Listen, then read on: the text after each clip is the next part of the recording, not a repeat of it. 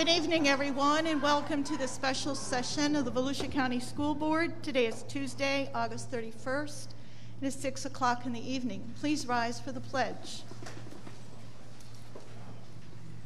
I pledge allegiance to the flag of the United States of America and to the republic for which it stands, one nation, under God, indivisible, with liberty and justice for all.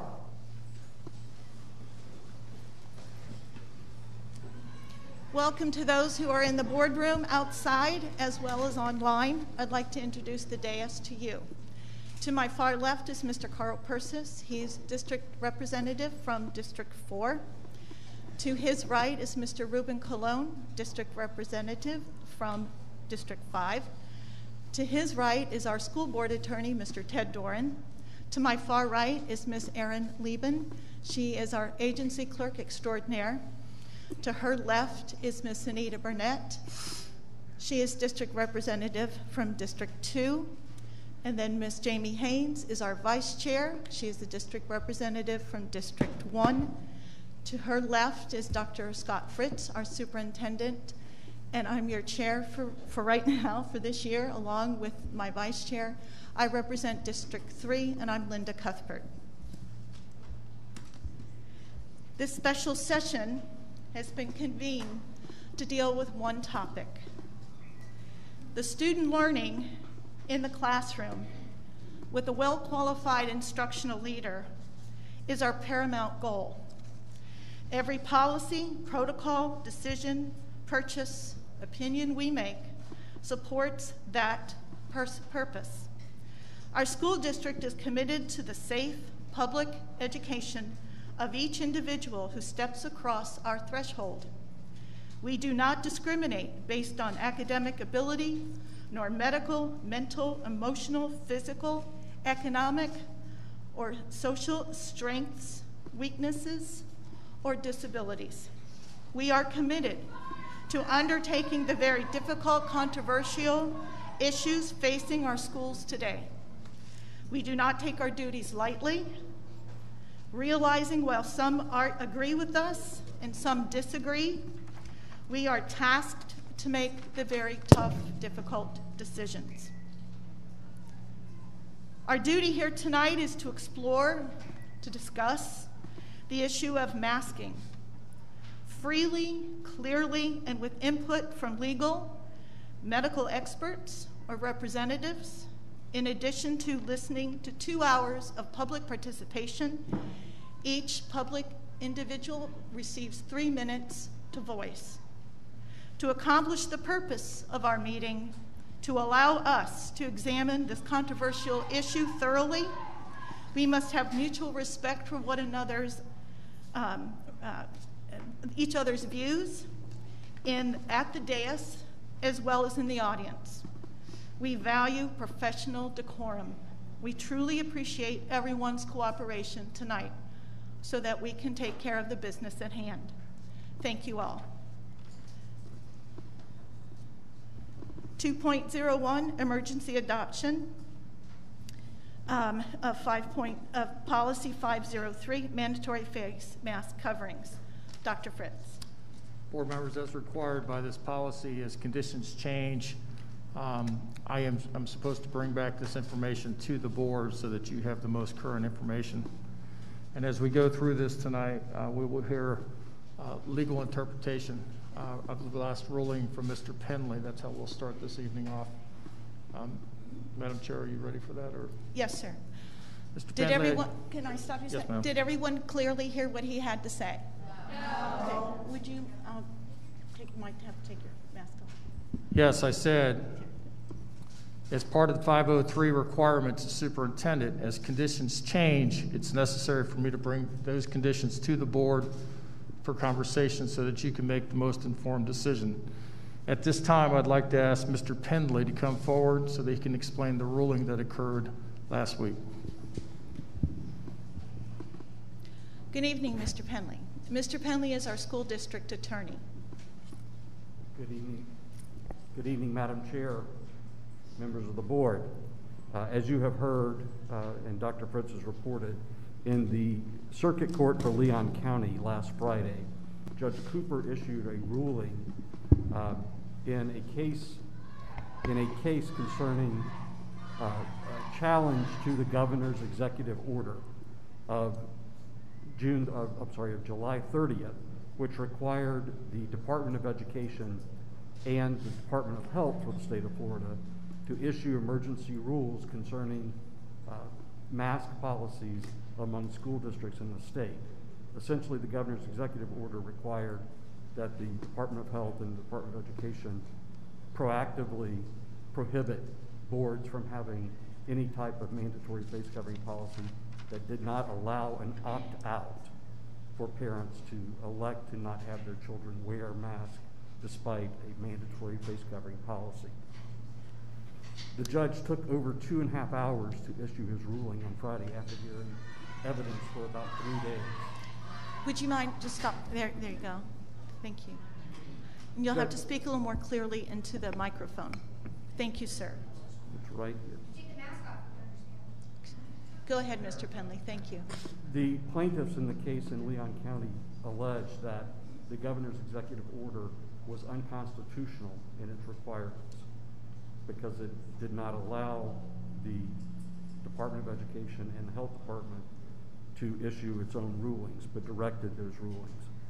Ultimately, what the judge ruled was that because the governor's executive order was ultra vires, that means without legal authority under the Constitution, that the Department of Education's rules could not be enforced against school districts. The practical effect of that ruling was that boards throughout the state are at liberty as they see fit under their home rule authority to issue mandatory face covering policies, pro- permissive face covering policies, or any other category of face covering policy that the local board in its home rule authority may elect to enforce. So that is the current state of that case, that is a circuit court case in Leon County. The written order has not been entered in that case as of tonight. We are expecting tomorrow or possibly Thursday to receive Judge Cooper's written order in the case. If that happens, we also expect that the Department of Education and Commissioner Corcoran, who were the two parties enjoined, um, to file an appeal to the First Circuit Court of, uh, I'm sorry, the First District Court of Appeal in Tallahassee. Once that happens, under Florida procedural statute, an appeal against the state stays enforcement of the lower court's case. So at this point, we're left with a circuit court trial decision finding that the governor's executive order was ultra vires and enjoining the Commissioner of Education and the Department of Education only from enforcing emergency rules prohibiting boards from issuing mask mandates. I understand that that's a lot of legalese, and I apologize. I did my best to uh, put it in as lay terms as I could. Uh, If you have any questions, I'm happy to address them. Okay. Thank you, Mr. Penley. Are there any questions from the board?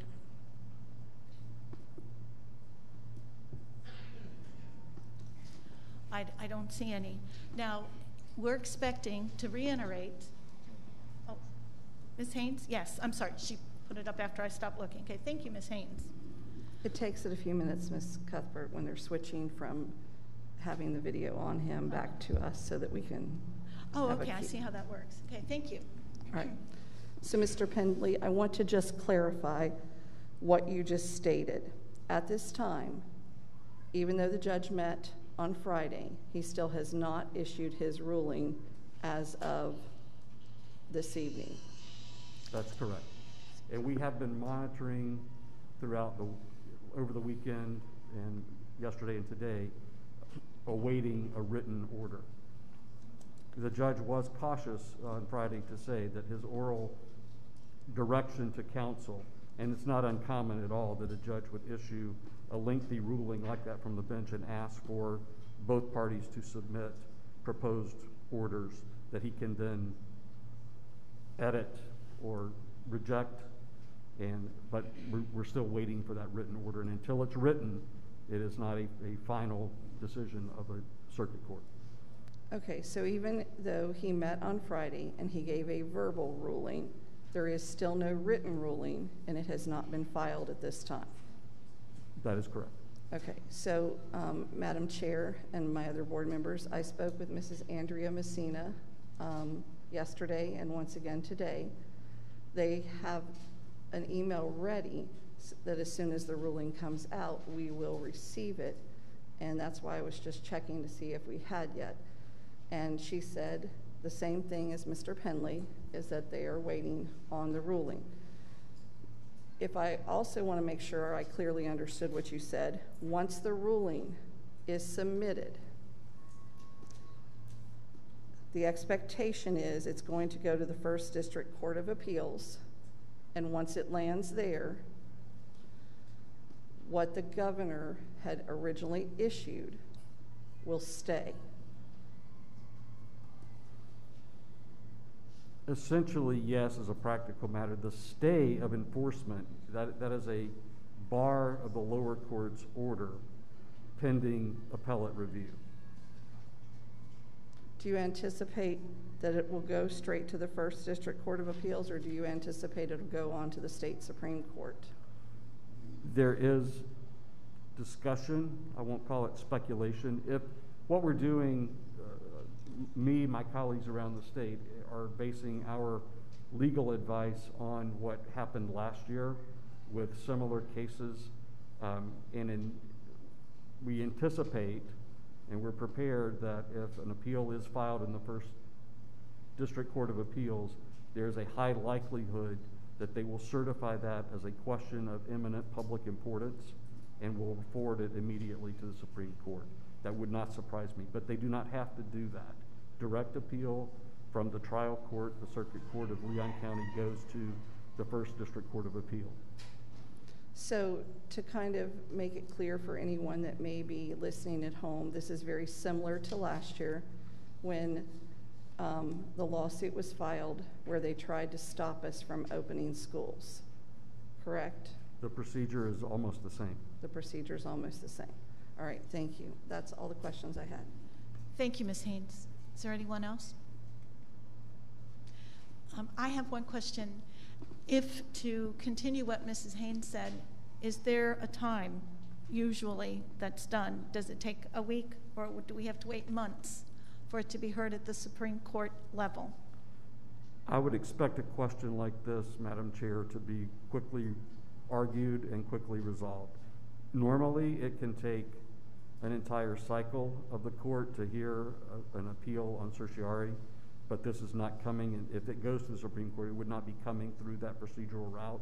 It would be a direct certification from the district court to the Supreme Court of eminent public importance, and they typically rule on those matters within days or weeks. Okay, so conceivably, this could all be decided by the end of September. Highly likely, yes, ma'am. Highly likely, okay. Thank you. Thank you very much, Mr. Penley. You're very welcome. Thank you, sir. Dr. Fritz? I'm going to ask Dr. Shanoff to come forward to talk about some of the mitigations that the district's taken this year uh, to keep our students and our staff safe.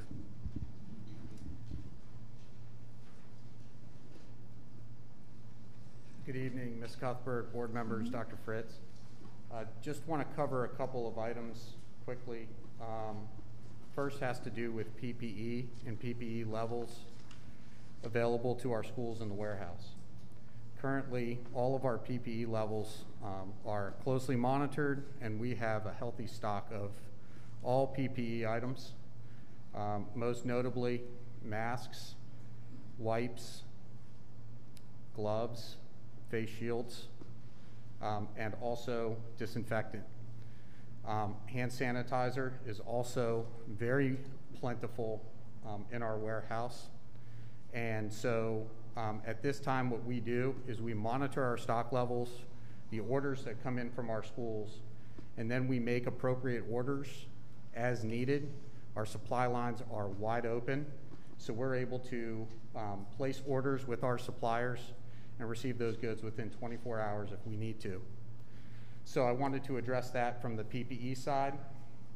The other thing that I wanted to address um, is um, one of the one of the items for CDC guidance, in addition to other mitigation um, strategies such as um, such as masks and physical distancing, they talk about uh, air exchange in HVAC systems.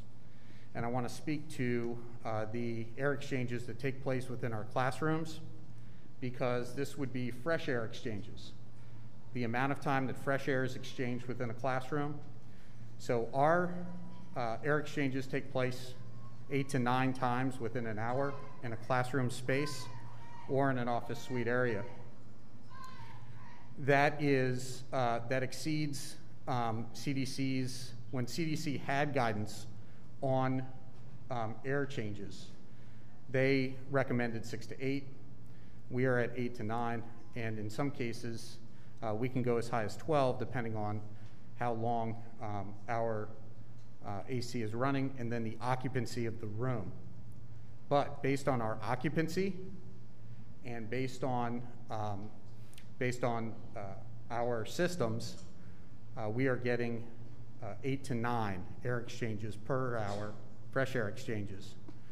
And then um, because our set points at um, an off hours set to 80 or 81 degrees, the air will come on in the overnight hours at 80 or 81 degrees to bring it back down to a cooler temperature.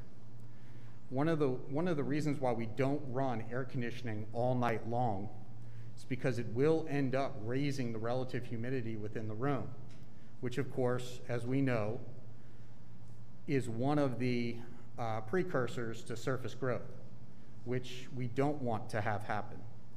So we keep our set points at 80 to 81, and then we will go ahead and have that fresh air exchange kick in and so it's entirely possible for our, for our classrooms to receive fresh air exchanges even, in, um, even outside of the school day and the overnight hours, further cleaning the air in the rooms. There's been another question relative to e-misting versus deep cleaning. The chemical, uh, excuse me, the disinfectant that we use for e-misting is the same disinfectant that we use for our deep cleaning. It Has a one minute kill time. The difference between e-misting and deep cleaning is that you can e-mist a room significantly faster and disinfect a room significantly faster than you can if you just do a deep clean. So it does allow us to reach more classrooms if it becomes necessary for us to deep clean a classroom. The deep cleaning process, when we hear that there is a deep clean that has become necessary, school administration will notify their day porter. If their day porter is not there or incapacitated, not available, we, um, that call will come in to John Kraft. John Kraft will then communicate with either the custodial supervisor, Eddie Malave for pilot schools, or the area manager, and we will ensure that that room receives a deep clean before students return to that classroom. Once again, using the disinfectant that has a one minute kill time. So those are the, that's the high level overview relative to um, operations and, um, and how our air exchanges work. Um, as the CDC does outline that fresh air exchanges are, are vital. Um, I wanted to reassure the board and the public that we do have eight to nine fresh air exchanges that are taking place every hour in our classrooms. Okay. Thank you, Dr. Shanoff. Are there questions from the board? Ms. Haynes.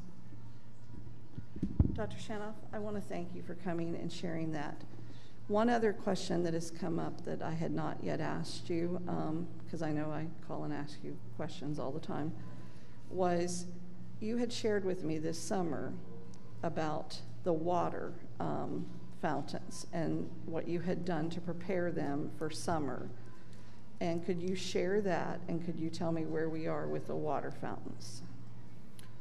So we, we inquired um, with the uh, with the local Department of Health. We received guidance from the local Department of Health that we would use normal sanitizing procedures for water fountains, but it was not, uh, it was, it was not uh, recommended to close down um, water fountains, access to water fountains, um, because um, the, the virus being aerosolized, if it were to land on a water fountain, it isn't as contagious as if it were aerosolized.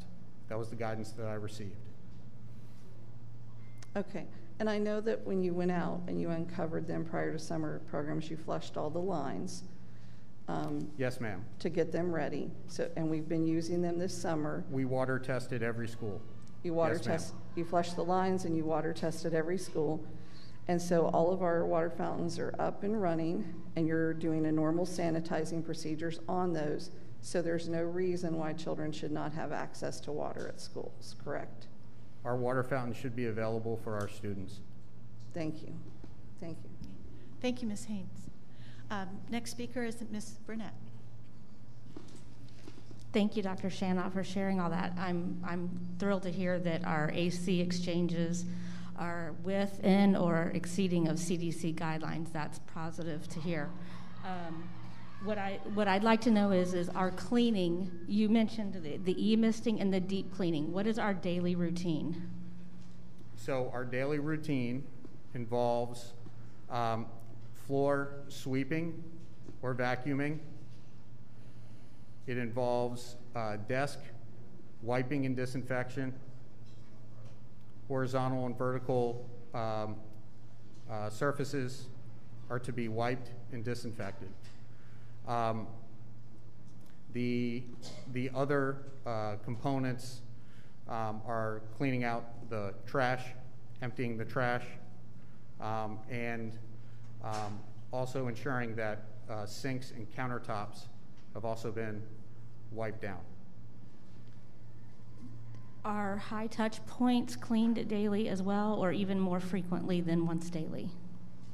So in some cases, uh, we do have uh, we do have some schools where students change classes quite frequently, where students will wipe down their areas as a point of practice.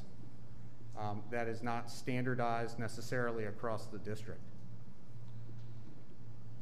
Thank you. You're welcome. Thank you. Um, Gentlemen, anyone would like to ask a question? Dr. Shanoff? Um, Dr. Shanoff, I know we have um, our pilot program. Uh, Could you report on how well our pilot program is- is doing in all of these cases, our 15 schools? Sure. I think it's important for us to note that um, we're not seeing any difference between uh, positive cases in schools that are pilot or positive cases in schools that are served by ABM. Um, we are seeing cases in both in, in both environments. Um, as it pertains to um, as it pertains to our pilot, our pilot is going very, very well. Um, we have we have decided to use um, the e-misters within the pilot so then we can get to multiple pilot schools um, within a given day and take care of the deep cleaning needs. That's a decision that we made as a district. Um, and so that was only for expediency purposes. It was not made because it's any more effective than deep cleaning. I will say that with our ABM partners, when a deep clean is requested, that deep clean is prioritized, and they do communicate when that deep clean has been completed. Okay. Um, You said that there is really no difference between the pilot programs and our ABM contracted schools. The COVID cases are still there, correct? Correct. Yes. We have 21% of our schools are involved in the pilot, 79% of our schools are, are serviced by ABM. There's no alignment whatsoever in terms of cases, with 21% or anywhere close to just 21% of our cases being aligned to um, just our pilot schools. There's no, there's no real, there's no real alignment there. Hmm. How often do we e-mist? Do we do it every night? Or is it No, every ma'am, other? we, no, we would, we would, we would do our normal cleaning procedures. Mhm. Um, we would not e-mist every night, no. We save e-misting for when we need to, um, deep clean and we don't maybe have the, uh, resources available to address all the rooms that need to be deep cleaned. That's when, for us, the e-mister comes in very handy because it does the job of deep cleaning in, in about half the time. Sir, is there extra special uh, time and effort and cleaning given to the common areas where all students are gathering, like the cafeteria or an auditorium or a gymnasium? So they receive, they receive the same general cleaning that they would receive at any other time. However, if we have information that a COVID-positive individual has been in that space, it would receive the same deep cleaning that a classroom would. Okay, sir. Thank you very You're much. welcome. Any other questions of Dr. Shanoff? Dr. Fritz, any other comments? Thank you, Dr. Shanoff. Thank you, sir, very much. Dr. Fritz. This time, I'd like to ask Ms. Boswell to come forward from the Department of Health.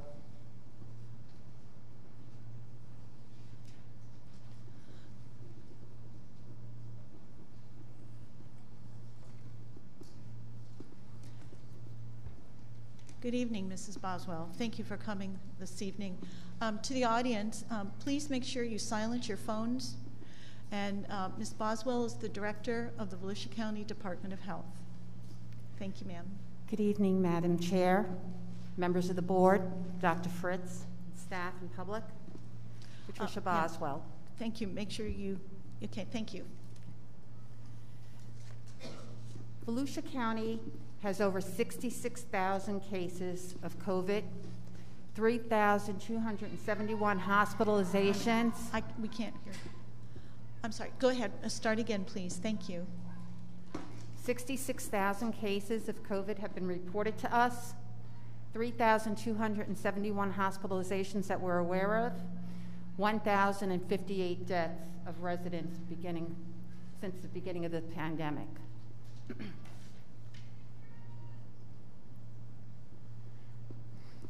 This table represents the total number of reported cases for the first two weeks of school year this year compared to last year.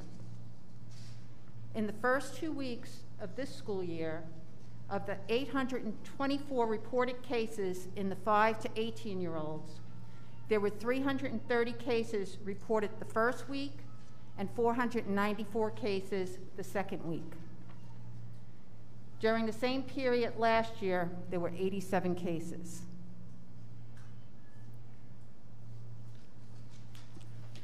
This table provides the same comparison as the previous slide with the age distribution of cases. 431 cases this year incur, occurred in the population eligible to be vaccinated.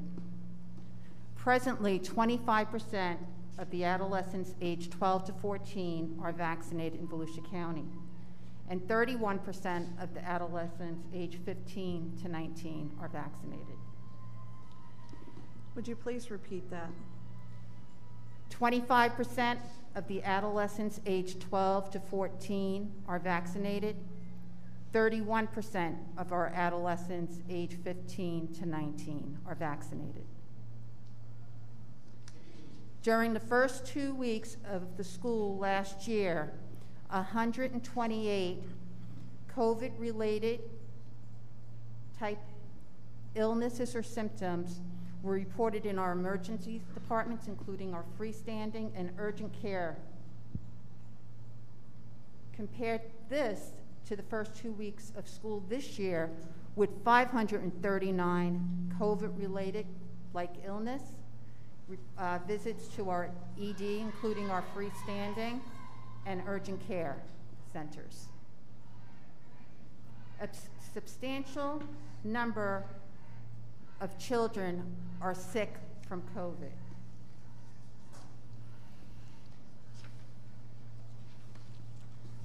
This slide represents the Florida Department of Education protocols for controlling COVID-19. Isolation is intended to keep someone who is infected with COVID away from others to prevent the spread.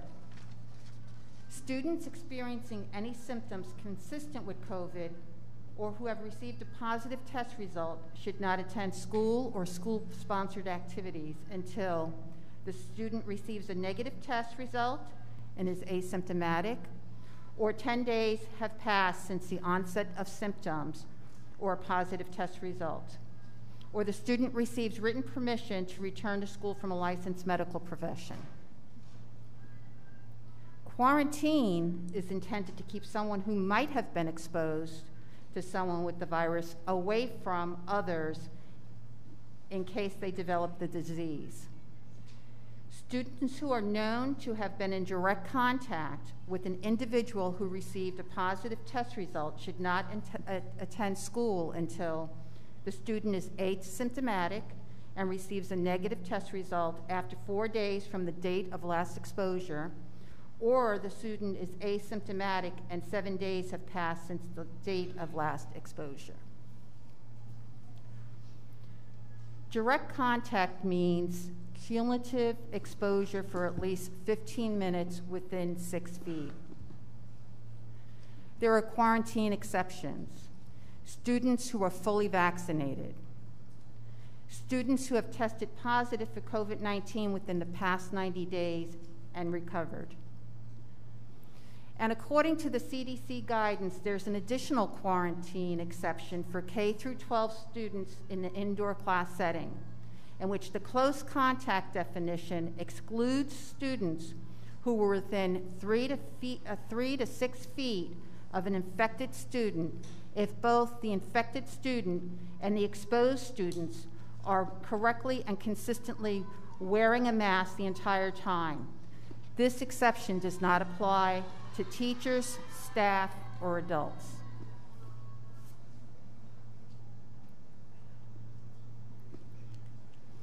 Schools must use several strategies to keep everyone as safe as possible, as listed in the slide. And our school, school district has instituted the procedures to prevent and control COVID 19, including educating students on staying at home if they're sick, indoor masking, encouraging routine hand washing throughout the day, cleaning of classrooms and high traffic areas. It's important to remember we have to use multiple strategies to help reduce the spread of COVID 19 in our schools and in our communities. Layering these strategies is essential to ending this. Schools across the nation are using universal indoor masking, physical distancing to the extent possible, and additional prevention strategies to protect students, teachers, and staff.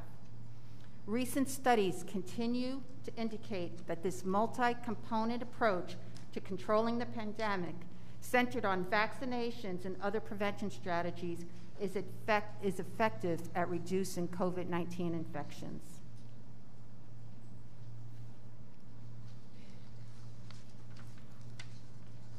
We continue to offer vaccine and testing at our health department.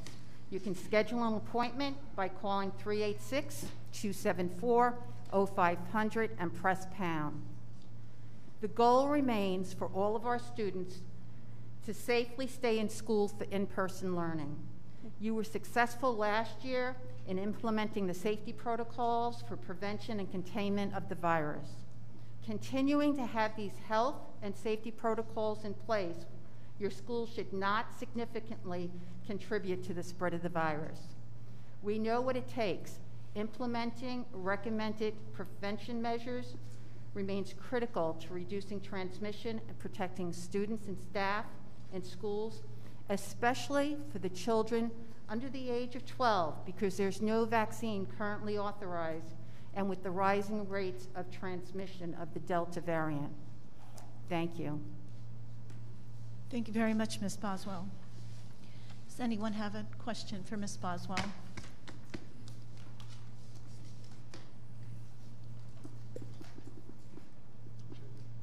Ms. Burnett. Thank you. Um, I, I, heard you mention that the quarantines with the CDC guidelines were three to six feet, and if both were wearing a mask, that that would reduce the quarantine. Is that what you said?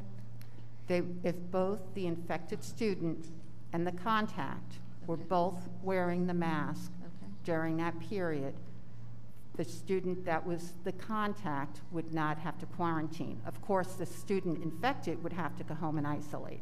Correct. And um, of the students that we've quarantined, can, can you tell us the number of students that actually came up positive? Now, as I said, we do not, our database is talking about cases. We do case investigations. We don't have a system that will tell us.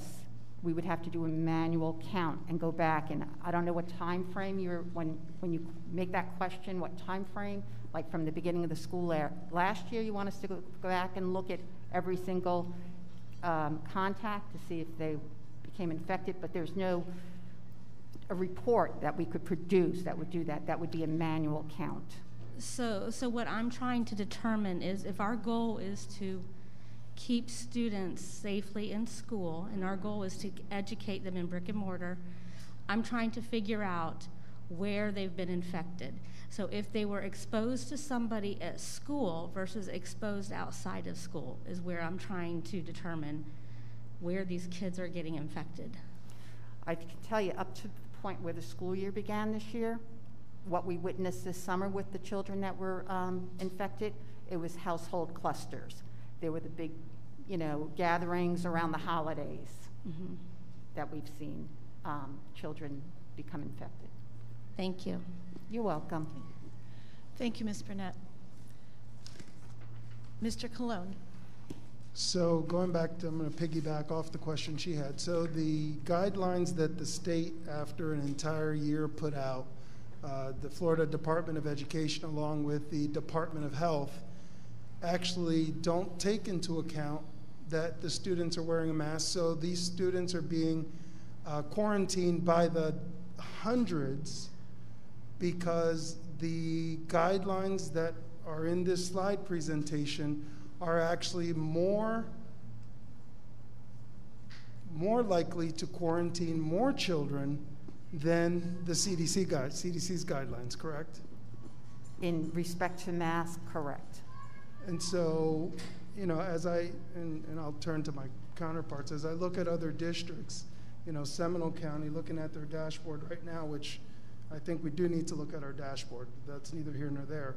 They've quarantined a total of seven, 7,000 students. So every student who comes near another student based on the Florida Department of Education's latest guidance to school districts, along with the Department of Health, because it was issued by the Surgeon General, um, making us put a lot of kids out.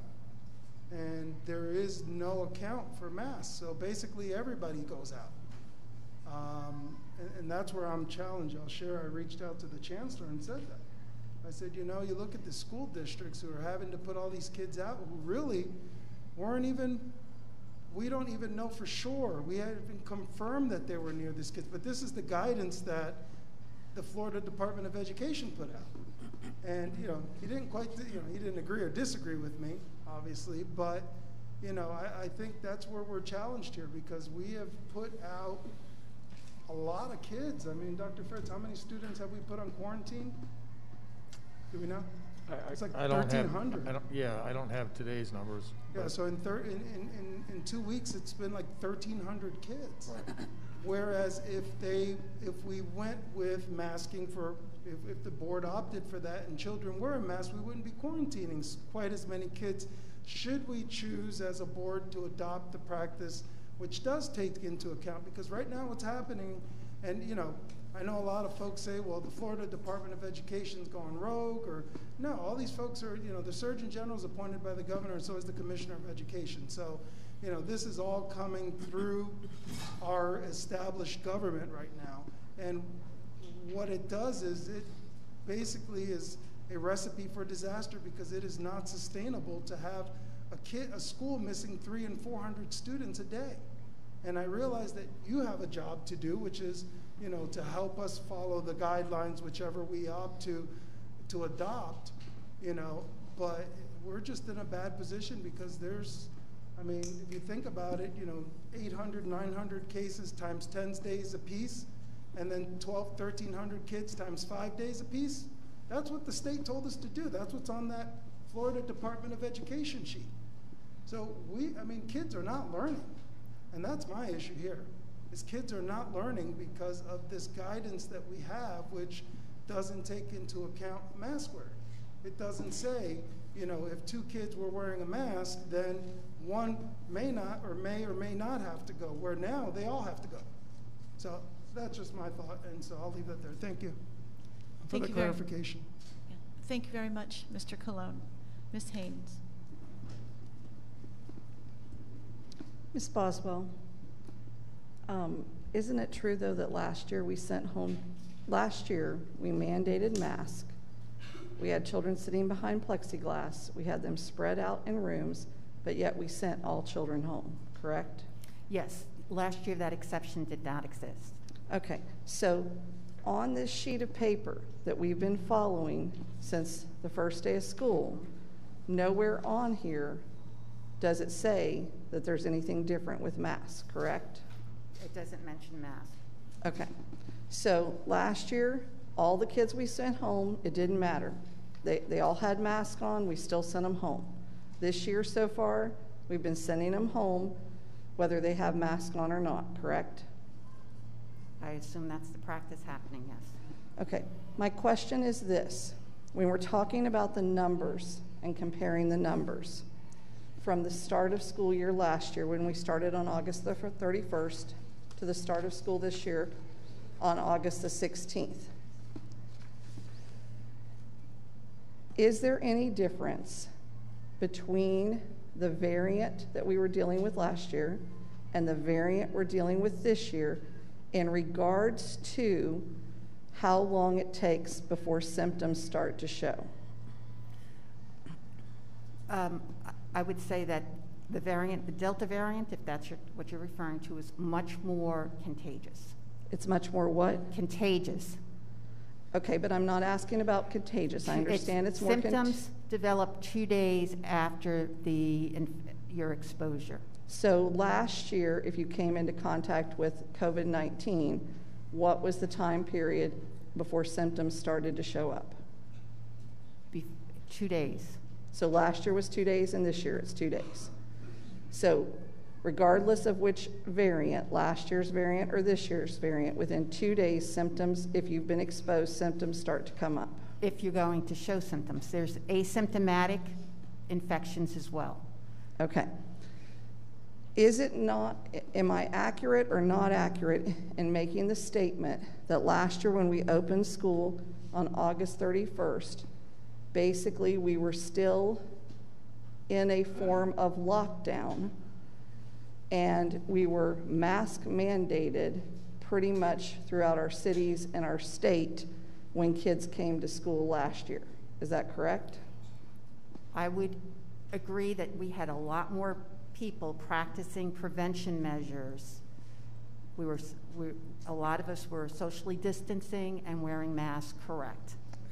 This year, however, because our state has not been under a mask mandate for several months, our cities even longer than that, and even our students, if, in the event that they were coming, you know, on campus for summer programs, have not been under any form of a mask mandate since June 14th.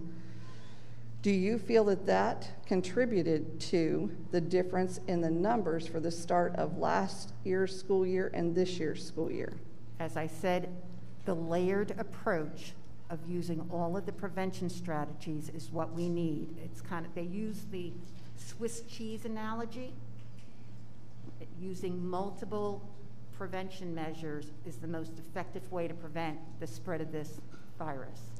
So when, yes, last year we had more people practicing more of those measures. well, because we were on lockdown, people were ordering their groceries in, restaurants were still closed, people were wearing gloves, they were wiping everything down.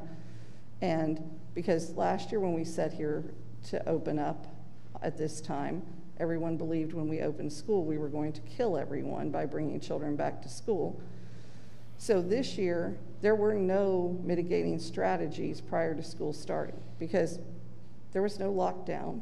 People weren't wearing gloves, they weren't wiping everything down, they were back living their lives.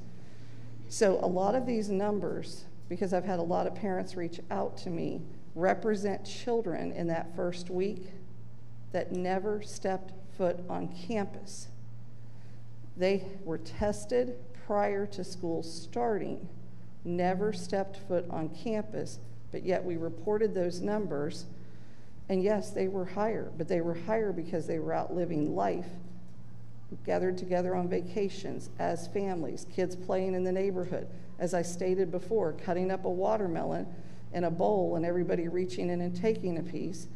And so, yes, with a more contagious virus, we see higher numbers.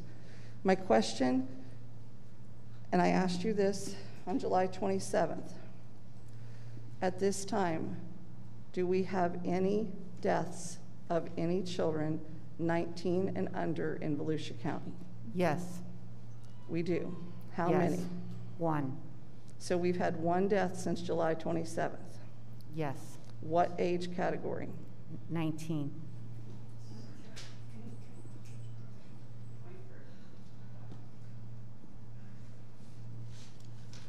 And was it contributed solely to COVID? I don't have that information. He, di- he was infected with COVID, yes. What? Yes, it was a COVID death, but if you're asking me what his other medical conditions were, I can't speak to that. But it was recorded as a COVID death on the, Yes. on the, on the death Yes. certificate? Correct? Correct. Thank you. I have no other questions at this time. Thank you, Ms. Haynes. Uh, Mr. Persis? Uh, Ms. Boswell, when students finally come back, for example, we, we are into our third week of school, correct, right now. By the second week, we did see a much larger number of students coming in, correct, who were infected. You said there were about 480 some, I think? Ms. Cuthbert, our dashboard was lower on Friday Um, of the second week. This, So the because first you, week you of said that school, earlier, when you, how many we had the first week and Okay. how many we had the second week? 330 cases, 494 cases the second week. 494. Okay, so three, and then 494. All right, thank you. Um, Do you have any um, information from yesterday to add to that? Any counts or how many uh, more positive cases you've received? I'm sorry, I don't, um, Have you received any more information um, as of maybe the end of today or tomorrow, of yesterday? Because since we're going into our third week, have, do you see an escalation from, from first week to second week into maybe yesterday or even today? Or do you have Um, that information yet? So if you're talking about repo- daily reported cases for Mhm. all of Volusia County of all ages? No, for 19 and under. Um, No, I wouldn't want to speak to that in terms of, um, it's too premature, like you're just saying the last two days. Okay, thank Yeah. you. Because we included, we included um, the data that we had this morning in these numbers. Okay, thank you. That's, That's welcome. That's nice to know that. Yeah. Um, How often do you get a report from the State Department of Health about the numbers? Because they're not being, usually, a- a we used to get them report. posted every day. It went from daily to weekly, and the uh, type of information has changed uh, significantly as well. What type of information is that? So, um, if you don't mind, I'll just pull out the old report and compare it to the new report. Uh-huh, So the old report, which ended beginning of June, would give you total cases, median age, uh, deaths, hospitalizations, and they would all be county and statewide information on the same report. It was broken down to age groups.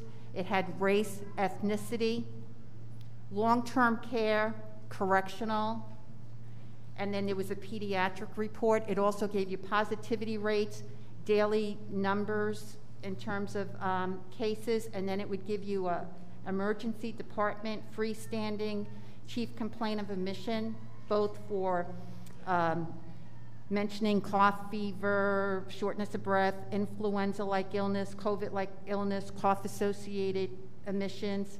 That was a daily report up to the beginning of June. The weekly report is um, total number of cases for that week. Hold on a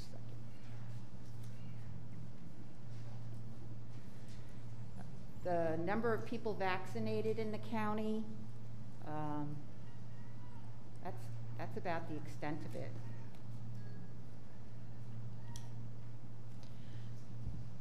That's all the information you're receiving. Mhm. Then where do all these numbers? Cases and vaccination rates.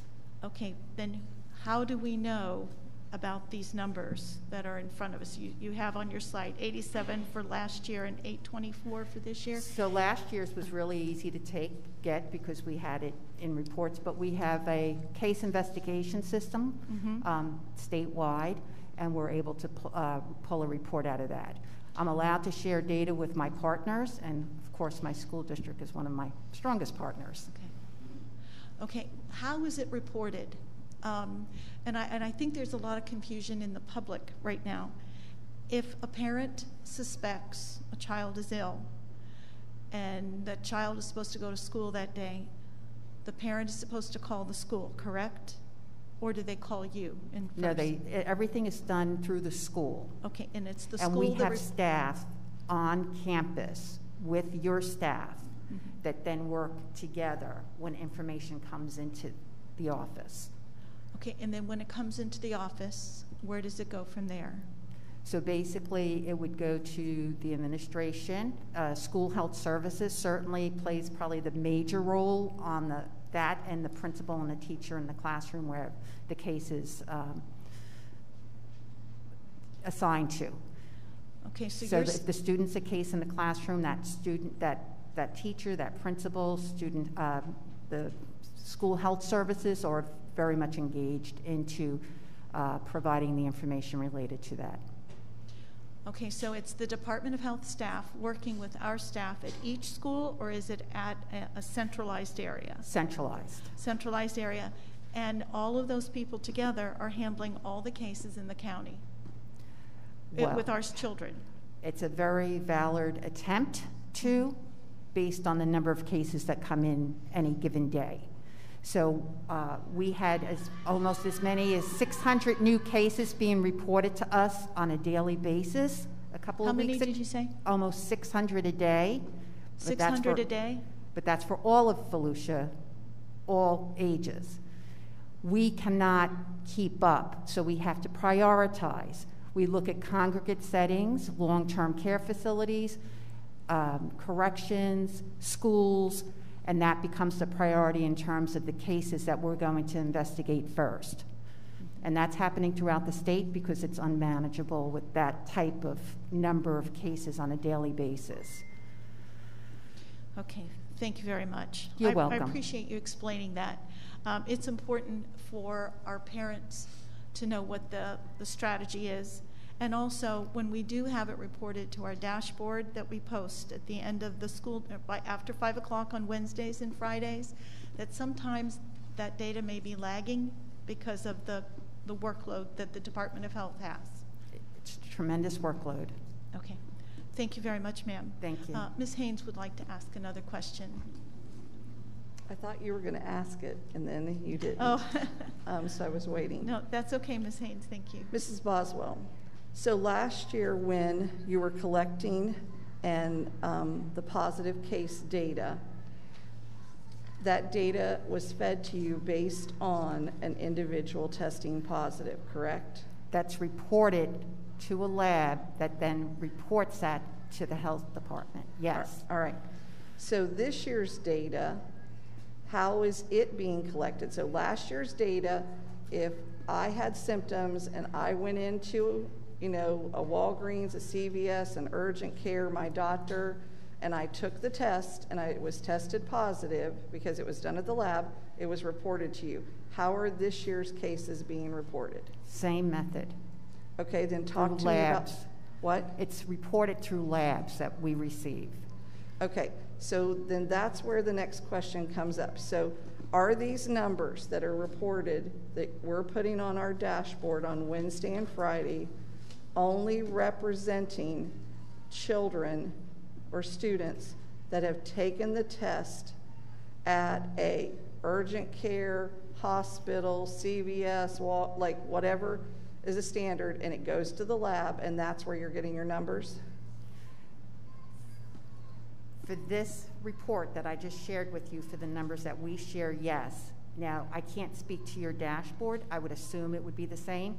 There are some um, rapid test now that has an app that will end up having a report connected to it that we will receive. So there's a little bit more technology than there was last year, so that's one additional report that we would receive of a positive lab that I didn't speak to last year.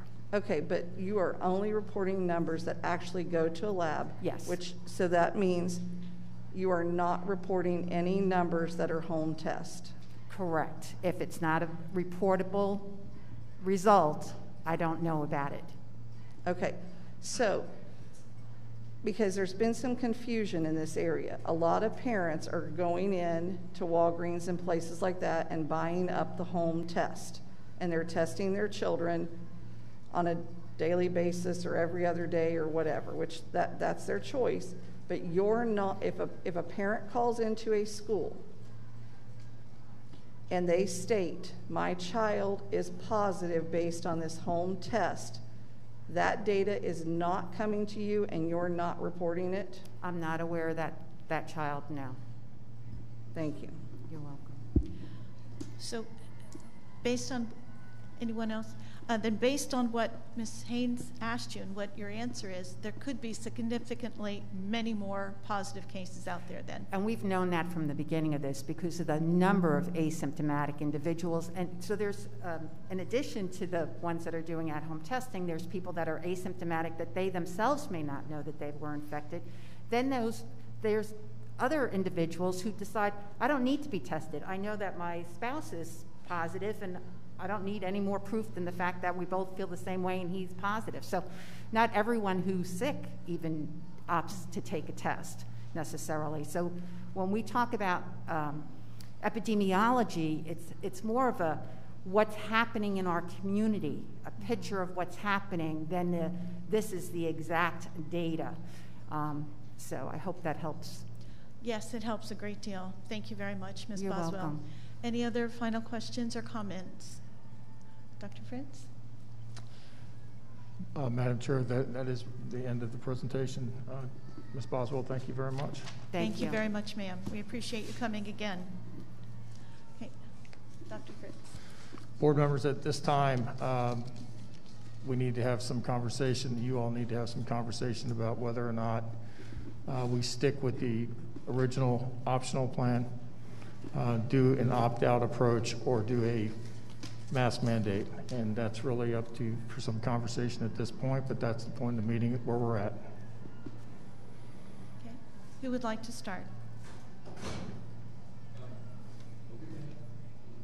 Um, I would like to have a discussion first, um, based on what our legal uh, department has said, what Dr. Shanoff has said, and what Ms. Boswell has said. Uh, We need to discuss um, what we're doing first before we have public opinion.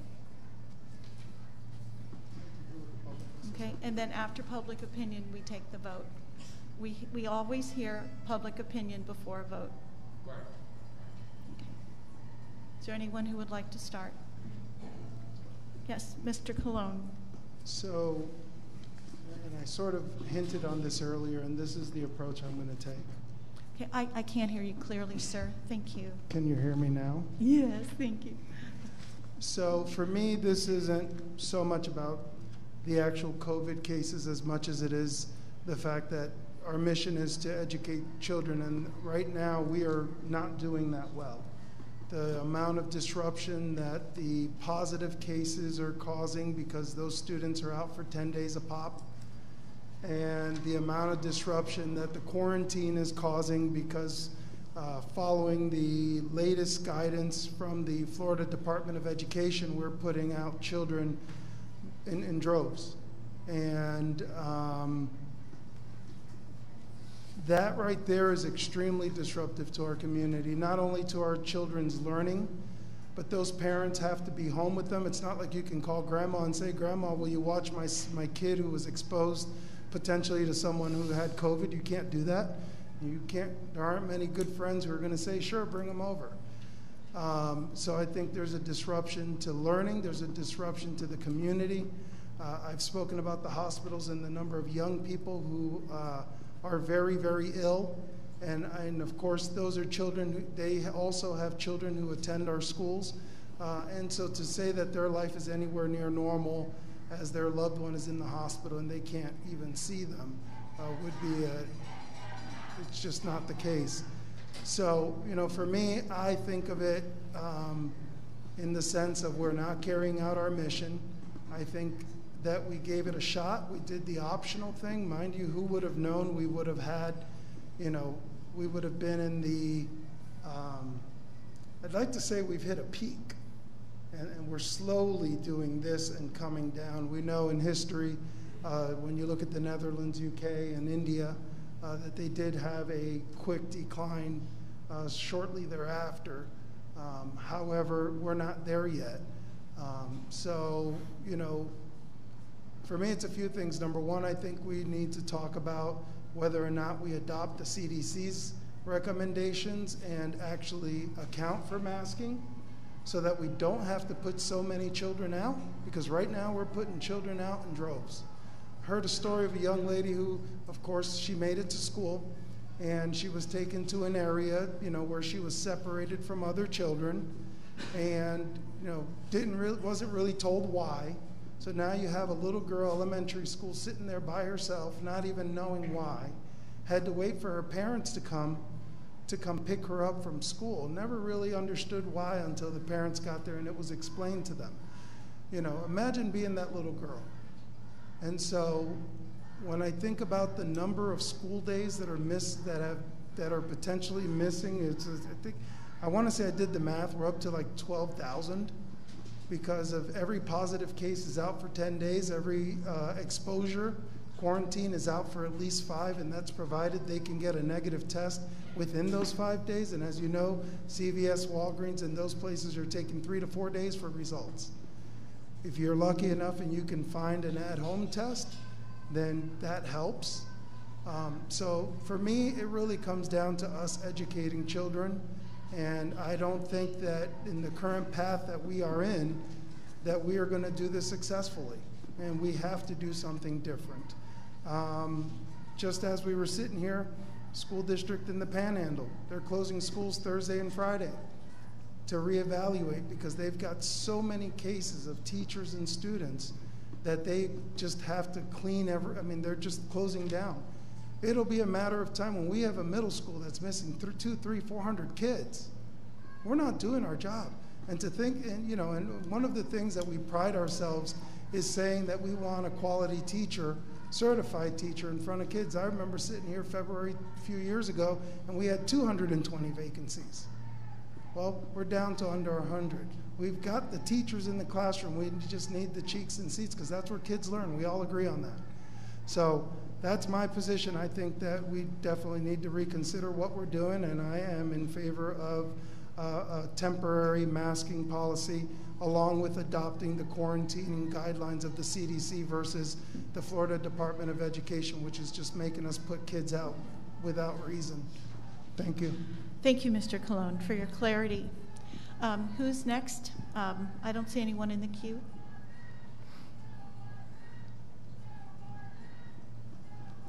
Ms. Burnett.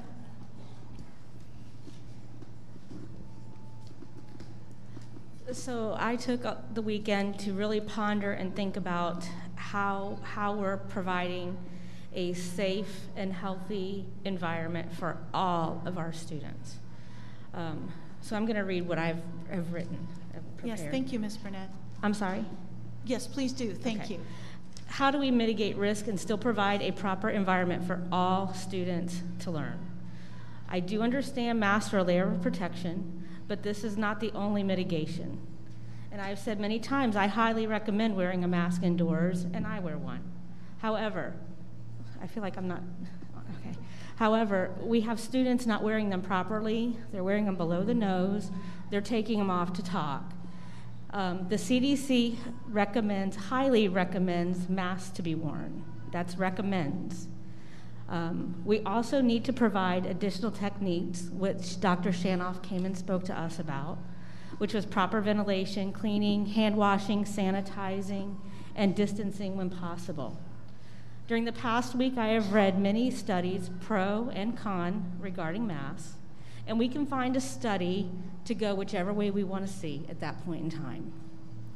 Um, this brings me back to the fact that it's our job to provide a safe learning environment for all of our students, which is subjective depending on the parent or the person as to what a safe and healthy environment is.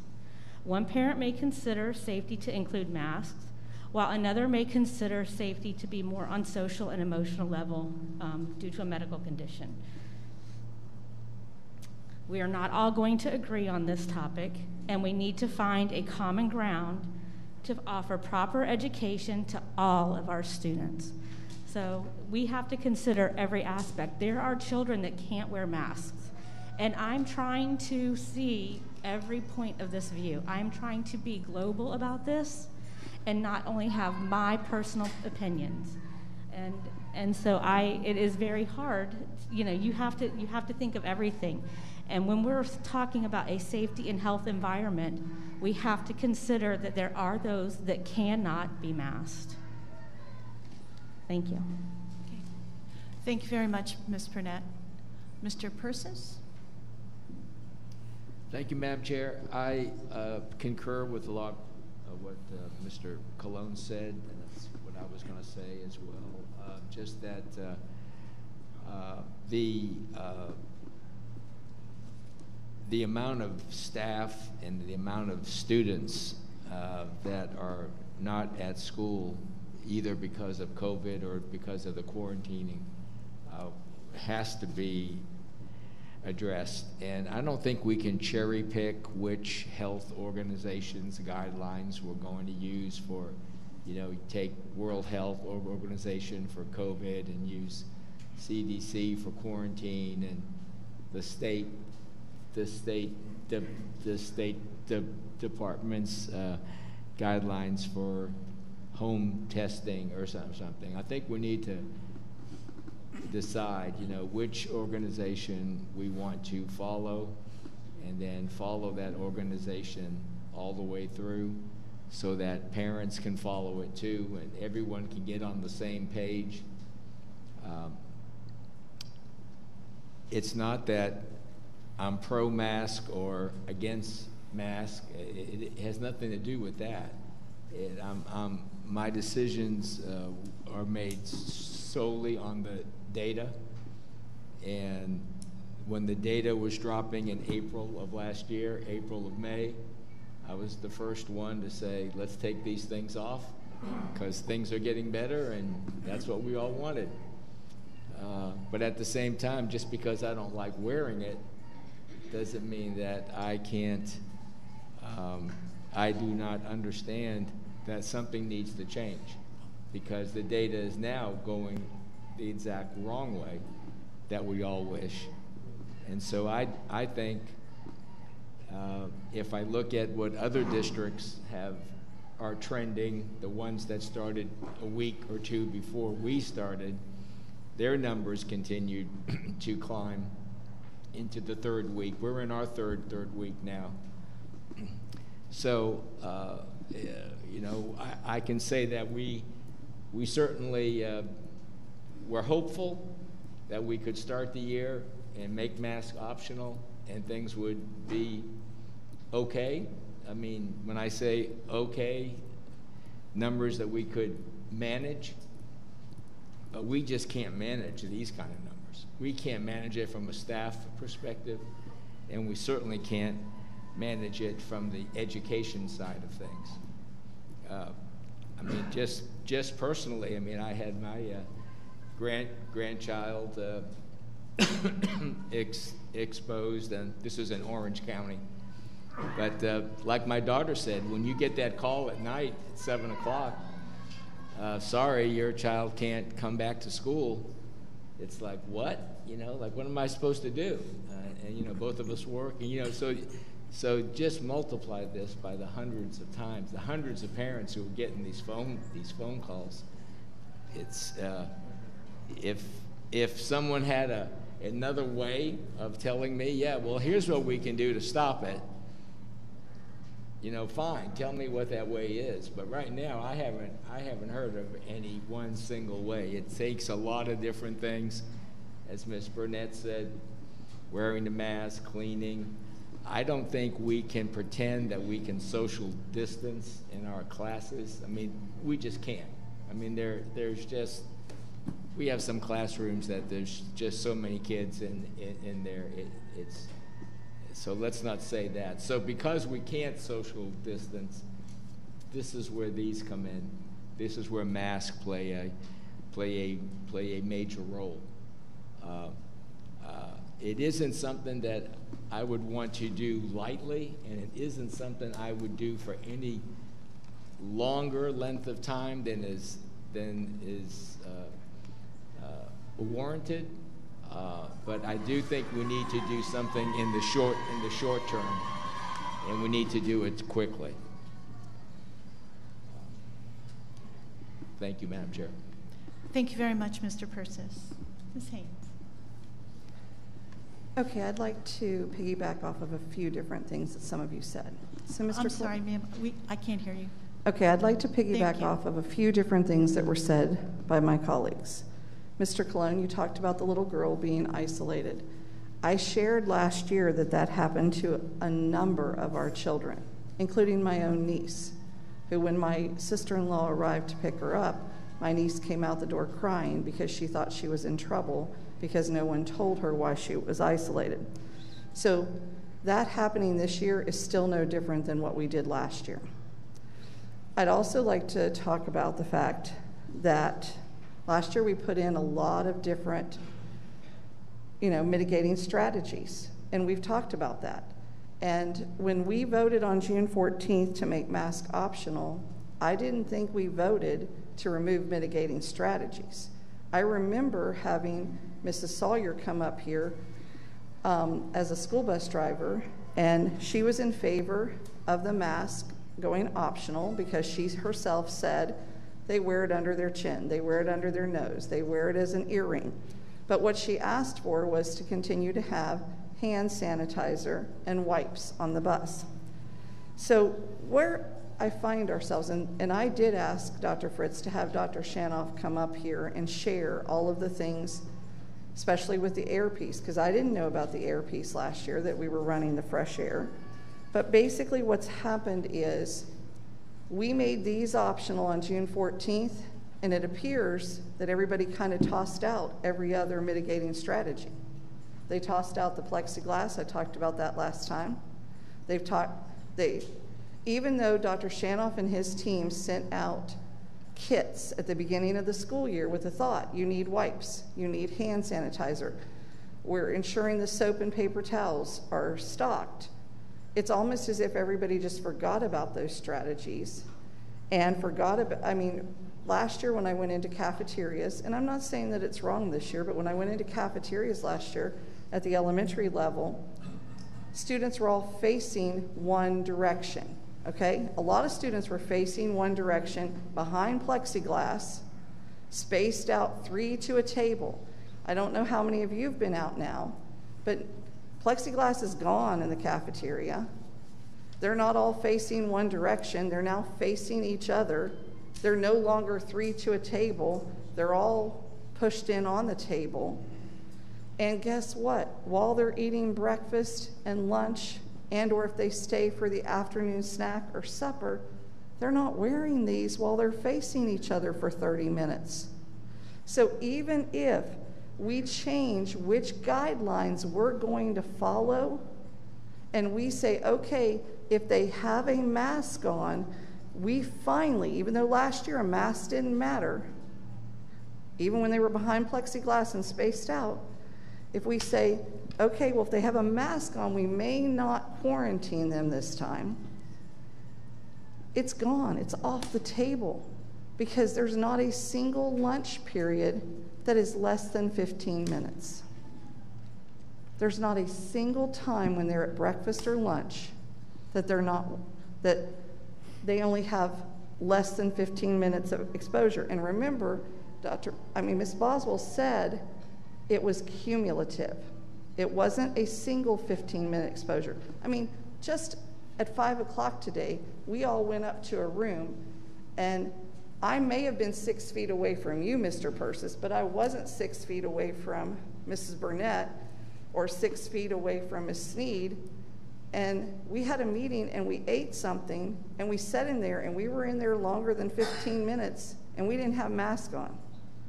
So if any one of us tests positive at this point, we're all out. If you look at what the rules are, mask or no mask. I go back to this and say, Dr. Fritz sent us some numbers last Thursday. And I didn't get all of the numbers, we got a portion of them.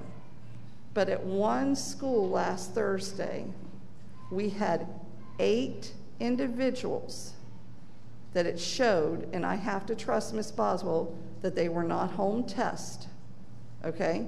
But it showed eight individuals on that campus tested positive for COVID. We put out 176 people in quarantine. 176 people went home to be quarantined due to eight individuals. Last year, I've shared this, we put out the entire seventh grade at one school for one individual testing positive. Then we put out that entire seventh grade again for one individual testing positive. Now, fortunately, last year we were tracking, and no one in that seventh grade that spent 24 days losing instruction at home got sick. So I hear what everybody's saying, but I go back to this. Mr. Persis, it was actually March of last year when you brought up the fact about going to mask optional. Because we started with an emergency order. We were under a state of emergency last year. We started with an emergency order for 90 days and we mandated masks. We put in lots of criteria, though, taking into account our ESE children, taking into our account, because the CDC guidance said if they couldn't put a mask on or take it off themselves, they shouldn't have it on. We put in medical exemptions.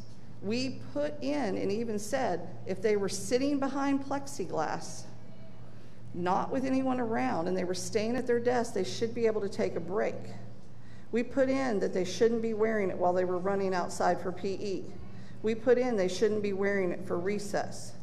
We know they took it off to eat lunch and breakfast and or supper, okay? But where we're at right now is we voted to turn it into optional. And so last year when school started, parents knew masks were mandated. They knew 90 days of mandating. We then turned it into a mask mandate policy. They knew again. In March, I was with you. I was ready to go optional because I wanted optional all along. But we held on till the end of the school year, and the only group we exempted from being optional was at graduation. We gave them a choice to walk across that stage without wearing a mask if they so chose. But we held in because we made the statement kids are here in school because parents knew that we had mandated masks and we were doing all these mitigation strategies.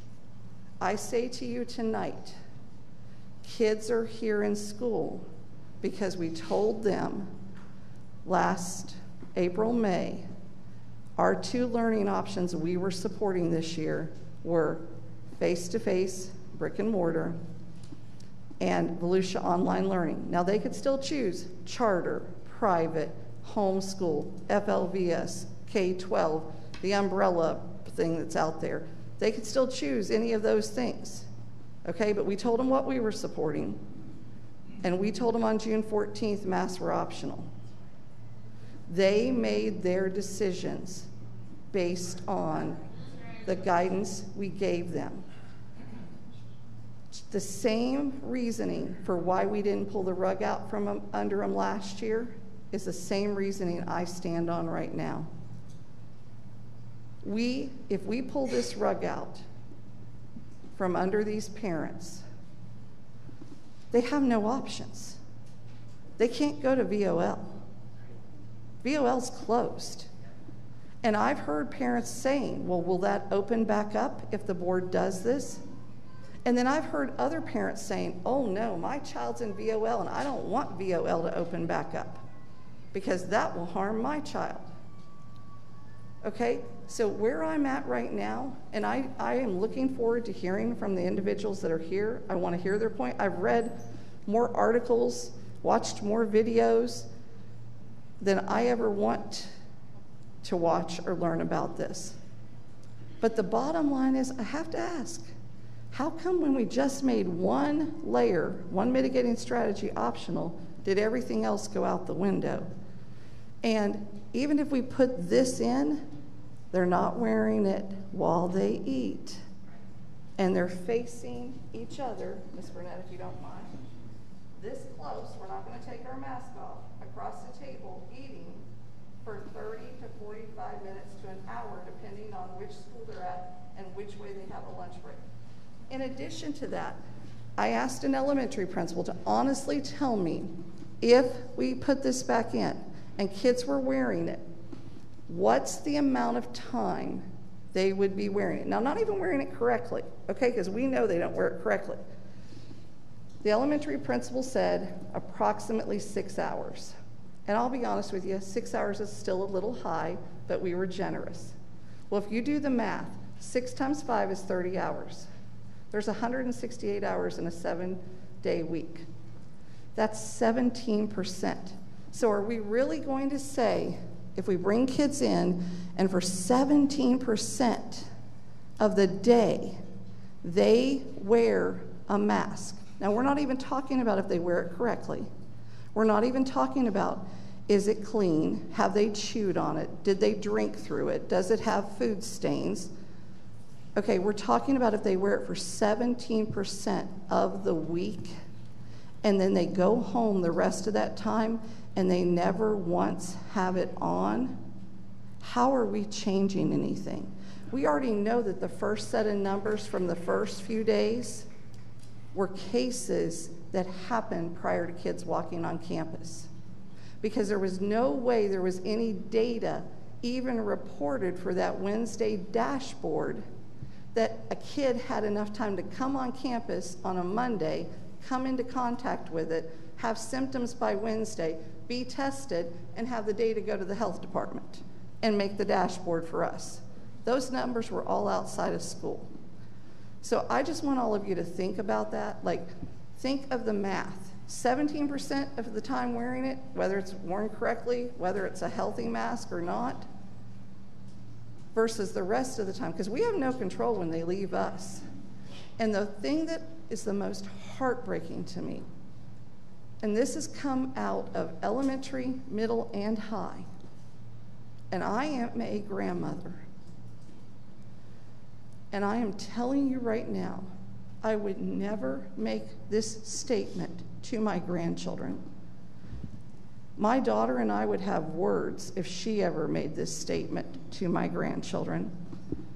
But why do we, why, why do parents out there right now, or grandparents, or aunts, or uncles, think that the burden of their health, an adult's health, is resting on the shoulders of a child?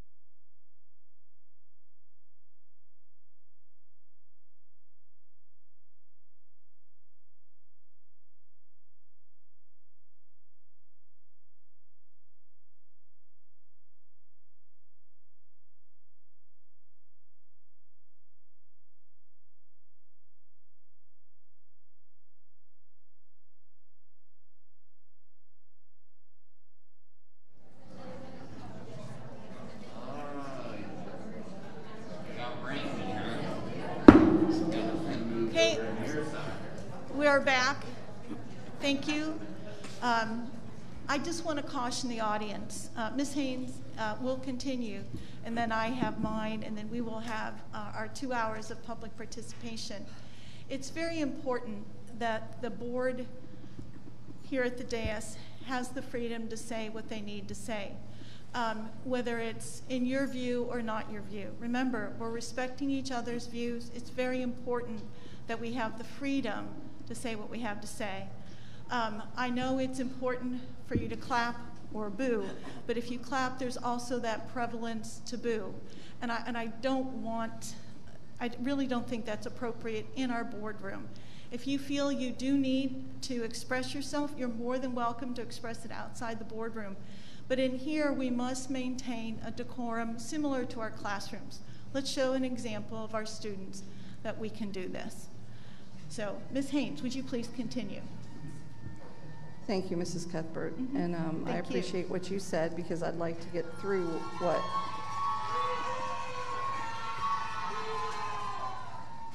I'd like to get through what I had left to say.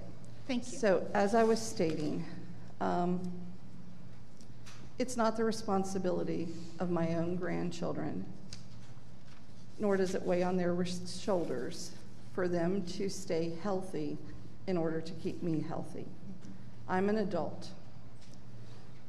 Being an adult, it is my responsibility to ensure my own health, however, I choose to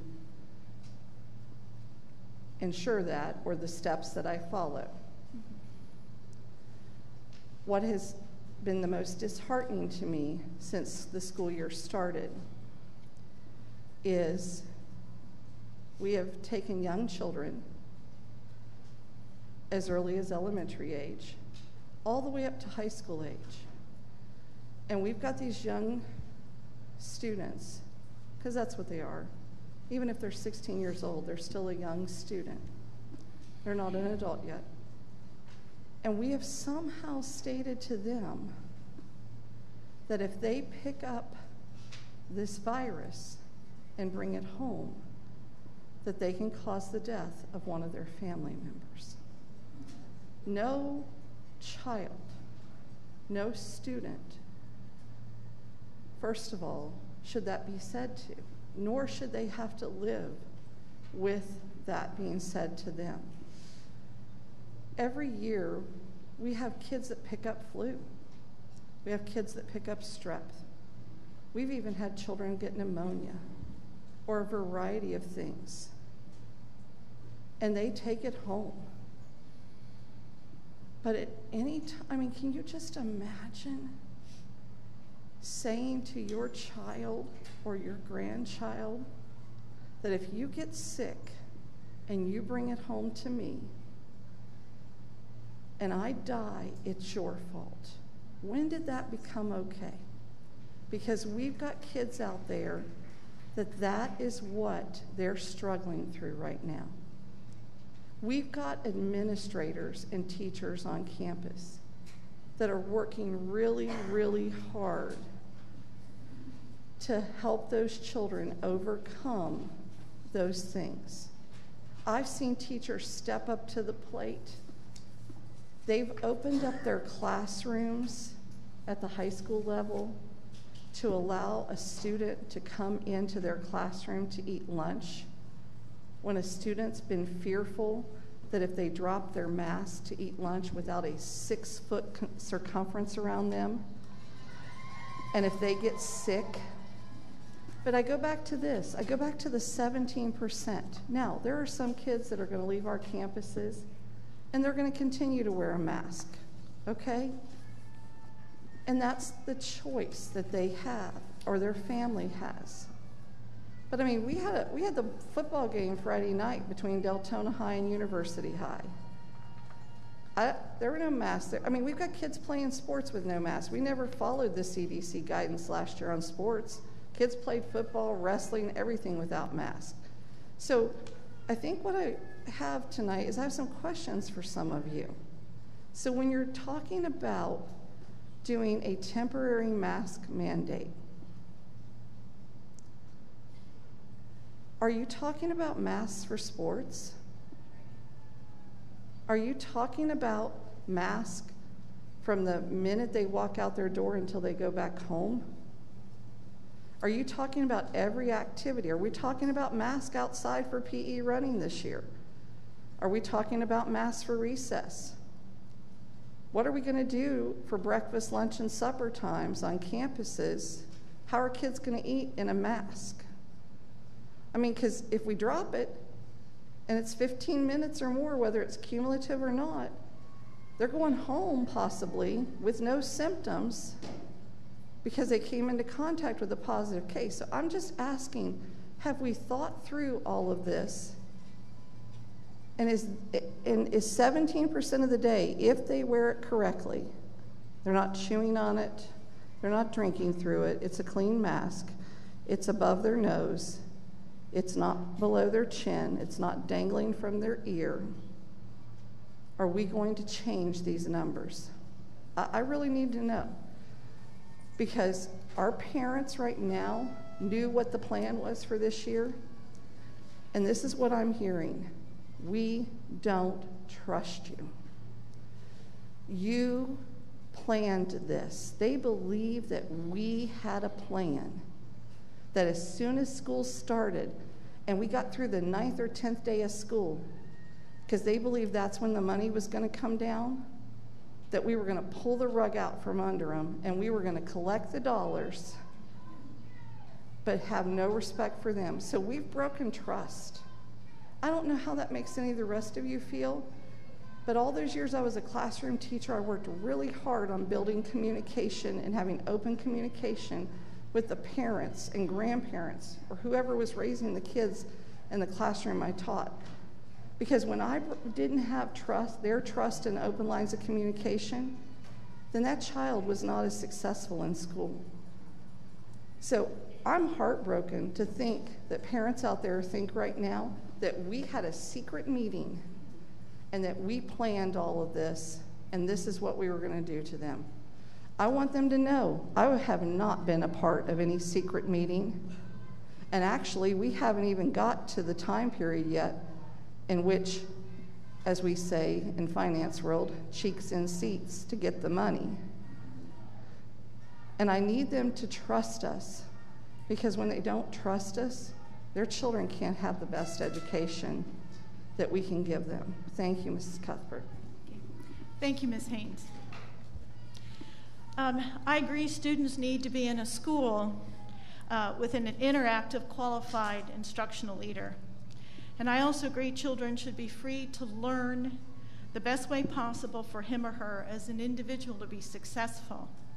And I agree parents do have the right to protect their own children, but not at the cost of the lives of other children. Our school district must provide a safe environment for all students.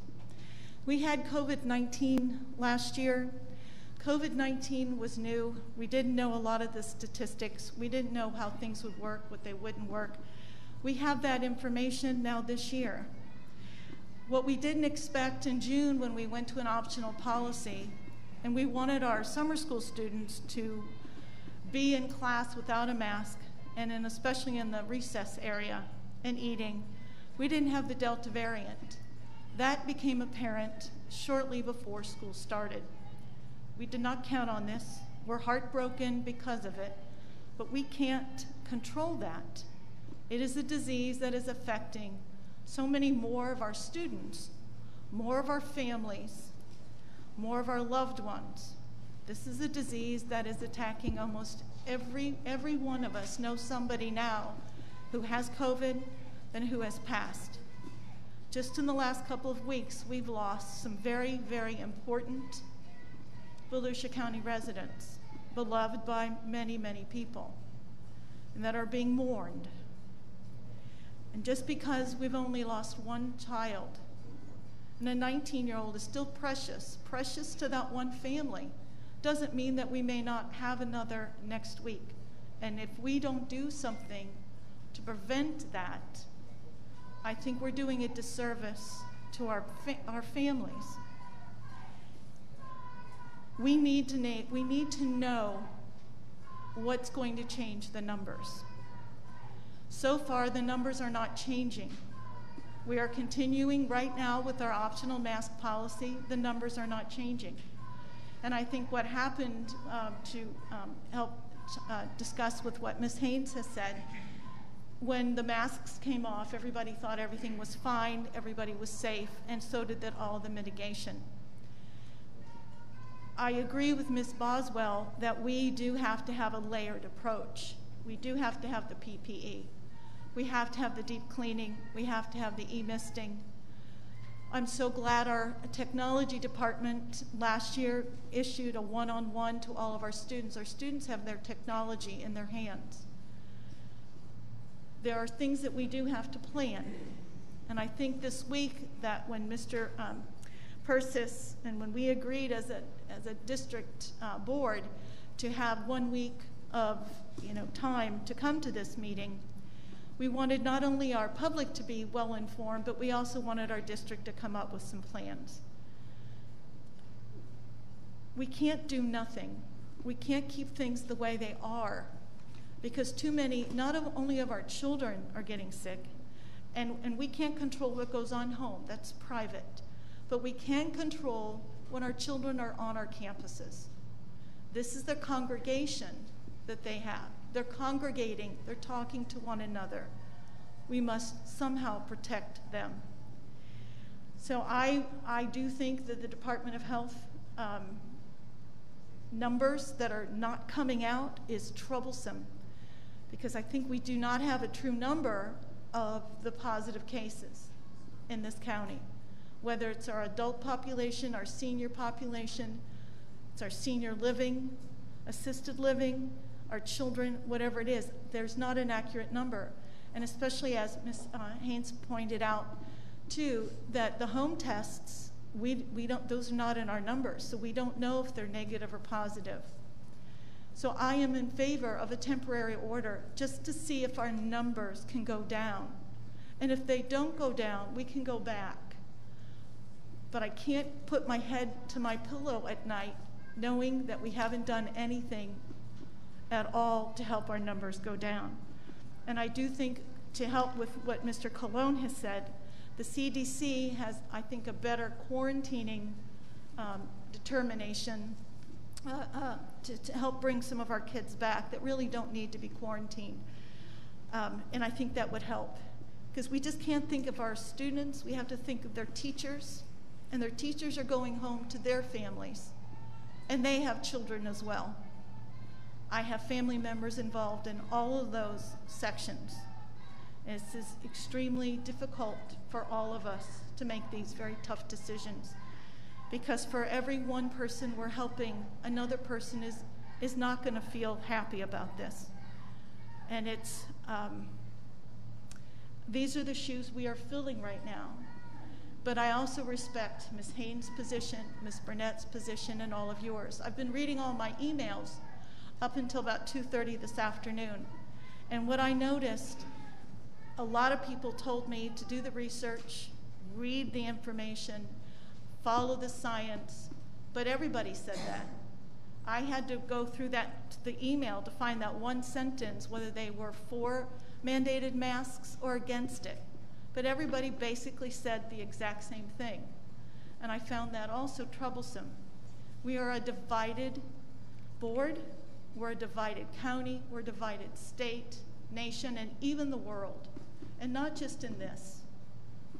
We have to somehow come together and do what's best for our children. They are the ones that need to be protected. And I take very seriously as a former educator. I have spent the majority of my life in a classroom, either in front of the desk or behind it. And it's very important that we consider one another. We have to find an answer. We will never know if the mask is going to work if we don't try to institute it for temporary point to protect our children. So um, with that, uh, I think uh, if there's anyone else who would like to say something, I think we'd like to go to our public participation. Uh, Ms. Schultz?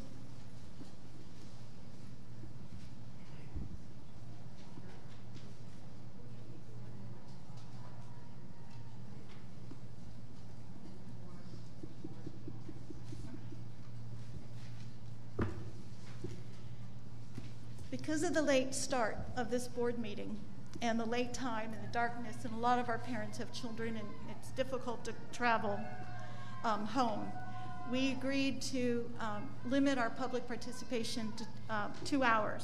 That way everyone can get home safely. I would like to hear as many people as possible in that two, two hours. Everyone has, a has three minutes.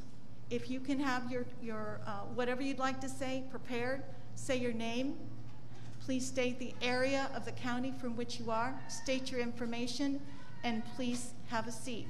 And then I will contact, when I say, I'll say the first person up, then the second, and even a third. That way we have a steady stream. If you don't use your three minutes, that's no problem. That gives another person time to speak. If there is outbursts, clapping or booing from the audience, we will have to stop. And that takes up the two hours' time. I'm not going to stop the two hours. So please, I would like everyone to have their say. And let's be respectful of each other's views. Okay, first one is Briar Kelly. Behind uh, Mr. Kelly, I think, oh, I, I apologize, Miss Kelly. Behind Miss Kelly is Sean Kelly, and then Bev Kilmer after that one. So, good afternoon. Please speak into the microphone. Everyone get ready so we can do it. You notice the time right is in front of you. Um, who is speaking first? And, and you are? Okay, well, there is someone before you called Sean Kelly? Okay, thank you. Is there a Sean Kelly? Okay. Mr. Kelly, as soon as she is finished, you're more than welcome to speak. Is it okay, uh, Ms. Schultz, if they sit next to each other and so they can go and just replace the one? Is that all right?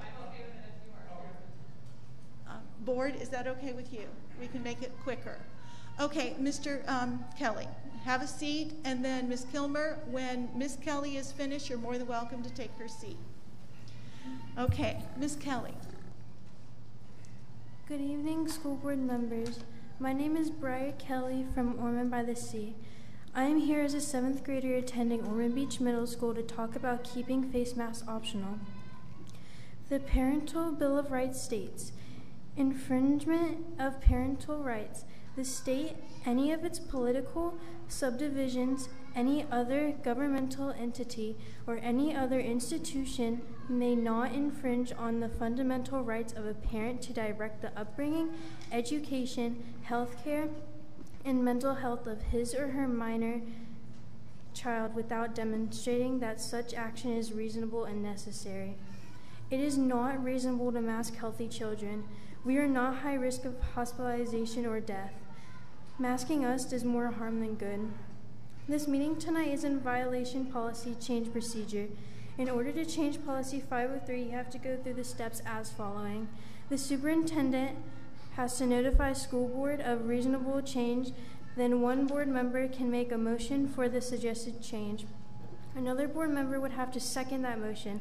Next, all board members would have discussion on the specifics of the change. The school, the school board attorney would draft the new policy changes. The new policy would have to be advertised for 28 days. Then a meeting would be held here, public comment, and board would vote.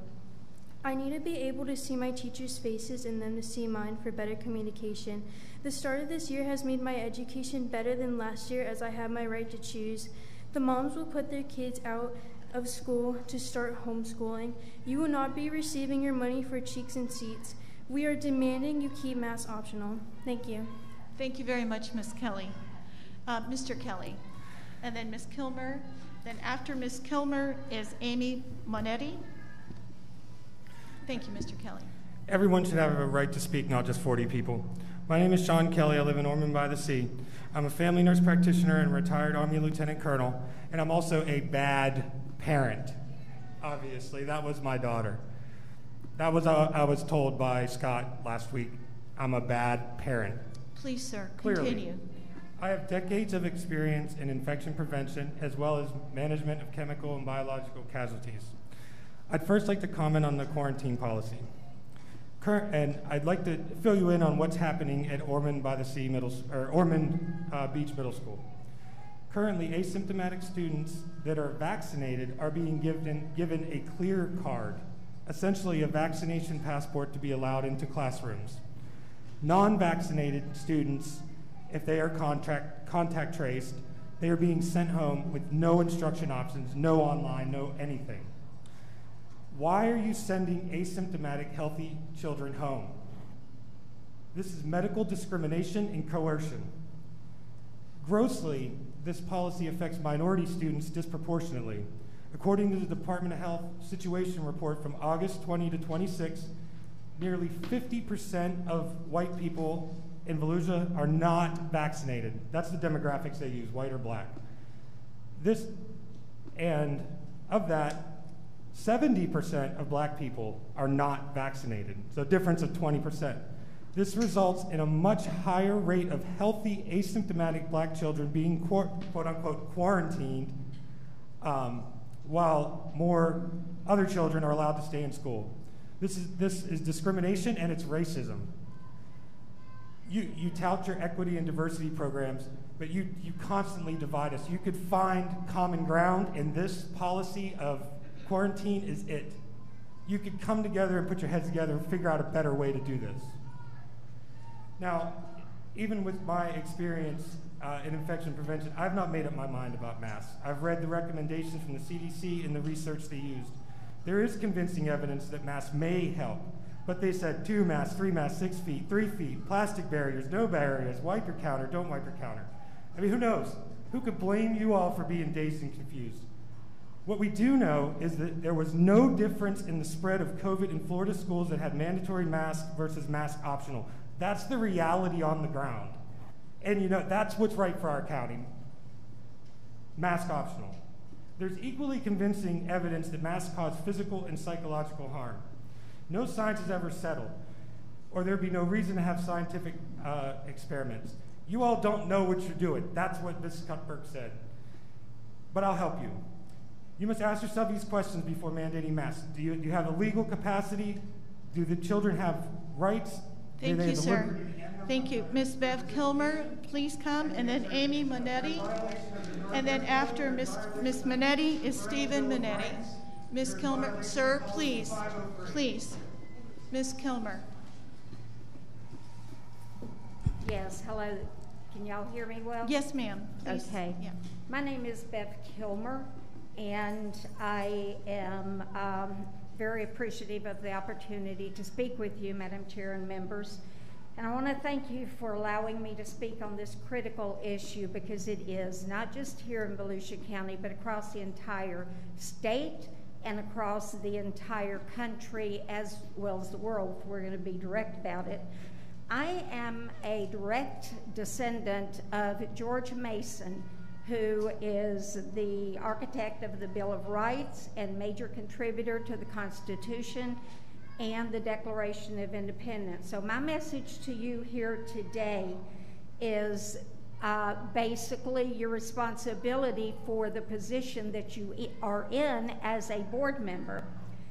Um, if you and the other members of school boards across the state insist on voting to force our children to wear masks when we don't know that they're going to work, and uh, also we don't know how healthy they are.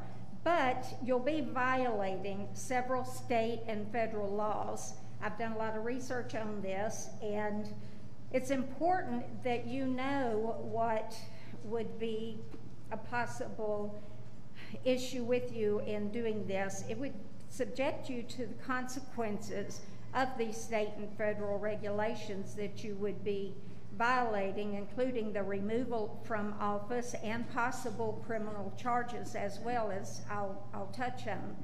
Members, when you were elected, you took the following oath. I do solemnly swear to or affirm that I will support, protect, and defend the Constitution of the government of the United States and the state of Florida, and that I duly I am duly qualified for office under the Constitution, and that I will well and faithfully perform the duties of Volusia County School Board, in which I am now about to enter. so help me God. This is a binding legal oath. And the 14th Amendment, Section 1, states in part No state shall make or enforce any law which shall abridge the privileges or immunities of citizens of the United States, nor shall any state deprive any person of life and liberty. And that liberty gives us, as parents and grandparents, the right to direct the health care, mental health of our children, as well as the education of our children. And that's what you were elected to be, is an educator to make sure that our children are educated, not the health care. And you've all talked about, now my time's fixing to be up, but you've all talked about the fact that children go home. They don't wear their masks. Thank you, Ms. Kilmer.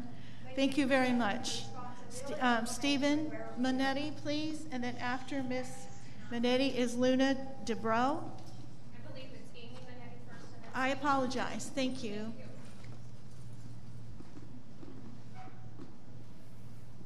Thank you. Please state your name and where you're from. Hi, uh, my name is Amy Monetti, and I am the mother of two young girls, one who just entered kindergarten in Volusia County. I am also a trained mental health therapist. To be clear, I am against a mandatory mask mandate for our children. My husband will help me finish the presenting what I can't fit into three minutes because we feel so strongly about defending our children's mental health, success, and social competence that we packed up our family's entire life left our home in Colorado of 10 years and drove three quarters the way across this country so we could live in a free state where our girls could go to school in person unmasked. We want to use our time today to speak from a mental health standpoint. You've received my peer reviewed sources prior to this meeting via email. A multitude of studies have shown that masks are discouraging prosocial behavior in children. In other words, they are encouraging antisocial behavior creating sociopathic traits such as lack of empathy, impulsivity, risky behavior, increased aggression, manipulation, and the ability to feel remorse, to name a few. Having worked as a behavioral health consultant in a detention facility that housed sociopaths and psychopaths, I can tell you firsthand where children end up who lack pro social skills the compounding effects of adults indoctrinating fear into the children's hearts by placing upon them the undue burden of being responsible for protecting their loved ones and others from a virus with a nearly 100% survival rate for most of the population will be profound. Masking our children is creating depths of despair that too many will not survive, and no, not by the hand of the virus, but by the hand of suicide. That is if they make it out of the cell where they'll end up due to their antisocial behaviors. Recidivism is real. Since April 2020, Wolfson Children's Behavioral Health in Northeast Florida has seen a 300% increase in the number of mental health emergency admissions. The Children's Hospital of Colorado just declared a state of emergency from youth mental health. Our youth are in crisis throughout the country, and it continues to be overlooked amid a surge in behavioral health issues that have overwhelmed Children's Hospital across the country. Just Duval Public Schools in 2019 showed nearly 40% of the high school students reported feeling extended feelings of sadness or hopelessness, with 23% of those teens saying they had seriously considered suicide and 19% having attempted it in the previous year. It's not just affecting the teens. The same survey revealed that 21% of the DCPS middle school students had considered suicide, with 16% having attempted. Our youth were already in crisis, and sadly, those numbers have likely doubled since 2019. To speak to your point, no one is listening to the organizations that are defending the children's mental health. Why isn't student mental health a grave point of concern? Thank you for your time. My husband will finish presenting more of the data that I've compiled. Thank you very much. Mr. Monetti. My name is Stephen Monetti. I am Amy's wife. Our Volusia County Children Next. The CDC released an alarming report showing the suicide attempts by teenage girls have jumped by 51% compared with 2019. What does a mental health crisis for Florida's children mean? It means that suicide will become the leading cause of death for children starting at age 10. Let that sink in, just like it has in Colorado. It means that emergency department visits, due to severe anxiety and depression, feeling of isolation, disconnectedness, and hopelessness, will go up 72% across the system compared to the same time period in 2019. just like it has in Colorado. You want to mask my girls? Those numbers are skyrocketing because children's ability to recognize emotions accurately is significantly related to social adjustment, more for the girls. Girls who are better able to identify facial expressions are shown to have lower social anxiety and higher self-worth.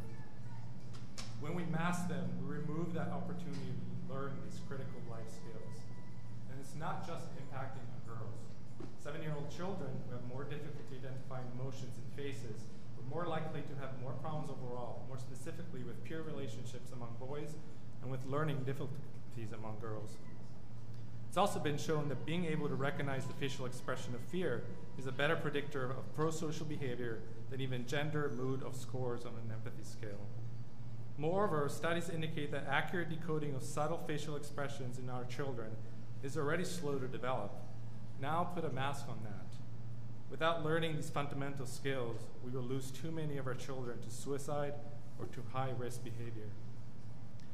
As parents and guardians, we are tasked with the essential responsibility of protecting and guarding the mental health of our children. Our educational institution, we allow for seven hours a day to be the handlers of that great responsibility, need also to look out for the current and future emotional wellness of our kids. My wife and I implore you to protect society's most valuable asset, children and their mental health. They are our future. You can do that by voting no on a mandatory mask. Thank you very much, sir.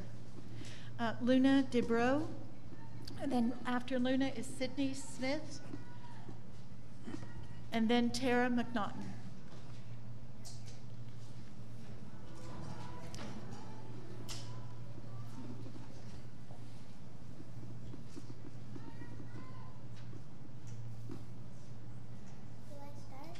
Okay, speak into the microphone. Okay, you're fine. Just pretend you're talking to your mom. Okay. All right. Hi, my name is Luna Diabro, and I'm in third grade at Coronado Beach. I don't want to wear a mask because it's hard to breathe, and you need to breathe fresh air. We need to be free. You, you're breaking the law if we wear wear mask again. Thank you very much. Are you all finished? All right, thank you. I appreciate you coming tonight. Thank you very much. Miss Sydney Smith, and then Tara McNaughton. After Miss McNaughton is Miss uh, Maxwell, Dr. Deborah Maxwell.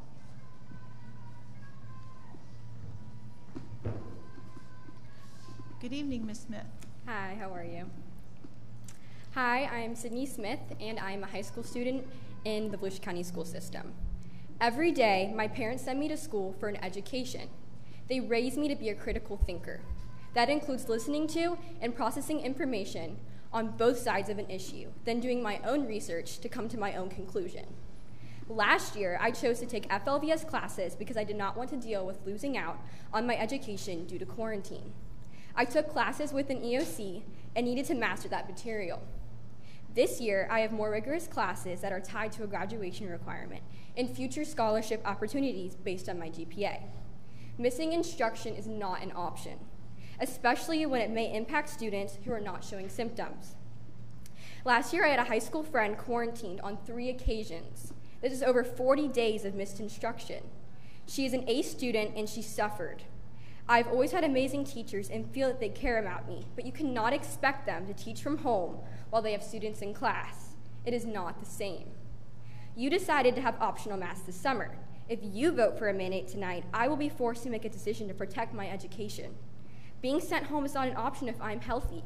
And since it's not your business if I've been vaccinated, I take the chance of getting sent home for 10 days. I was offended by your comments about my parents' bad parenting, Dr. Fritz. It's, not, uh, it's your loss not getting to know them. They've always had my best interest at hand, and it never wavers. At least I will always trust they, they will do what's best for me. Take a stand for something and own it. It would be great for you to defend a position that allows me and my parents to do the choice what's best for my health. The education part is up to you, but please leave the medical part to my parents. I appreciate it. Thank you. Thank you very much, Sydney. Tara McNaughton, and then after Tara is Deborah Maxwell. Good evening. Um, hi. Uh, I just want to say you can probably fix the number of kids quarantined by fixing your system and guidelines and how masks are figured in the equation. Masks are the problem. Um, I want to say this too. May of this year, the CDC published a large scale study of COVID transmission in schools. It included 90,000 students in 169 Georgia schools for a period of one month. The CDC found that statistically, there was no significance, no significant difference in schools that required students to wear masks compared to schools where masks were optional. Where is that in the news? Oh, it doesn't fit the narrative, so. I want to say that the CDC is untrustworthy in the reporting and the recommendations. It doesn't take a, science, a rocket scientist to see that, nor to see through several of the people sitting on this board. Both lack integrity. Last year was a lot different. We were in a state of emergency. None of us knew what we were dealing with, but we followed code and we trusted. And every time you revisited removing the mask mandate, you said that all parents knew masks would be mandated, and you didn't want to pull the rug out from underneath of them. This year, we the parents had a choice to send our kids to school or to teach them online. On June 14th, you voted masks were optional, so we sent our kids back to school. You didn't go back on your decision last year, so why are you contemplating doing that this year? And Mr. Persis, I have something to say to you. The Sunshine Law prohibits board members from communicating outside of meetings to influence each other, yet you did a public interview. Stating details jaded with your opinion and even making it sound like a mask mandate was a done deal. That was unlawful and it was manipulative and surely affected the turnout today because many figure, why go? Their minds are already made up. There should be consequences to those actions. And comments about if masks save one child, it's worth it, and we need to protect the lives of our, of our teachers. Well, in 2019 2020, 434 children died of the flu. Now, of the 600,000 COVID deaths, 400 were children. The fact is, more kids died from flu and pneumonia than COVID. Where were the mask man- mandates and the worry and the concern then? And if this was so bad and everyone was so fearful, I believe you would all be in respirators. You all don't follow the science. Your decisions are based on politics, fear, emotion, and politics.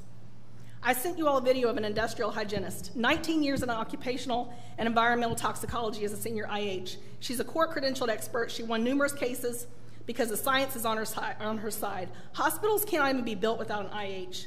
They are the subject matter experts when it comes to masks, yet no governing authorities consult any of them. She stated masks have zero efficacy and the COVID viruses are aerosol, and one mic- COVID micron is 40,000 times smaller in area than the cross section of a human hair. Masks don't stop the virus. Okay, so I'm just curious if any of you looked into the solutions that she suggested, because she did. Um, but I know that your, your minds were already made up. But I want to say this um, it's not over. The Parents' Bill of Rights will stand. Um, if you approve a mask mandate today, you will regret it. Thank you very much, Ms. McNaughton. Dr. Uh, Deborah Maxwell, then Steve Friend, and then Scott Cleary.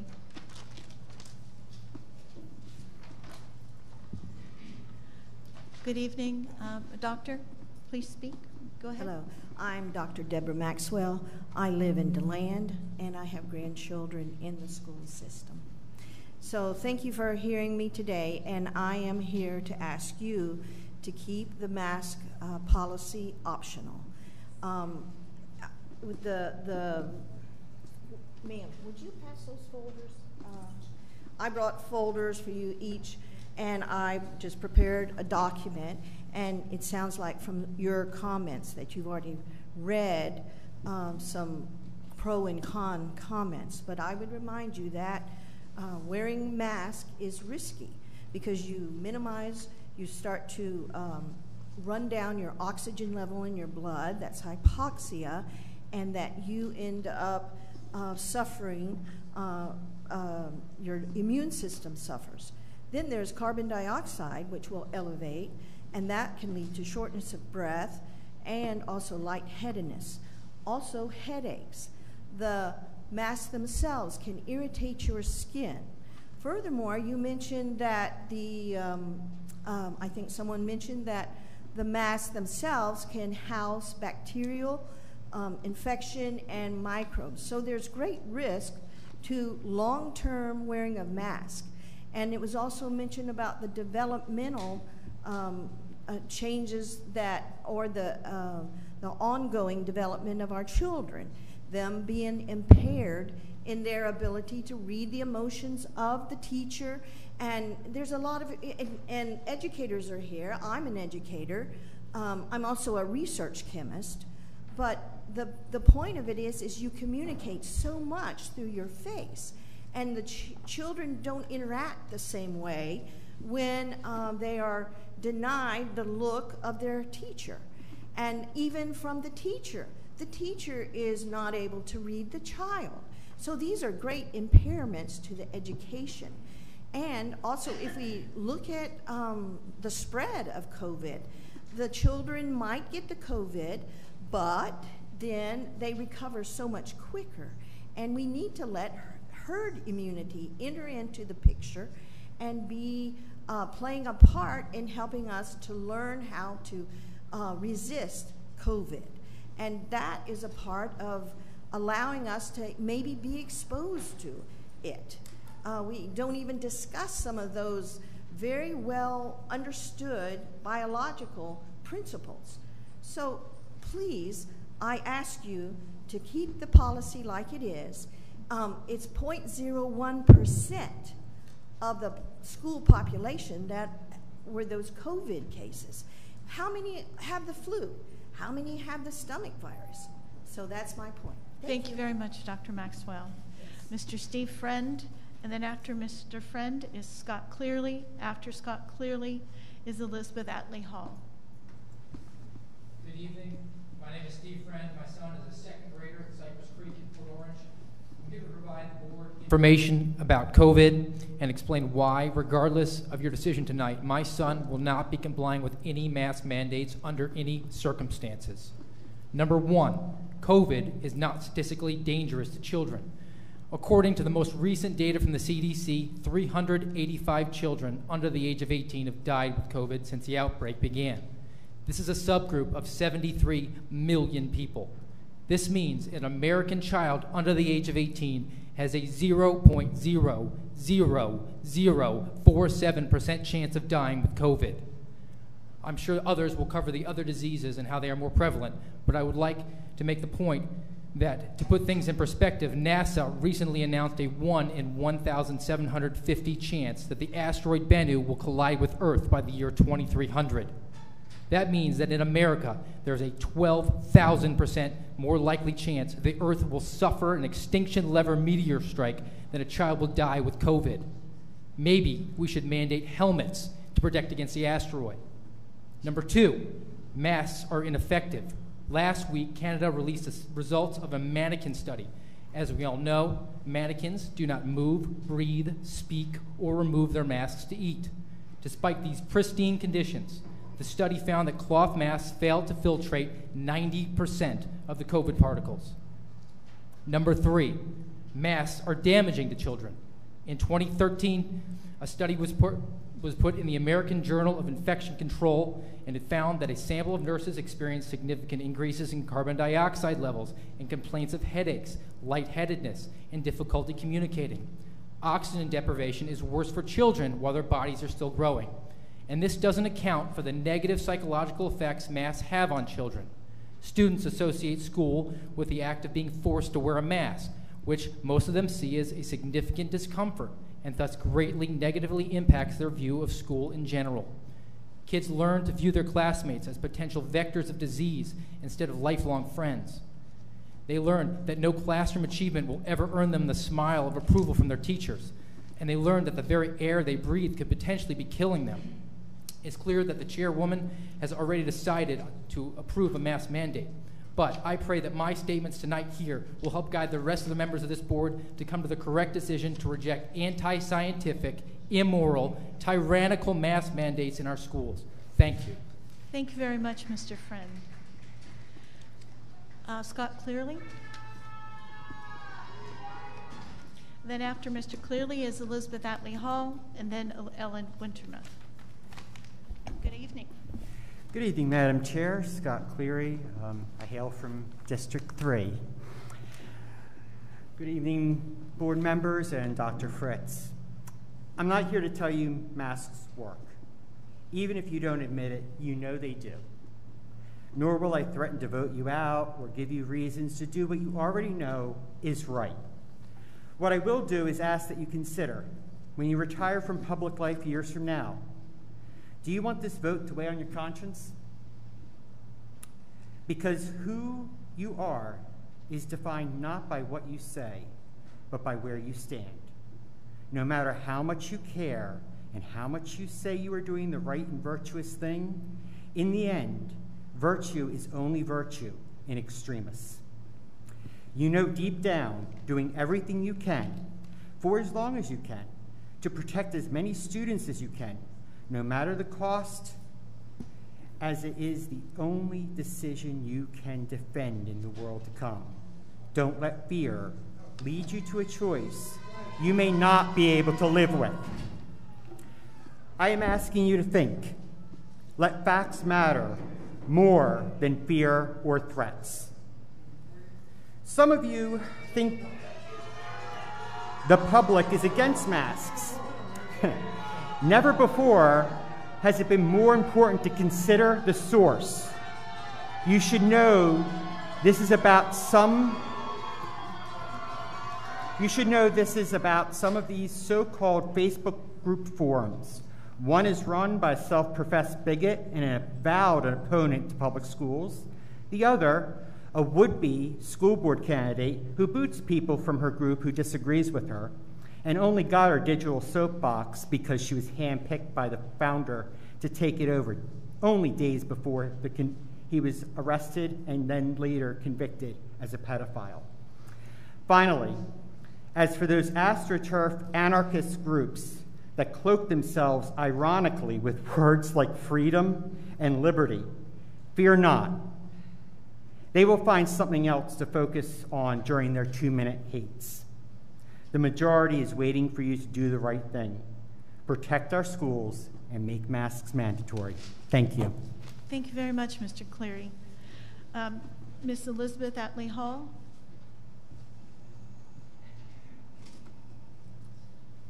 Elizabeth Atley Hall. I'm in District 1, DeLand, 16 years. Um, we've been in school for two weeks, and our numbers are way over where they were last year at this time. We are now operating with more students and essentially zero safety protocols in place. What we are doing is taking reactionary measures such as quarantine as opposed to proactive measures such as universal masking. Enacting a universal mandate will keep our quarantine numbers lower, keep our kids in school, and our rate of inf infection low. Two of my kids have already been subject to a quarantine. My kids know how to wear a mask, by the way, Ms. Haynes, um, because I've taught them, and I thoroughly wash their masks every e evening like a responsible parent would. No reason we can't do this. Also, my kids don't have a choice this year because the programs that they have chosen aren't offered online. When members of a community choose personal freedom above the well-being of individuals, families, and children, the community must rely upon a governing body such as the Volusia County School Board to establish policies for the good of the community. There is ample evidence that face coverings help to protect our community, especially those in our community who are most vulnerable, those who have not been vaccinated against COVID-19, our youngest children. I have two of them. There is no legitimate evidence to suggest that face coverings can harm our children. It is not about trust, but due to the rise in the prevalence of the Delta variant, of COVID-19. Current CDC guidance states that all people age two and older who are not fully vaccinated should wear masks at school. I regard the recommendations of the scientists and researchers of the Centers for Disease Control of the United States to be authoritative and valid. The desire of some to exercise their personal freedom at the expense of the well-being of others is not a valid argument to disregard the clear and proven protection that face coverings provide against the dangerous disease that continues to plague our community at a now increasing rate. Please establish and enforce a mask mandate for our K through 12 schools. Two children have died up in Tallahassee. One third grader, another child under five. The superintendent of that district has made masks mandatory with opt-outs only from licensed physicians or psychologists. We found out this evening one child has died here in Volusia County. Are we going to wait until more children die before we institute universal masking? My children have a right to attend school with every reasonable protocol in place to protect their safety and well being. You have a responsibility here. Masks are a reasonable way to lower the spread and prevent illness, especially when there's no distancing and more children in the classrooms. When a parent chooses no mask for their kid, it places my kids at risk. It's a well known fact that masks work best when everyone is participating. We should be relying on experts in this pandemic. When will you stop acting like you are medical professionals? Oh, I'm sorry. I apologize. Ms. Atlee Hall, I apologize. I'm sorry. Your time is over. I apologize. Thank you. I apologize. Um, next one is Miss Ellen uh, Wintermuth. Did I pronounce it correctly? Yes, ma'am. Okay, thank you. And then Jack Ridington. And then after Mr. Ridington is Sue Gunther. Good evening. My name is Ellen Wintermuth, and I'm from the Ormond Beach area. I'm a registered cardiopulmonary technologist and have worked 35 years in various hospitals in Florida, Pennsylvania, and Maryland. I come before you this evening to dispel the common myths regarding the wearing of masks with using evidence-based information acquired from Dr. Kimberly Dickerson at Johns Hopkins University in Baltimore and Dr. Teresa Gilbert from the uh, University of Cincinnati. There have been many concerns that face masks can reduce oxygen intake that we heard earlier and can lead to low blood oxygen levels known as hypoxia. However, masks are made from breathable materials that will not block the oxygen for a child's needs. Masks will not affect a child's ability to learn or focus in school. The vast majority of children at age two or older can safely wear a face mask for extended periods of time. This includes children with many medical conditions. Wearing a face mask will not affect a child's lungs from developing normally. This is because the oxygen flows through and around the mask while blocking the spray of spit and respiratory droplets that may contain the virus. Keeping a child's lungs healthy is important, which includes preventing infections like COVID. There have also been false reports that face masks can lead to carbon dioxide poisoning from rebreathing the air we normally breathe out. This is simply not true. Carbon dioxide molecules are very tiny, even smaller than the respiratory droplets. They cannot be trapped by breathable materials like cloth or disposable masks.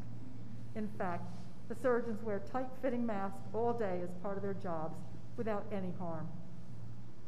However, children under two years of age should not wear masks since they may not be able to remove them without help. Children with severe breathing problems or cognitive impairments may also have a hard time tolerating the face mask, and extra precautions might be needed in those cases. Dr. Gretchen Marsh, a clinical psychologist from Texas, says there's no credible sources showing a link between wearing masks and mental health problems or developmental delays in our children. She's more worried about them being isolated, more screen time, more social media, and more anxiety about getting sick or getting someone else sick. She worries that children feel that they can only take so much. And she's not a bit concerned about the wearing of masks causing psychological problems in children. In conclusion, I believe that the anti-mask parents haven't seen the severe disease and COVID deaths that others in hospitals see daily.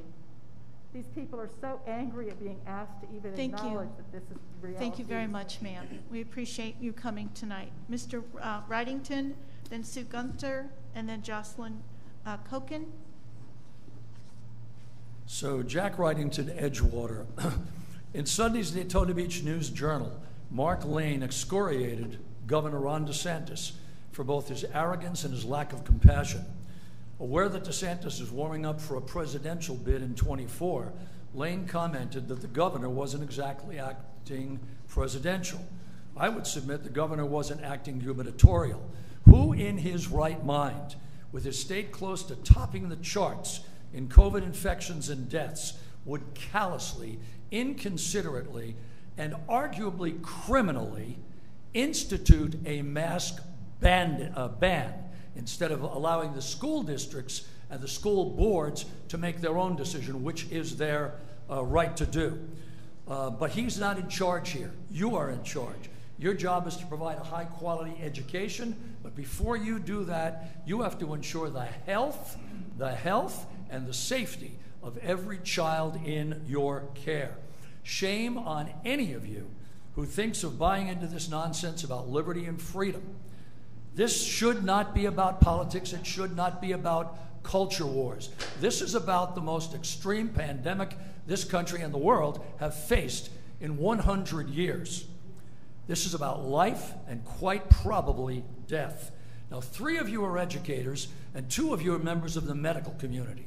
I know damn well that you didn't fall asleep in science class. I know damn well that Sir, each one of you, your in your heart, Your language, please. Thank you. I apologize, and I apologize to everybody in the room got carried away.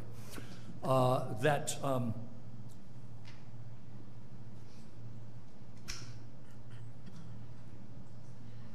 that you didn't fall asleep in science class, and that you know that the science behind masks is correct and it's undeniable. You did take an oath. Someone mentioned your oath. You did take an oath. And that oath requires that you look again at the safety and the health of the children in your charge. The governor, when asked why he was against masks, said that he wanted to see his children smile. If he wants to make light of that, that's his business. And if the Moms for Liberty want to invest in his foolishness, that's their business. But there is one thing that is patently clear no one has the right to critically endanger anyone else's child. So Ron is not in charge here. You are. Tell Ron what he can do with his mask ban. Pass the mask mandate now. Thank you, Mr. Wrightington. Ms. Sue Gunter, and after Ms. Gunter is Jocelyn Koken, and then Reese White. Good evening, ma'am. Good evening. My name is Sue Genthner. I am a retired New York public school teacher as well as a retired Volusia County School Board employee. I live by the motto that we are our brother's keeper. Although most of us here in Florida are from elsewhere, we here in Volusia County are a community of people who take care of each other. How serendipitous is today's Daytona Beach News Journal headline Unnecessary Suffering? Indeed. Just because Volusia County schools started later than other districts, we cannot be complacent. We must not be complacent. Without masks, students are already getting needlessly infected. The sad truth is that some may die. Belatedly, we must be proactive to protect our most vulnerable. Many wonderful memories are made throughout our school years.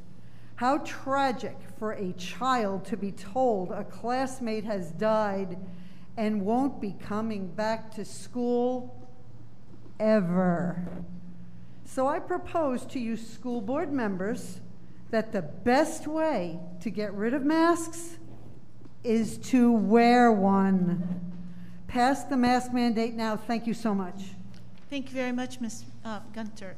Uh, Jocelyn Koken, then Reese White, and then Melissa White. Good evening. Make sure you um, talk into the microphone so we can all hear you. Thank you. Hello, my name is Jocelyn Koken, and I'm here Uh, tonight advocating for the you. rights of parents to choose what is best for their children. Um, I have two beautiful young men growing up here in Volusia County schools. Uh, most of us here advocating against mask mandates for our schools are, as per the usual, painted as unreasonable, headstrong, and backwards. Uh, the truth is that masks have created real harm to the American psyche and that of our children and provide little to no medical benefit.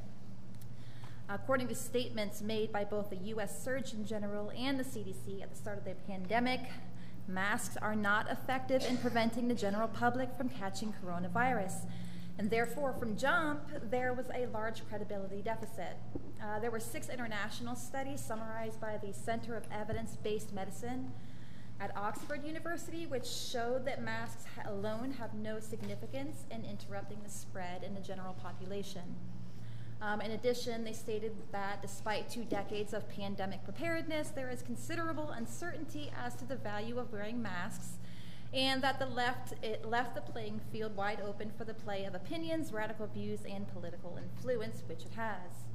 Uh, there was an article um, in the New England Journal of Medicine which stated wearing a mask, quote, outside healthcare facilities offers little, if any, protection from infection, and that the desire for widespread masking is a reflexive reaction to anxiety over the pandemic. Uh, there are many, many more of these studies out there published by the National Center for Biotechnology, the Influenza Journal, Oxford Clinical Infectious Diseases, and the Cambridge University Press, just to name a few. Um, implementing mandatory mask policies across a society of 300 million because it makes some people feel better is asinine. But it makes a boatload of sense if you understand its purpose and its usefulness to shift the American mindset. Uh, Flip Flop Fauci himself during his 60 Minutes interview, dismissed masks as essentially useless. He stated, quote, there is no reason to be walking around wearing a mask. When you're in the middle of an outbreak, wearing a mask might make people feel better. It might even block a droplet, but it's not providing the perfect protection that people think it is, and often there are unintended consequences. Uh, rules that imply that the danger is higher than it really is are worth fighting. It is unkind, it is causing measurable harm to keep people, especially our kids, in a constant state of fear and anxiety. Uh, it's also morally problematic to walk around treating everyone as maybe sick. Uh, basically encourages our kids to see other people as a potential threat and inhibits their ability to read social expressions of their peers and communicate properly. Children's smiles are contagious and they are beautiful, and I, for one, would like to see more. Thank you. Thank you very much. Um, Ms. Reese White? Hello. And then my Melissa name- White. Good evening. Hello, my name is Reese White. I'm 11 years old. I go to Creekside Middle School. Last year, I came home from school every day with a bad headache, super tired, and just not feeling like myself. I was in the clinic multiple times a week because my head hurt so bad. I realized a lot of people don't wash their mask and wear the same one every day. That's just disgusting and unsanitary. Kids are constantly touching their face, so bacteria builds up on their mask and they're bringing, breathing that in. If masks work so well, then why were so many people quarantined last year? Another problem is a lot of kids, including me, break out when I wear a mask for that long. That is so bad for your skin. I went into middle school saying to myself, this is going to be a great year with no uniform and no mask. You're just going to change that for us? If parents want their kids to wear a mask, then they should have that option. But it's not fair to the people that don't want a piece of cloth on their face all day long. Also, you expect people to learn and understand their teachers, but they have a mask on. This is what it sounds like. I'm trying to listen to my teacher and I hear this. I want to be able to see their face. Masks are a thin piece of cloth on your face doesn't even, that doesn't even provide protection. There has been many studies showing that masks are useless, so why are we continuing to be forced to wear them? We are working backwards here. When we started school three weeks ago, we were at the peak of the Delta variant. We were given the option to wear masks at that time. But now that the numbers are dropping, now you're entertaining the idea of students wearing masks again? As of last week, there were two pediatric patients, neither of which in critical condition, hospitalized. Thank you for my time. Please keep mask optional. Thank you very much, Ms. White. Uh, Melissa White, and then Kayla Jennings. And after Ms. Jennings is Sierra Osborne. Hello, good after, good evening, make sure you speak into the microphone. Hello. Hi, my name is Melissa White. I'm a New Smyrna Beach resident and a Florida native. I have a sixth grader at Creekside and a third grader and gifted at Chisholm. I want to be clear, I would like mask optional. We sent our kids back to school on August 16th. The COVID peak in this area, according to Halifax Health, was around August 19th. Dr. Finkler, Chief Clinical Officer of Advent Health, was quoted on August 26 saying, I do believe that we have not only plateaued, but I believe we had peaked, and we are looking at the beginning of what we believe to be the downward curve. We need to quit assuming that every positive case is a fatality. According to Florida Department of Health, children 0 to 14 make up only 1% of hospitalizations with a death rate of zero. Now that we have the data on COVID, let's talk masks. The Journal of American Medical Association did a clinical trial which showed children had six times the maximum CO2 exposure after only three minutes of wearing a cloth mask. WebMD says that can lead to delirium, paranoia, depression, confusion, headaches, nausea, and vision problems. The study concluded that, quote, the case for governments to mandate school children to wear masks is weak. MIT performed a study that concluded there is 90% penetration rate of coronavirus for all cotton masks and handkerchiefs, 50% penetration rate for surgical masks and non-woven, non-medical masks. BMJ study shows contamination of the upper respiratory tract by viruses and bacteria on the outside of medical face masks. It stated that most that a moist mask is a breeding ground for antibiotic resistant bacteria and fungi. The study showed that medical masks were only safe if they were changed out every few hours, meaning a family of four would use roughly 20 masks a day. My friend's daughter has sensory issues that prevents her from wearing certain socks or underwear, and she can't even wear jeans. As you can imagine, masks are not an option for her. She was forced to be a hermit in her home for a year. She was ecstatic to start middle school and hang out with her friends. Imposing a mask mandate will send her and all children like her back into seclusion once again. My daughter called me from the nurse's office three to four times a week complaining of headaches. These are my children, not political pawns. Mr. Persis was quoted as saying, if your child had the vaccine and is exposed to COVID, the child would not need to be quarantined. I think it's a huge benefit, and I hope parents know that. He also stated in the same interview the number of students that we have to quarantine is really makes it so difficult for parents and teachers because it's very disruptive. We really want to have our children in school. So, what about my young children who can't get the vaccine, who can't be left to fend for themselves? If masks work, then why will my kids still be quarantined? Also, Dr. Fritz, please apologize to the parents of Volusia County for calling us bad parents for having concerns about a vaccine that has no long term data and the effectiveness of masks. May I remind all of you that you work for me and everyone else here. You do not have the right to make medical choices for my children. I do not co parent with the government. Thank you, Ms. White, uh, Ms. Kayla Jennings, and then Sierra Osborne. Before I get started with my speech, I would just like to say that I recognize several of you up here as a downtown business owner, seeing you guys go downtown with no mask, drinking wine with your friends with no mask is okay for you. And it's a little hypocritical that you guys can go downtown, enjoy yourselves with your friends, but our children have to wear masks and you're trying to force that. But let me get to my speech. Hello, my name is Kayla Jennings, and I have lived in this town and county my entire life. I'm also a well respected business owner, but most importantly, I'm a mother. My son goes to George Marks Elementary, and this, di- this district is deciding to go in its own direction against the will of its voters and legislation here in Florida. It is law to take your children to school. It is not in the law about mandatory masks and vaccines, so that in itself is defining the law by definition. You are living in fear with no facts, just feelings, and last time I checked, feelings are not facts. But I do have some facts for you from the CDC. According to the CDC, children are more at risk of dying on the way to school in a car accident than COVID 19. But earlier tonight, we got told that a 19 year old child, who is an adult, by the way, my, my heart goes out to the family, but that is an adult. So, what you're saying is it's a 0% chance for a son or a child, my son's age, to die of COVID from our, our uh, report that you guys stated earlier. And several accredited doctors have gone on record stating that making masks that masking makes it harder for children and people to empathize with each other, which can have long lasting effects. But again, we don't care about facts or feelings. Isn't that right, Dr. Fritz? Dr. Fritz, I quote that you stated if you do not max or vaccinate your children, then it's bad parenting. And I will continue to say that, but the law says it's their choice, end quote. Did you not say that? I think you did. I truly hope the Attorney General acts with criminal intent against the school district and you, Dr. Fritz, for breaking the law and trying to pass curriculum and standards without parent or voter input. We as parents have had enough of the mandates, panic reactions caused by feelings, not facts, and government overreaching regarding our children. Let me know if this sounds familiar to you. I do solemnly swear or affirm that I will support, protect, and defend the Constitution and government of the United States and the state of Florida. Well, tonight I brought the Constitution with me for each one of you to read to refresh your memory for what you swore to protect and defend, and refresh your memory to remind you of the oath that we trusted to protect for you guys with our children.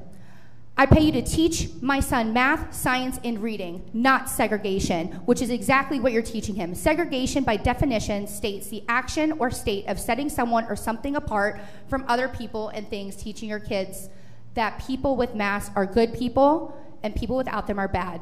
Last time I checked, I did not sleep with you to conceive my child, so I don't need y'all telling me how to raise him. And Dr. Fritz, Thank you. your time is Thank you, Ms. limited. Jennings. Ms. Sierra Osborne. After Ms. Osborne is Kim Short. After Ms. Short is Beth Johnson. Good evening. Make sure you speak into the microphone. Hi, my name is Sierra Osborne from Port Orange, and I'm a proud mother of a sophomore at Mainland High School. Today, I'm here as a voice and an advocate for my daughter and the other children's voices who need to be heard. There is no evidence or facts to prove that masks work. It's quite the opposite, actually. Masks are a form of child abuse, and if you don't agree, I'd urge you to look up the definition of Munchausen syndrome by proxy. Masks are unsanitary and are touched all day long, making them more likely to cause illness, as proven by a recent uh, study from the University of Florida. Masking is equal to fear mongering. Our children deserve to be able to see smiles, laughter, social cues, and hear what is actually being taught. They deserve to be educated, not taught virtue signaling. My daughter is hearing impaired, and masks has significantly decreased her ability to hear her teachers. Last I checked, we live in America, founded on faith in God, liberty, freedom, and justice for all. I am here for our children, not to help the school system get more money from the CARES Act from the federal government. Mr. Biden has no right to pressure our great state of Florida to try to override Governor DeSantis' decision for our Florida. We, as parents, should reserve the right to choose what we feel is best for our children. Our children need and deserve the social interaction with their peers and their teachers, not to be segregated to online school or virtual learning. We are clearly at a precipice of, as a nation right now, and every single time we allow the government to usurp our rights, we trample on the graves of the brave men and women who have fought to make our nation free free from tyranny, free from dictatorship, free to choose how to navigate our own health choices. We must stand up and say something. We are dangerously close to negating absolutely everything this great nation was founded on, allowing fear and ignorance to dictate our everyday actions without good reason and certainly without good science. We have to ask ourselves what's next? Mandatory vaccinations, quarantine camps, which is also in the CDC's website. Never in the history of the world has a society relinquished their rights and gotten them back. We need to choose what side of history we're going to stand on. We are frighteningly close to reliving the history of Nazi Germany, and need I remind you that that tyranny began with a virus, fear, and segregation of those deemed as a risk to their community. I'd like to remind everyone on the board, online, in this room, and standing outside that it is we the people not them, the politicians, that have the power to choose, to vote, and certainly to mask or unmask. Thank you. Thank you very much, Ms. Osborne. Um, Ms. Kim Short.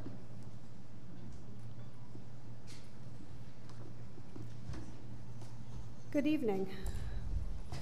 I just want to start with saying something positive to break it up for a second. It seems like our families are really happy to be back in school. Um, and I definitely think that part of it is the fact that we have an optional mask mandate or mask um, policy in place. Before uh, or during this, um, during this meeting, I actually reached out to John Guthrie, the Vice President of Corporate Communications, because it seemed to me that one of the big things that came out of the last meeting was that there's some fear about the hospitalizations in our area. And so, just to let everybody know, we have 102 patients hospitalized today. That's down from 180 two weeks ago. They have one infant, not critical, and they've had a total of five children, also not critical. Uh, of the 102 patients that they have in the hospital today, 85% of them are not vaccinated. Now, I know everybody in this room and outside and everybody listening has their feelings on vaccinations. I'm not for mandating vaccinations, just to be clear. However, the data is very clear on how people are reacting to this virus when they go into the hospital. It's there. If we only had 15 patients in there right now, do I think everybody would be as concerned? I don't. If it's really about children, then why is it that every single year I've asked this board to put in some kind of a swim week to teach our children how to swim because of the number of drownings that we have? And we've never done that in our elementary schools or had an emergency meeting.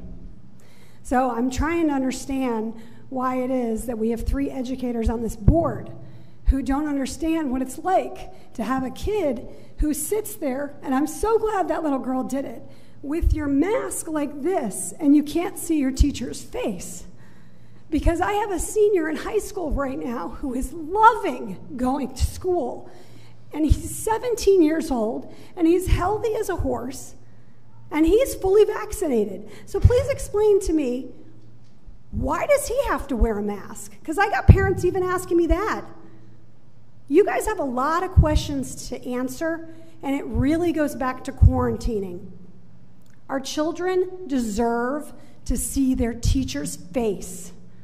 My mother and sister and I, two of the best educators I know, have had this conversation at length. Every educator I know, when they sit with me, have the same one that I respect. You've got 53%, only 53% that I'm aware of, of your administrators who think this should be mandatory. You don't have enough evidence to make this, guys. Thank you very much, Ms. Short. Ms. Beth Johnson, and then Jennifer um, Davenport, and then Phyllis Stauffenberg. Stauffenberg. Hello. Uh, my name is Beth Johnson. I am the mother of a five year old that started kindergarten this year at George Marks Elementary in DeLand. I am very aware that you all have encountered some parents in the past year and a half or so who have not been afraid to speak their minds. Obviously, a whole new class of students have entered Volusia schools this year, and with them, a whole new group of parents. And we've been watching. We have seen you ignore and disrespect parents. We have seen you trample on your oaths to uphold the U.S. and Florida state constitutions. We've watched you completely disregard the Parental Rights Bill giving parents the right to make medical decisions for their own children. These new parents are prepared to stand with the others to hold you accountable for the decisions you make. We will not beg or plead, we will not even ask. We simply require that you do your duties to uphold the law as legislated by the state of Florida. This meeting was called to discuss masking, but you don't need to hear any more science. You don't need to hear what happens to a mask when it's worn for hours on end but you have and you will. I am willing to bet that you don't want to hear about liberties, rights, or freedoms. Ironically, that is exactly what this meeting is about. Honestly, I believe that some children should wear masks because of whatever underlying conditions might compromise them. After discussing with my son's pediatrician, my husband and I feel our son is not at high risk and doesn't need one. I guess making a medical decision for my child based on recommendations from his doctor makes me a bad parent. Fortunately, Dr. Fritz, I'm not concerned with your opinion. This is all about choice, parental choice, and your obligation to protect it for Volusia parents. Your power to dictate how this school district is run only goes so far. If you choose to continue to be derelict in your duties, you will be removed. A committee has already been formed. Petitions are already circulating. Be assured that should we fail to convince Governor DeSantis to remove you, we will campaign, fundraise, and back candidates who will beat you at the ballot box in 2022. I will be taking my son to school in the morning with no mask. If he is not allowed in his class, I will be withdrawing him from the public school system until this board can meet the expectations of the constituents you represent. I would encourage others to do the same. I yield back my time. Thank you very much, Ms. Johnson. Uh, Ms. Jennifer Davenport, and then Phyllis Stauffenberg, and then Matthew Johnson. Good evening. My name is Jennifer from Port Orange, and I'm a concerned mother to three boys under the age of eight that are all attending elementary school here in our Volusia County schools. I come to you today having read countless research articles, and I come from a place of wanting what I believe is best for my children. Let me make it clear before I begin I am not for mandating masks. There are two topics that I feel are most important to discuss, which are the effectiveness of masks, along with the undesirable side effects from everyday use of masks. If you are going to mandate masks, then you should consider the effectiveness of masks. Currently, cloth masks and gaiters are not recommended forms of masks that protect us from the COVID 19 virus. Our healthcare workers at our local hospitals have been prohibited from wearing cloth masks and gaiters as they do not protect against the virus. Scientifically, cloth masks do not work. The CDC says if you do wear a cloth mask, then you should also wear a tightly fitted surgical mask over the cloth mask to reduce your chances of getting the virus. A cloth mask should not be worn by itself. In addition, if the mask get, gets wet, it becomes completely ineffective because moisture attracts bacteria. Therefore, you should frequently change your mask to reduce the risk of moisture retention. The only cloth masks that are somewhat effective in protecting you are the three layer mask with the filtration system and barrier. A surgical mask and an N95 mask are most effective. So, my question to the school board now is if you mandate masks, will you then be supplying pediatric masks that are distributed to each child daily and ensuring that cloth masks and gaiters are prohibited to be worn on campus? If this is going to be mandated by the school board, then it should be done effectively and with cost to the school system. Therefore, if the child's mask gets soiled or, soiled or wet, then teachers need to be replacing them throughout the day, or else our efforts are not effective. This is what science is telling us. In addition, if cloth masks are not suitable for our healthcare workers, then, th- then why are we considering them suitable for protecting our children? Next, I would like to discuss all of the undesirable side effects from the everyday use of masks. According to a study conducted by the International Journal of Environmental Research and Public Health, there are a number of different undesirable side effects caused by wearing masks. This includes a significant increase in heart rate, a decrease in oxygen saturation, an increase in skin temperature under the mask, difficulty breathing. In addition, the investigators in these studies observed dizziness, listlessness, impaired thinking, and concentration problems, which were statistically significant when wearing masks. The researchers in this study also found that masks interfered with temperature regulation, impaired the field of vision, and hindered our nonverbal and verbal communication. The use of masks for several hours a day often caused further detectable adverse effects such as headaches, local acne, mask associated skin irritation, itching, and sensation of heat and dampness and discomfort. In another study conducted by a lab at the University of Florida, a group of local. Thank you, ma'am. Thank you so much. Uh, Ms. Phyllis Stauffenberg. And then uh, after. Ms. Phyllis, go ahead. Oh, I, I apologize, ma'am. Excuse me. Uh, Mr. Uh, Matthew Johnson, and after Mr. Johnson is Robert Clinton. I apologize. My name is Phyllis Stauffenberg, and I reside in DeLand. Um, first of all, I would like to say to the little girl that was up here speaking, if we were allowed to clap, I think she deserved a standing ovation. She was amazing. I received this from my insurance company, Humana, Medicare. It states, for not for medical use. It's unbelievable. My insurance company is Humana one of the biggest in the state of Florida. I can't say nationally, but I say Florida, not for medical use. And then I understand through research that they say that the cloth masks have no value whatsoever. In essence, I believe that we should put our cards on the table.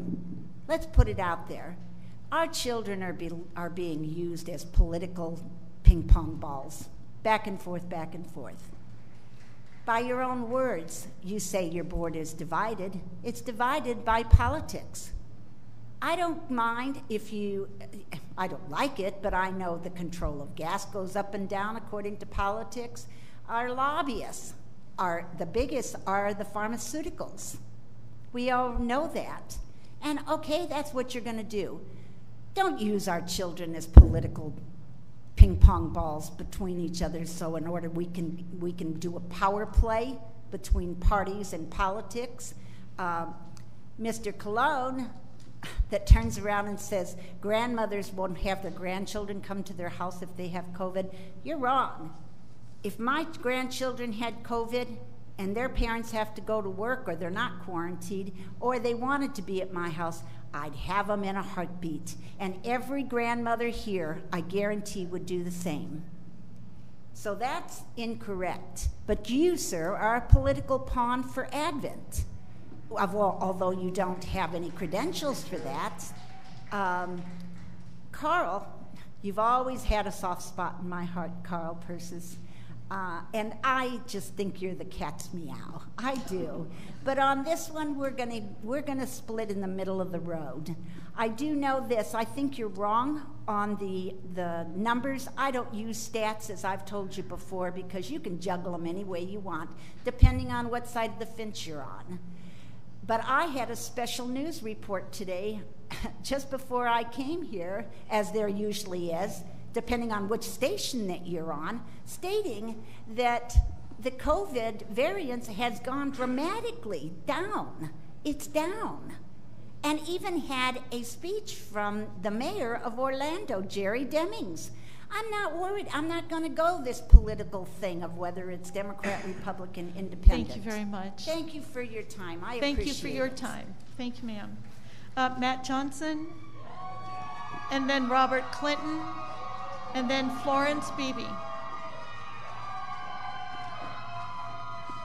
Good evening, sir. My name is my name is Matthew Johnson. I live in DeLand, and I'm the father of a kindergartner at George Marks Elementary who will not abide by an illegal mandate. I'm not here to talk to you about science. I'm sure you've heard enough science to make your heads explode. I'm sure you've heard enough science that your minds were already made up when you called this meeting last week. I'm also sure that, like the last time you voted for mask mandates, you know, the meeting where you had mothers thrown out on their faces.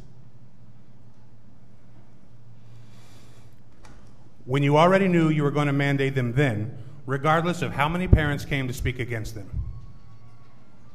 You plan on implementing them again, against the will of those you serve. You are elected to represent us, not your political party.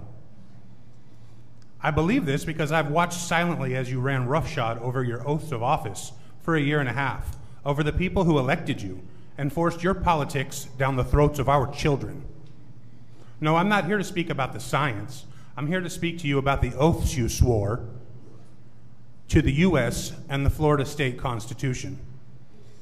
As someone who has spent years studying both and have taken courses regarding this great constitutional republic, I'm aware, just the same as you are, that there are zero provisions in either document that allow you to make medical decisions for parents. Someone would argue, some, excuse me, would argue that the Jacobson versus Massachusetts Supreme Court opinion is law. But those who do fail to understand that an opinion is far from law. and are arguing solely based on political leaning and fear. In fact, over and over again, court opinions are challenged and overturned. No, as I stated before, I'm not here to talk to you about science. I'm here to talk to you about the fact that you have zero constitutional authority, regardless of how many people beg and plead, to mandate a medical decision overriding the parents or the children. In fact, a mandate is not even a law. Per Florida House Bill 241, providing that there are lesser means of mitigation, which, as Ms. Haynes has already described, were left to the wayside this year, we already know that there are. As such, I'm actually here to inform you that a committee has already been formed, that letters are drawn up, petitions are out there to be put up, every single one of you who vote to mandate masks upon our children. These letters will go to the Commissioner of Education and to the Governor demanding that you be removed from office. According to Article 4, Section 7 of the Florida State Constitution, thousands of parents, as we speak right now, are currently signing these petitions. And with that, as a bad parent, I yield back my time. Thank you very much, Mr. Johnson. Mr. Robert Clinton, then Florence Beebe, and then Scott Hottenstein. Hi, I'm Robert Clinton from Edgewater. I wondered if y'all had noticed how ironic it was that most of the anti mask people that came up here were wearing masks. Yeah, go figure. I heard one lady say it was illegal for y'all to mandate vaccines. When I sent my daughter to school, there were like six vaccines she had to get before she could go to school. So I don't think it's illegal, or the heck, I've still got marks on my arm where I got mine. The young lady over here with the red hair, she mentioned the 17% of the time the kids wear a mask in school. I wasn't so concerned about them catching a disease at school and bringing it home to me. I'm concerned about them catching a disease out in the street at 63% of the time and spreading it through the school. That's why they wear a mask.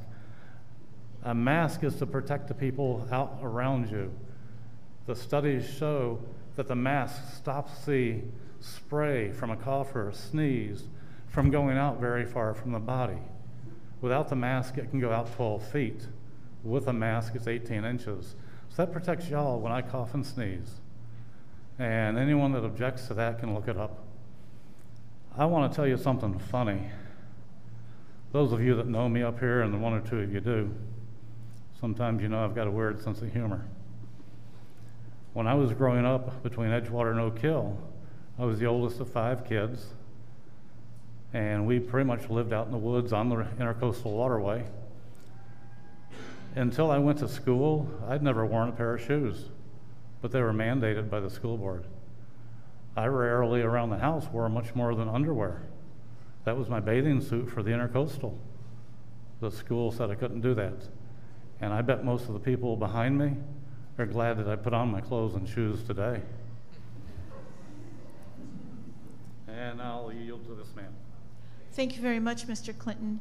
Uh, Florence Beebe, and then Scotty Hottenstein, and then Sharon Levine.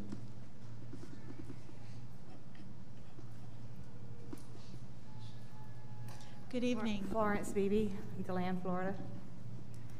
I just would like to say that when the right of freedom, quotation, encroaches on the health and safety of the community, the right ceases. It should not take children, more children, teachers, or staff to become seriously ill to persuade you to mandate the mask to defeat this deadly disease. It's a community effort. You speak into the microphone. It's a community effort to control this deadly virus. And I think that it's responsible to participate in this small way to decrease the spread of this disease. Also, I want to remind you that a majority vote of three school board members would ensure a much safer environment for all. Have courage. Thank you very much, ma'am. Ms. Uh, did I pronounce your name incorrectly? Uh, good, good, evening, man. I'm uh, Scott Hottenstein. I'm the Thank president you. of the uh, Democratic Public Education Caucus of Florida. And uh, I live in Hillsborough County. Thank you for having me tonight. Our students need to be in school with their teachers and their support systems, both for their education and for their mental health. And because of that, I urge you to take all mitigation measures against COVID and quarantines, including vaccinations for those 12 and up, masks, especially for those who are not old enough to be vaccinated. I'm a 24 year Navy vet, and after I retired, I became a middle school civics teacher. We teach a bunch of different benchmarks in seventh grade civics. Benchmark 1.4 is about the social contract, where individuals give up rights to protect the common good. Benchmark 2.2 about citizenship is how citizens have responsibilities that go along with their rights. We stop at red lights. We serve on juries. We defend our country when called on by the draft. In benchmark 2.4, when we talk about rights, we say that we have rights, but some rights may be limited. You have dress code. We're not allowed to cuss at a school board meeting. Article 9, Section 4B gives you, the school board, constitutional authority to operate, control, and supervise the schools in your district. The Parental Bill of Rights, codified in Florida Statute 1014.03, says that you can infringe on parental rights if reasonable and necessary for a compelling state interest. Keeping kids in school is a compelling state interest. I tried to do some research to see your quarantine numbers, about 13, 1400. Are those students learning? Are they going hungry? You normally feed breakfast and lunch to a bunch of free and reduced lunch students. How is their mental health when they're not at school with their friends and their support systems? Their teachers, their school counselors, student services staff. Please, let's do everything we can to keep students in school, which includes implementing a mandatory mask mandate so that we could get past the quarantines. Thank you very much. Thank you very much, sir. Thank you for your service. Uh, Sharon Levine, and then uh, Michael, and I'm going to mispronounce it. I apologize. Kosis. Okay, and and then Janet uh, Podsick. Hi. Good I'm evening. Sharon. Speak into the microphone. Okay. Hi, I'm Sharon, uh, here in DeLand, mom of a fifth grader. Based on recent Florida Department of Health weekly reports, one quarter to one third of COVID cases have been pediatric. Pediatric deaths held at seven until this, this August, our month right now, where, near, where they nearly doubled to 12 in the course of a month. The Delta variant pulled the rug out from everyone's feet. This is no longer a pandemic of older folks. It's now a pandemic of unvaccinated people, and our children are currently involuntary members of the unvaccinated group. Our children are currently sharing public space in the public schools that they attend, the schools that were a safer haven from COVID last year due to layered mitigation strategies.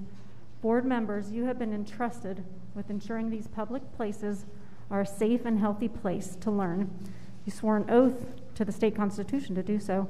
Now, the Parents' Bill of Rights has been affirmed as allowing school districts to take action which is reasonable and necessary to achieve a compelling state interest, and that such action is narrowly tailored and is not otherwise served by a less restrictive means. It's clear that current local conditions caused by the COVID Delta variant merit an action on your part to reduce the risk of harm to the students of Volusia County Public Schools, as well as to reduce learning disruptions from increasing quarantines. I believe a universal mask mandate narrowly tailored to be in effect for a finite duration or tied to speci- specific local public health conditions such as positivity rate would be the most reasonable and least restrictive action the board could take. The CDC and Florida DOH recommend a layered mitigation approach, particularly for children who cannot be vaccinated. Based on the Volusia County Schools COVID 19 health and safety protocols, um, the prevention measures of limited class size, cohorting, and social distancing have not been sufficiently implemented and I assume that sentinel testing is off the table due to cost and its invasive nature. Also, plexiglass and Clorox wipes are not sufficient for an airborne pathogen. That leaves universal masking as the least restrictive mitigation measure, especially for the population too young to be vaccinated. As I'm sure you found in your research of credible sources, universal masking is safe, effective, and minimally invasive. A medical opt out would serve the needs of those for whom masking isn't medically safe. Course enforcement will always be a challenge, as it is for all district wide rules, However, the possibility of imperfect implementation does not imply there should be no attempt made to utilize the one effective measure that's feasible right now. A safe classroom is one where a child isn't mandated to take their chances with COVID roulette and the long term impairments it could pose. A safe classroom is one where all children, even those more vulnerable to COVID, are entitled to their seat in a public classroom and not made to feel like a burden. If we want to participate in public schools, we have to participate in public health. Please institute a temporary universal mask mandate tonight. Thank you. Thank you very much, ma'am. Michael, I'm not going to disrespect you by mispronouncing your last. Did I did it right? Oh, oh gosh, that's great. Uh, well, thank you, sir. Thank you very much. And then after Mr. Kosis, right? Uh, Janet Postic, and then Anna Hannon. Thank you, sir. Okay, well, first of all, um, I want to thank you for allowing me a few minutes to speak to you tonight. Um, I want to thank you, the educators on the board, for your service to education. Um, and I want to thank the amazing parents here tonight for all your, your words um, and your, your research. Uh, I am an educator. I am a elementary school educator in Volusia County. I used to work right here in DeLand at an elementary school, and now I am in Port Orange. I love my job. I absolutely love my children. This is my third career, and it's the best career I've had, although I've made lots more money elsewhere. But with that being said, I could rehash all the stats and statistics that we've all heard already, and that won't really do any good because we all have, we're all on one side of the fence or the other. But I'm going to give you the truth on the ground. I know you guys were in the classroom for lots of years, but I, I ask, are you in the classroom now and get to see what I see and get to hear what I hear and see the harassment and see the, the, the, the hurt with these children because, not, not in spite of, but because of these masks. These masks are not effective. We know this by science. But if you think they are, that's fine. But I'll tell you a couple stories that will kind of blow your mind. So, you know, they're, first of all, they, they don't wear them right. Nobody wears them right. The teachers don't, the administrators, administrators don't. That's just a fact. They just don't wear them right. Noses out and so forth. Um, they're constantly being dropped on the ground. Children are stepping on them. They're putting them back on their face. Um, they're drinking their water bottle through them. I mean, these are kindergarten. These are five year olds through 10, 11 year olds. They're not going to do it right. And so, what ends up happening is they just are becoming bacteria traps for all kinds of other problems. All right, and I see it daily. I'll give you two instances today a first grader who um, is running around the track, and of course, I don't make I, I make sure they don't have them on when they're outside. And he has it on a lanyard, and he's running. And I say, "Hey, there you go, Peter. Good job, buddy. All right." And he goes, "I go, oh, you got to sneeze." He goes, grabs his mask and shoop, sneezes into the mask, and then puts it on. I'm like, Peter, no, no, no. And so now I go and I try to give him another mask. whole thing, it's absolutely insane. But then let's go a step further with Lexi. Beautiful, sweet girl. I let her out of her car this morning with mom, and she has her mask. And I don't wear one. I don't have to. I have a medical reason for that, and I don't need to go into it. However, I'm there and open it. Mom smiles at me. She's happy. I said, Oh, wow, neat little mask. You have flowers all over it. Well, later in the day, I see another girl wearing the same mask. And I said, Jordan, wow, you got a mask just like Lexi. She says, No, this is Lexi's mask. We decided to change. Okay. Thank you very much, sir. Uh, Janet Postic. Yes. And then after Janet is Anna Hannon. And then um, Adam Swari. Good. Hello, my name is Janet Potzik, and I am reading this message on behalf of an anonymous Volusia County Schools employee. To the School Board of Volusia County, I cannot appear at this meeting tonight in objection to a mask mandate for children in public school for fear of losing my job. I am also speaking for many, many other Volusia County school employees who cannot speak up for fear of retribution from their superiors and from you, the school board. My first question to you is What is the school board's function? To set up and maintain schools, personnel, and leadership for the education of children. My tax money goes to your salaries and the salaries of the employees. You work for us, so I ask respectfully that you consider what I'm saying. I would like to ask how many of you in the last year have spent a whole seven to eight hour day in a public elementary, middle, or high school. If you have, have you done it while wearing a mask? Have you walked every hallway all day in the heat? Have you worked the parking lot at arrival and dismissal? Have you thought of being in the shoes of a teacher, receptionist, or registrar all day? How about trying to serve food in the cafeteria while not being able to breathe? You have no idea how it feels to sit and be muzzled up to seven hours per day while trying to convey lessons, words, and discipline to students, especially in an elementary school setting like the one I work in. I would venture to say that none of you have experienced this firsthand, so I urge you to consider what those of us who have have to say. Even more importantly, my school houses EBD students, ESE, and pre K multi students who absolutely need to see their teachers' faces and follow their voice for learning to take place. Not only are the adults now forced to muzzle their faces and restrict their breathing, but you are trying to push the same horrible experience once again on the children who are there for the very purpose of learning. Your role as a school board is to make sure learning takes place. After the past year being forced to cover up, I can tell you from firsthand experience that the children in my school showed, showed marked sadness, a very low grasp of learning, and lack of socialization. These kids experienced continuous scolding about pulling up an oversized mask that had slipped below their nose while they were singing a song in kindergarten, reciting a poem, or generally answering questions.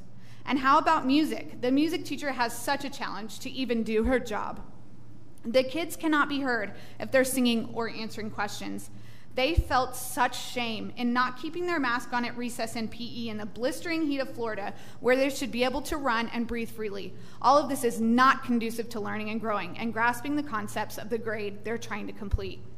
Another important point that I want to make is that the choice to mask or not is for the parents of each child to make. After all, this is America where we have basic human rights. We are guaranteed life, liberty, and the pursuit of happiness. Thank you. Thank you. Thank you. Thank you so much. I appreciate it. Miss Anna Hannon, and then Adam Swari, and then Tiara Dippus, Dippus, oh, I can't say, Dippus, it's like I can't say cinnamon, cinnamon either. Thank you. Thank you so much. All right. First of all, we have Anna, then Adam, and then Tiara. Good evening. Good evening. Um, back in April and May, I was here with you all, and we were talking about the Parents' Bill of Rights. Um, it got passed in the last session, HB 241, and it seemed like we all agreed that it was going to be time to turn to mask optional, and that was also one of the reasons parents uh, having a right to make medical decisions. I never really saw an indication from you all that you all thought it was a bad law. Um, so I'm kind of surprised that I'm seeing that you all might think it is now. Um, since the uh, trial verdict on Friday, Commissioner Corcoran, he is still proceeding. Um, he sent out eight letters to school boards uh, on Friday afternoon. Um, yesterday, he had a press conference and he announced that for Alachua and, and Broward, um, that he was still going to be suspending and deducting the salaries uh, from the funding. Um, so it, this seems like it's going to continue on until um, you know there's a, a court of appeals. Um, also, for Alachua, the commissioner said that um, that uh, he, they have to send a report of student disciplinary action action to the commissioner. Um, I watched the hearing of the Alachua and, and Broward uh, school district mask mandates, and um, the chairman of the State Board of Education, Tom Grady, he really drilled those superintendents. I mean, it was brutal. He was he's an attorney, and this is a law. I mean, you all might uh, disagree with being dictated to with the um, executive order. I mean, we didn't like being dictated to either. I, I, I can see that, but it is a law. And why why would you all want to put Dr. Fritz in that same position that Carlee Simon was put in? Don't do that to him unless he, I mean, I don't know, Dr. Fritz, why you would ever want to be in that position. That was hard to listen to. I, I was one of the speakers, and a couple of us were from Volusia. Um, I, I, just, I don't want y'all to, to go that direction, obviously. Um, you know, this, this is a historical time, and uh, I don't think that masking children and taking away parents' rights is what you want to be as part of your legacy. Um, you know, I offered this week many solutions. I think, you know, we're not going to agree on, on masks, but parents still need to be able to have the rights to choose. I think we need to take our focus off of combating each other with this mask issue and start looking into air purification, something that is non invasive to the child. Um, I don't think that we have done due diligence on that. Thank you. Thank you very much, Ms. Hannon. Um, Mr. Adam Swari, then Tiara, and then Josh Hardy. Go ahead, sir. Uh, hello, my, my name is Adam Sarwi in Port Orange, Florida. I'm a firefighter paramedic and a father of two children, one at Horizon and one at Silver Sands. Today, I want to talk to you briefly about communication. I've made the following statement time and time again over the course of my adult life that everything rises and falls on communication. Poor communication breeds confusion and bitterness, and effective communication leads to understanding and confidence. Any given response to any given communication can stem from what was actually communicated or merely perceived. And so I want to shed some light on a few things that have been communicated both from, from both directions, from the school board to the parents and the parents to the school board. As far as I can tell from my own anecdotal evidence, the majority of people and parents that have made a presence at recent school meetings have expressed disapproval in any masking mandate. At the least, the people that we hear every time the doors open are outside waving signs. They're not calling for a mask mandate. And I do say masking mandate, not masking in general. The problem is and has always been the obligation to the point of repercussion. Parents have been communicating to you their desire for the freedom to choose whether or not their child is masked in the public school setting. The second thing, given the volatile climate of the pandemic and masking and the response from Volusia County schools, I can tell you that more than a nominal number of families will be opting out of Volusia County school system if a mask mandate is enacted. And please understand this is not some sort of low level threat or strong arming, but again, this is the parents communicating something to the school board, and that I don't believe you should take lightly. Now, to shine a light on something that has been communicated from the school board to the parents, Superintendent Fritz, you recently said, I quote, Mike Grego stood in front of everybody and said, Get vaccinated, take responsibility for your kids, put a face mask on. No different than your superintendent, and I'll continue to say it. I think it is bad parenting when people don't do it. Now, that is, that's communication. That statement is, at the least, wildly unprofessional, if not openly hostile and inflammatory. The implication of that statement is that the overwhelming majority of parents of Volusia County schools, if you've been allowed in a school, if you've been to school and you've seen how many students are not wearing masks, and you know what I mean. That since they are parenting badly, they do not know how to properly care for their children, and so then the county will need to step in and care for the kids instead. That is what is being communicated, in no uncertain terms. And look, we all want what is best for our kids, and I think that's common ground that we can all find. What is best for the kids has to be determined by the individual parent. There, there is genuine abuse out there where a parent may need to be removed from the decision making process. And choosing to let your child breathe freely without a mask is not one of them. I implore you to allow the masking policy to remain how it is at this moment, an option. Hear us communicating this to you. Thank you very much. Thank you very much, sir. And Tiara, that's you? Okay, thank you for coming, and I apologize for mis- mispronouncing your last name. That's fine. Okay.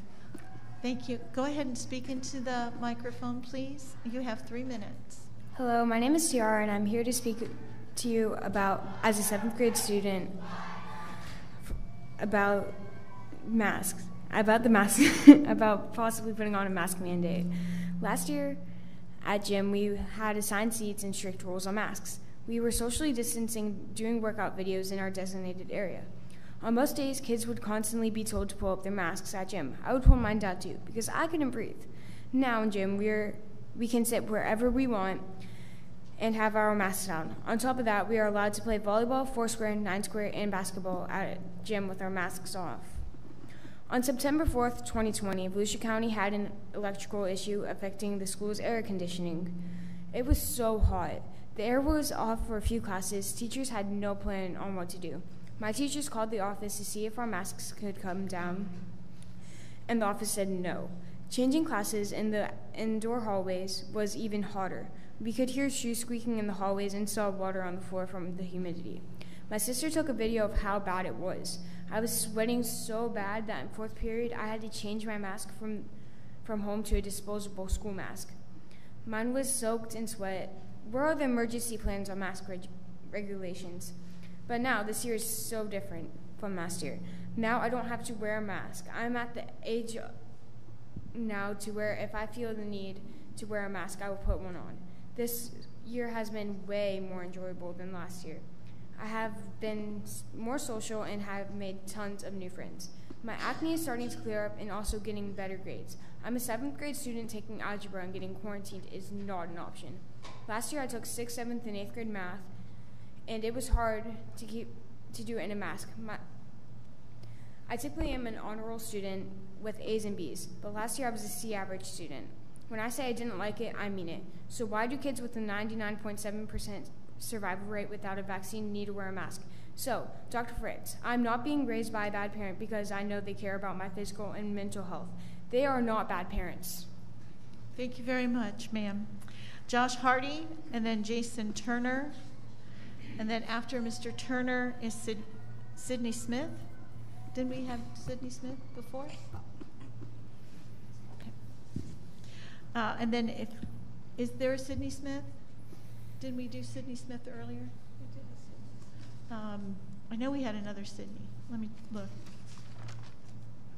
Sydney Smith, yes. Okay. If, if I'm mistaken, uh, and she's still here, we'll, we'll continue, but after uh, Josh, then Jason, and then Ray Sanchez. I apologize, sir, for taking your time. Good evening, folks. My name is Josh Hardy. I'm a father of three from Orange City, Florida. I agree with you, Miss Cuthbert. The world is split in two, and so many, so much right now. That said, covering up people's faces will never bring people together. Your terrible and broken contact tracing protocols that make absolutely no sense and have worked in have not haven't worked in I'm sorry folks. No sense and haven't worked the problem. If you Marco Rubio have a problem with the contact tracing policy, change the policy. Don't implement a new policy to fix another one. That's a band-aid. Change the original policy if you have a problem with the contact tracing policy. How dare you, Fritz, our superintendent, call us bad parents? And I cannot believe that none of the school board have come out publicly and called him out for his comment either. He has no right as a superintendent of this district to call us bad parents. You are not an elected official. We did not vote for you. You have no rights to call us anything but your constituents. The board is solely responsible for putting this man here, and none of you spoke out against his comment. So, do you all agree with it? Do you all agree that we're bad parents if we don't put masks on our children? It's pretty sad.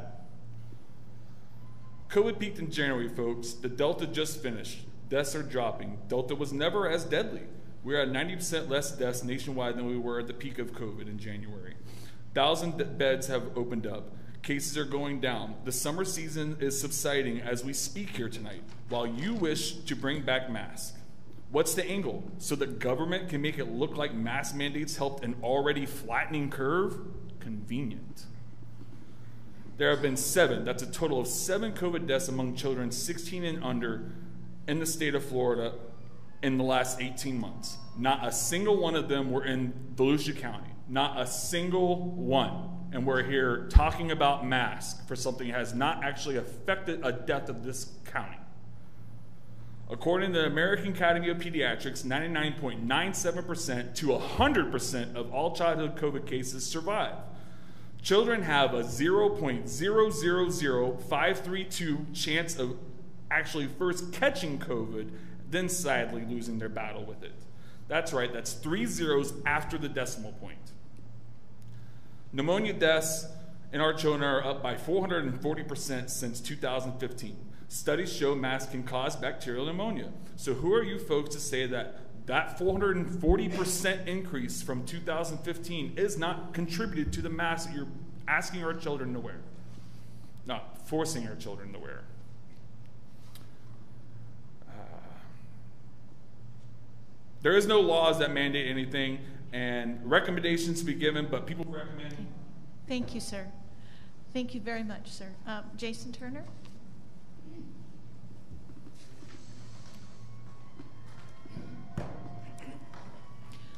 Okay, good evening. Make sure you speak into Good evening, the guys. microphone. Thank you for giving me the opportunity to speak tonight. I think we live in an age where personal opinion is paramount I mean, I'm supposed to sit here and tell you that I'm right, you're wrong. I've done all this research. And you're supposed to listen to me and do what I tell you. And you know, you, you you've earned your spot on this board, and, and you deserve the right to, to vote and, and act on this board. Where I start to get pause with that is when my personal rights and when the rights of my children are impacted by those those decisions that you make. And we're all different. We're all going to have our own opinions. Who am I to tell you you're right? Who are you to tell me that I'm wrong? At the end of the day, those differences are what makes us great. Those differences are what makes us America. What makes us different than, than all these other countries that everybody wants to come here. And truly, if you look at this situation, it's the children that are going to be impacted the most by this because, you know, I go out in public and I go to these places where lots of people are gathered, and by and large, the majority of the people aren't wearing masks. So that tells me that that they're not as fearful of this virus as, as what's being claimed. And now these these kids are going to come to school and we're supposed to teach our kids that that our leaders are are their authority and they're supposed to be respectful of that. And so it, I'm somewhat confused at why I'm supposed to listen to you guys and why I'm supposed to submit to your authority when you refuse to submit to the, the authority of our governor. He, I mean, he was elected by half of our population here in the state of Florida, oh, greater than half. And history will tell whether the right decision is made tonight. Uh, and you guys, I don't know, but I am concerned. I'm, I'm concerned about the future of our country. We're supposed to be, I mean, we're 16 months into the science experiment, guys. And, and sadly, I don't think we're any closer to the end than when we started. And I'm looking forward to next year, and I'm wondering, I'm, I'm pretty confident that mandate, no mandate, mask, no mask, we're going to be sitting right here again. So I got a kid at home, and he was quarantined last year, and he was quarantined this year. And he missed two weeks of school, and he hasn't had one COVID symptom yet. It's scary, guys. Thank you very much, sir, for your time. Ray Sanchez, then Barb LeBlanc. LeBlanc. Barb LeBlanc is after Mr. Sanchez, and then Stephanie Galliano Zaluka. Good evening and thank you. Ray Sanchez, Ormond Beach, Florida. Politics and science, here we are. Scientists don't have any of the answers, and I guess politicians have all the answers. They feel like they can control people and control a virus, which uh, doesn't make any sense. So here's what I have to say follow the law. A Leon County judge's decision is not the law of the land. Courts do not make law, legislative, legislative bodies do. Courts do, do not issue rulings. I keep hearing the word rulings. They're not rulings, they render decisions and opinions on individual cases. You're siding with one court's opinion and ignoring another's, namely the Green versus Alachua appellate decision. So, by having this meeting, you're obviously making a political statement and being lawless. You are willfully ignoring state law, which is HB 241. Science on the matter has been all over the map. Immunologists, virologists, microbiologists, and infectious disease experts, they disagree. The only consistency has been the inconsistency. From one study to another, there's lack of verifiable data due to misleading or even suppressed information. If you vote based on that, you are making a despotic political statement, not a scientific one. Stop making these decisions based on politics. Stop making these decisions, period.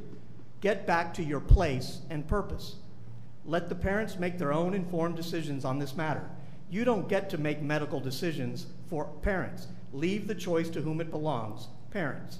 Remember where the power resides. The power resides in the people, our parents, and the taxpayers, not you. Your power is delegated one. You have no delegated authority for medical decisions for the parents and their children. Obstructing oxygen flow is a medical decision, and that decision belongs to the parents, not you. There is no emergency or exigent circumstance here. You are stepping outside of your legal and delegated authority. Mandating masks for the children rather than making them optional would also block access to education for many children. You would be discriminating against many in the community. Allowing adequate provisions for the education of our children is a state constitutional matter of which you would be in violation. James Madison said, Our conscience is our most valuable property. You will be violating the rights of parents, the Parental Bill of Rights, the law, and imposing your own political ideas onto the consciences of all parents and, and school children. Violating personally held beliefs and conscience is a direct attack on one of the most sacred fundamental rights. It is a direct assault on liberty. May God have mercy on you. As for me, I believe you deserve punishment for your malfeasance. You have a pattern of violating law, imposing arbitrary and plenary dictates, and abusing your authority. You should be arrested or at least the very least resign there may be legal repercussions if you don't uh, take this, uh, the, you know, follow this mandate and take it away. Thank you very much, okay? Mr. Sanchez. Um, Barb LeBlanc, and then Stephanie Galliano Zaluka. Go ahead, ma'am. Good evening. Thank you for this opportunity. My name is Barb LeBlanc from Ormond Beach.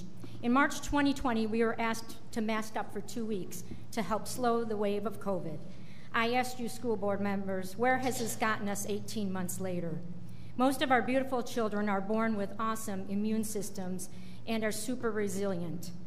These last 18 months have forced our children to wear masks that are gross, dirty, and infested with all kinds of germs by the end of their school day. Why is it okay for a person to cause division against another person who chooses not to mask up? The person causing this division has chosen to wear a mask, yet won't afford the other person to have the freedom to choose not to wear one. What, may I ask, is this other than discrimination?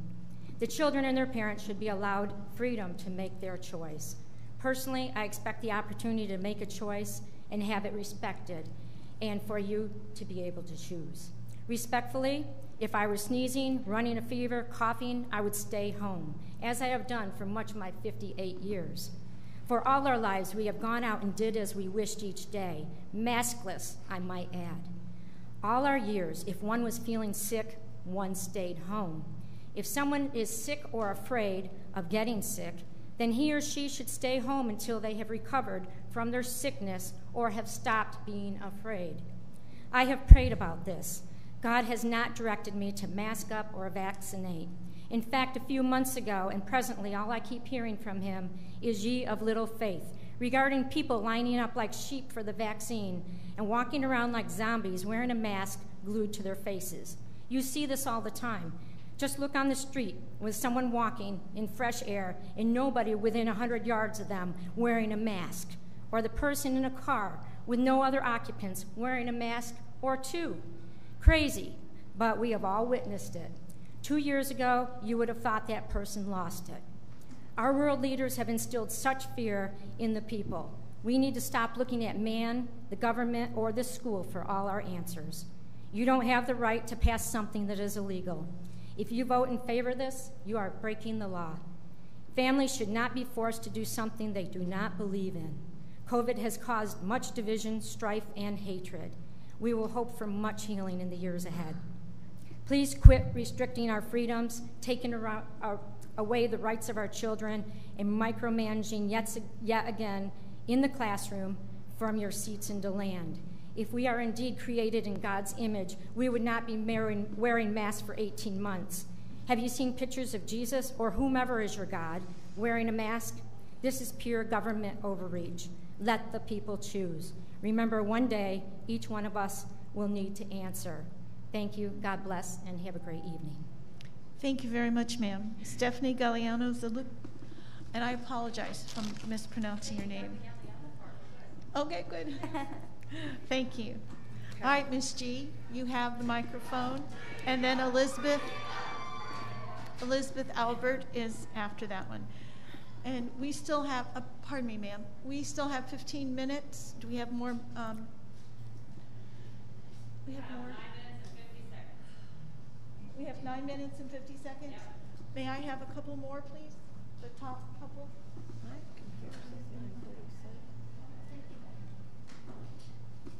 Thank you. I apologize. You go right ahead. So um, I don't want to be here tonight. I don't want to be here. I don't want to be talking to anybody. I, I want to be at home. I want to be with my kids. I want to be getting them ready for school tomorrow, getting them tucked in, bath time, bedtime stories. And yet I feel compelled to be here and to speak on behalf of all the parents that you hear out there.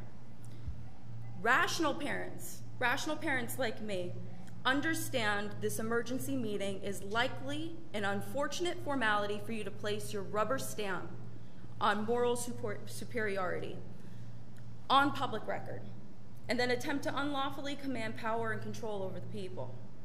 Unlike most of the parents gathered in this room, I don't identify as a pro or anti masker, nor a pro or anti vaxxer. Rather, I identify as a concerned parent who is troubled by the arrogant disregard for lawful parental choice, the appalling abandonment of leadership, and the disturbing precedent of overreach. Make no mistake, for parents like me, this is far less about a rinky dinky, ineffective, store bought mask and more about what it represents. Because I too believe that this is politically motivated. This is about power and this is about control, and it has to stop. Where's the line? You keep moving the goalpost. What about those of us who have antibodies? Are there excuses made for us? Those of us who have gotten through this? I mean, what else can it be about? There have been no, numerous sightings here tonight about the science, about the science. Yet here we are leaning on the science behind your decisions. The pilot programs are showing no statistical difference. You know, there was a uh, CDC in Georgia that showed no statistical difference, and here we are playing with kids, you know, playing with their mental health, playing with their physical health. Here we are. To be clear, health decisions are both highly personal and lawfully protected as the right and responsibility in this personal in this particular case of the parents and legal guardians of the children in question. Sadly, you've allowed your personal opinions to cloud a genuine calling to serve, clearly impacting your ability to bestow fairness and impartiality to the elected positions which you hold. That's not leadership. You have the audacity to both privately and publicly demean us ridicule, and try to silence anyone who stands in the way of what I consider to be a power grab. That's not leadership. Leadership is this room full of people and all the parents outside, whether we agree or disagree, here fighting for our voices to be heard. People like me, parents like me, we have no interest in demanding that parents who feel differently than us unmask their kids. No, we're telling you that you don't get to choose to suppress the parental rights of some in order to appease others. It doesn't work that way, and we demand better. If you don't have a genuine leading to call, then move over, because there's a whole bunch of us out there. Thank you. Thank you. Thank you. Elizabeth Albert, and then Meredith Ashley.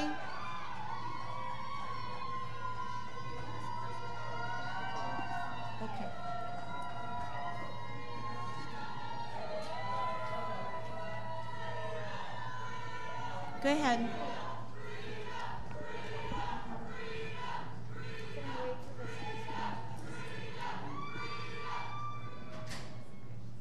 Go ahead, Ms. Well, Albert. Good evening, Madam Chair, members of the board, Dr. Fritz, members of the audience. It's a hard night tonight. I've spent a lot of nights with you in this boardroom, and this is one of the toughest I've seen in a long, long time. Um, so I want to talk to you from a little bit different perspective. I want to talk to you about what's going on in our schools right now. We know that we have a substantial amount of folks who are quarantining, adults and students. We know uh, when those students go out, it creates a hardship on everyone. And so as we struggle through this moment, I'm asking you to also consider what's happening in your schools. Your teachers are working hard to keep up. They're trying to serve the students that are still in their classrooms while sending work home through a variety of mechanisms to try to continue the educational uh, outcomes for our students. And, and they're struggling.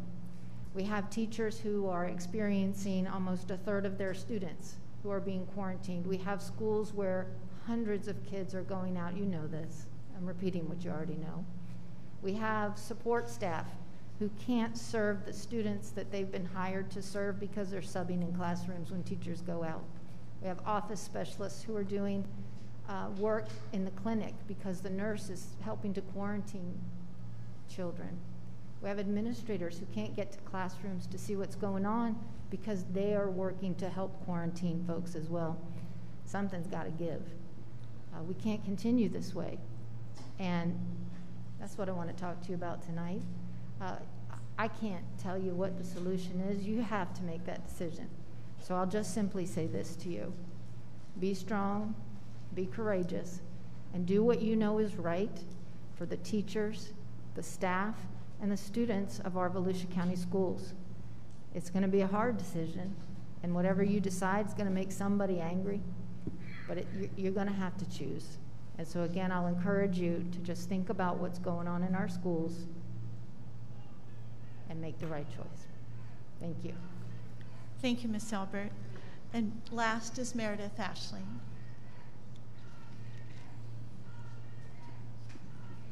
No, Miss Ashley? Then uh, Ellington Kellogg?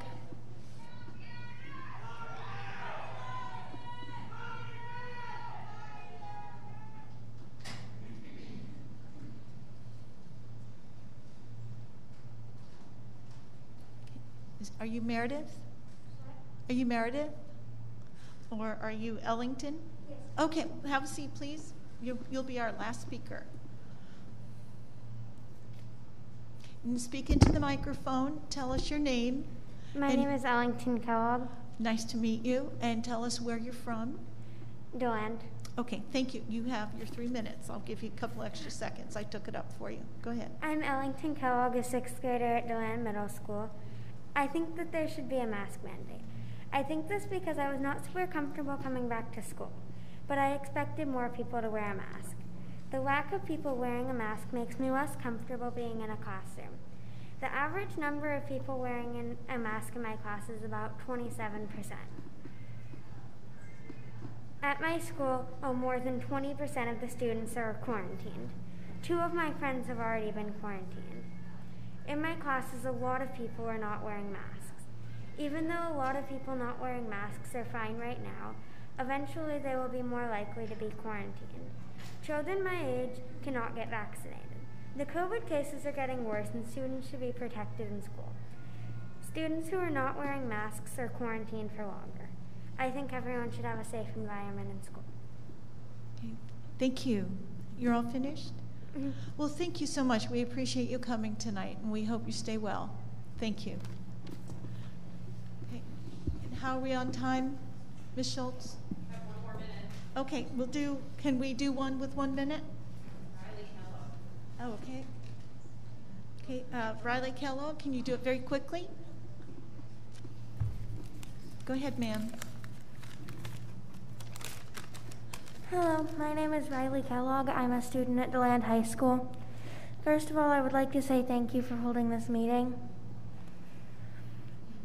I strongly support everyone wearing a mask. I'm really happy to be back at school, but at the same time, I feel like it would be a lot safer if everyone was masked. My friends and I are all people who, wear masks. In a normal year, I might be talking to other people in my class and making new friends. This year, on the other hand, I don't feel comfortable spending time with people who don't mask or don't take the pandemic seriously. That being said, a mask mandate will, keep, will help keep everyone safer. Masks help keep the aerosol droplets that make people sick out of the air, helping to reduce the spread of COVID. That will help in decreasing the number of students in quarantine. Students are less likely to have a harder time learning from home um, off of a computer than they will in a classroom talking to a teacher and receiving actual instructions. Students, teachers, and staff have the right to a safe and healthy work and learning environment. I understand that it might be hard to enforce, but the benefits would outweigh the issues with a mask mandate by far. Okay, I, I have to cut you off because our two hour limit. We did get both of your messages. Thank you so very much. We wish you good health. Thank you. Thank you. We are now concluding our public participation. We will take a 10 minute break. We'll be back.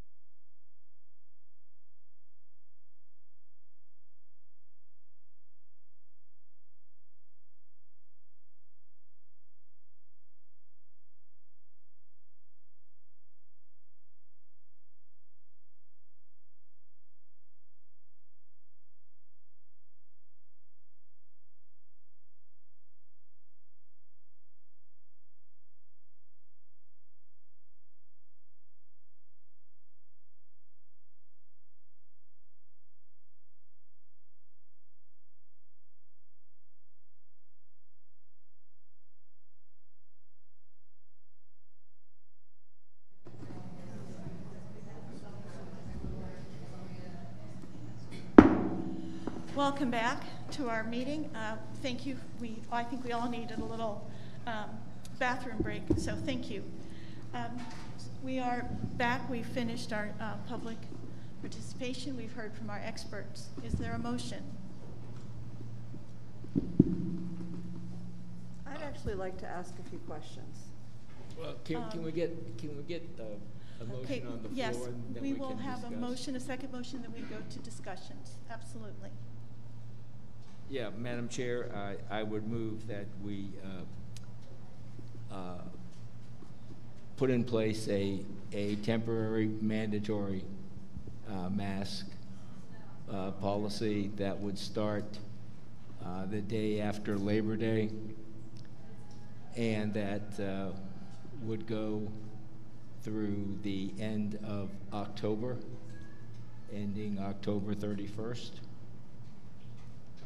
Having said that, that would mean that uh, at each school board meeting, you know, through that period, that we would get updates about how this is uh, trending in our, in our schools, uh, COVID as well as quar- quarantines. I'm as, uh, um, well, I, I don't want to talk. I want to just make the motion, and we'll see if there's a second, and then we can go forward from there.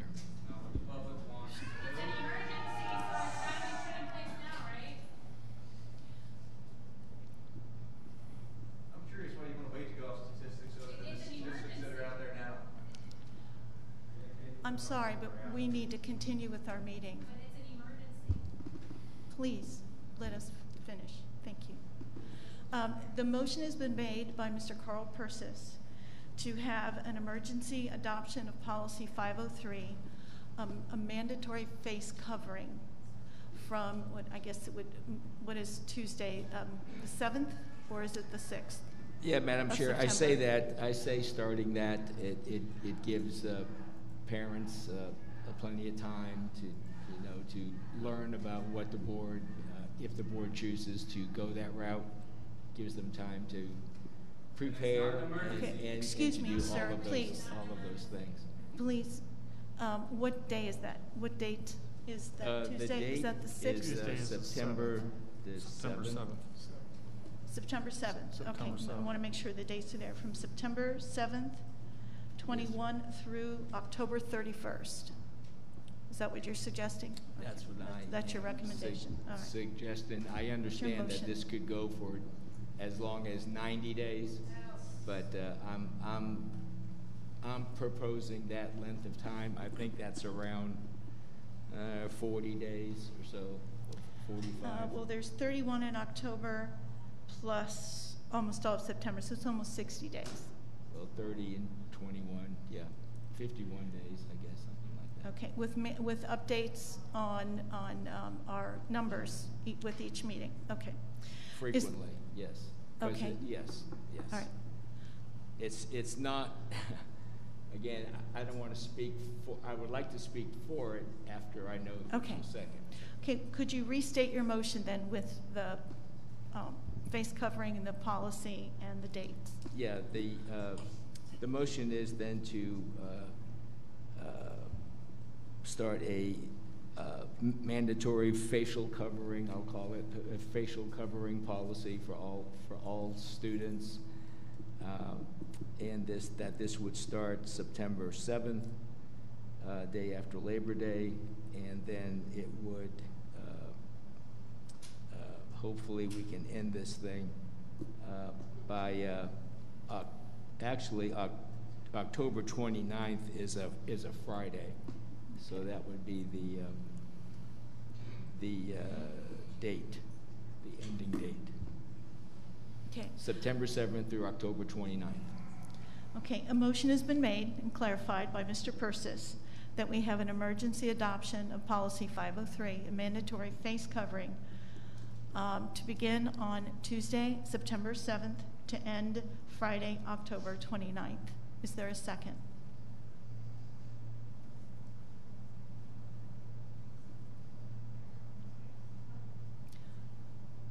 There's no second, so the, the motion has failed. Madam Chair, Yes, sir. so I'd like to make a motion. I Yes, sir, go my- ahead. My issue would be, I don't think that 60 days is, I- I don't agree with the 60 days. I was thinking more along the lines of 45 days, which would take us, and, and I agree with the start date, which gives families an opportunity to go to their doctors and healthcare professionals, uh, should they need to. Um, so I was looking at, so 30 days would be the 28th, or 45, so it would end on October 12th. Is that a school board meeting day? If, if I may, um, uh, Oh, wait- wait a minute, he Madam has the Chair, floor. there is a, there is a natural break if you're looking for something like that. The end The end of of the quarter? The end of the first quarter, I believe is, uh, uh, s- staff could, could help us here, but I think it's right around October the fifth, the fifteenth, four, fourteen.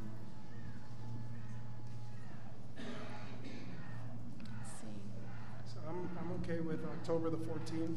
October 15th? Well, the 15th, we have uh, the that's meeting with the county.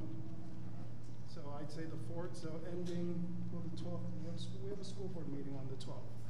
So it would be a, a mask.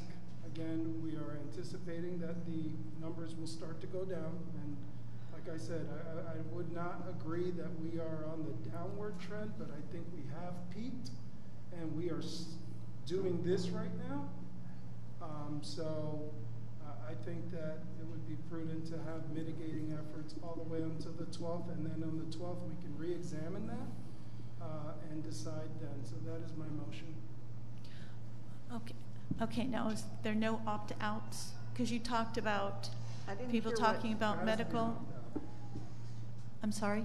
So I, I agree with a medical opt-out. In other words, they can go to their psychologist, their medical doctor, anyone who is familiar with their care, and provide that information if they uh, require a medical opt-out.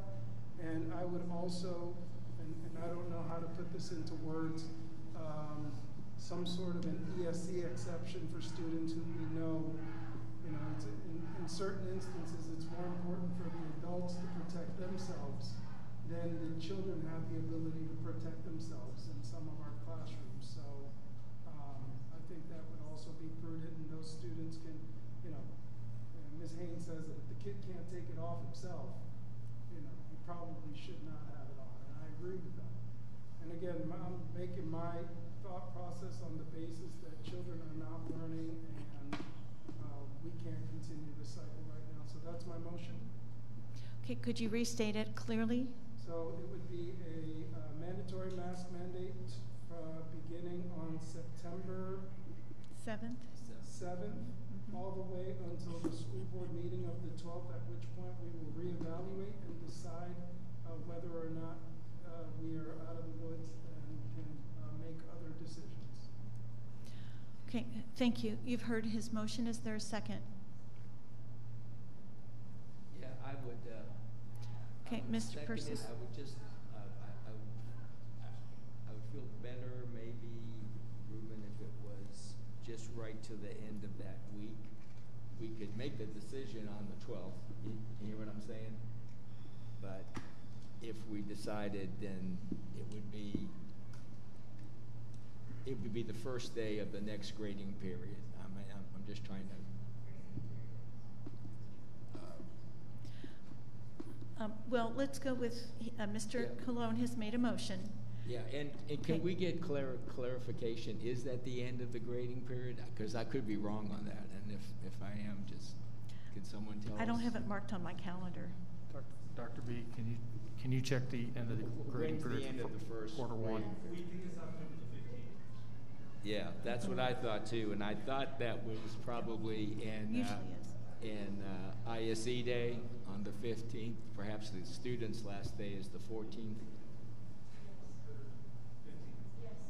Is, is that right? Fifteenth, is that a teacher duty day? No, the Monday is the teacher duty. Day. Oh, o- okay. Friday is the last day. Okay, so Friday is the student's last day of the, uh, grading period. Okay, one more time. Restate your motion, please, Mr. Colón. Uh, It is a mask mandate lasting from September 7th until, Dr. Fritz, do you see any advantage to the 15th over the 12th? Uh, just going to the end of the quarter, I mean, you know, but it, it's your motion, we'll make it work whenever you need it to work. I'll go with the 12th, just because we have a meeting that day. Well, here's, here's the caveat. We can could well, change it, wait a minute, right? just, So we will discuss it during, but let's Yeah. see, he's made a motion. Is there a second? I'll second it, yes. Okay, Mr. Persis has seconded the motion. Okay, it's now open for discussion. Is there someone who would like to make a comment? Yes, I have questions. Um, Yes, ma'am. Okay, so Mr. Persis and Mr. Colón, what is your ultimate outcome? And I'd like to hear from each of you, based on the fact that you have made the motion and you have seconded this motion, what is it that you are looking for? What is the outcome that you want? That's my first question. Mr. Colón. Decline in quarantines. What?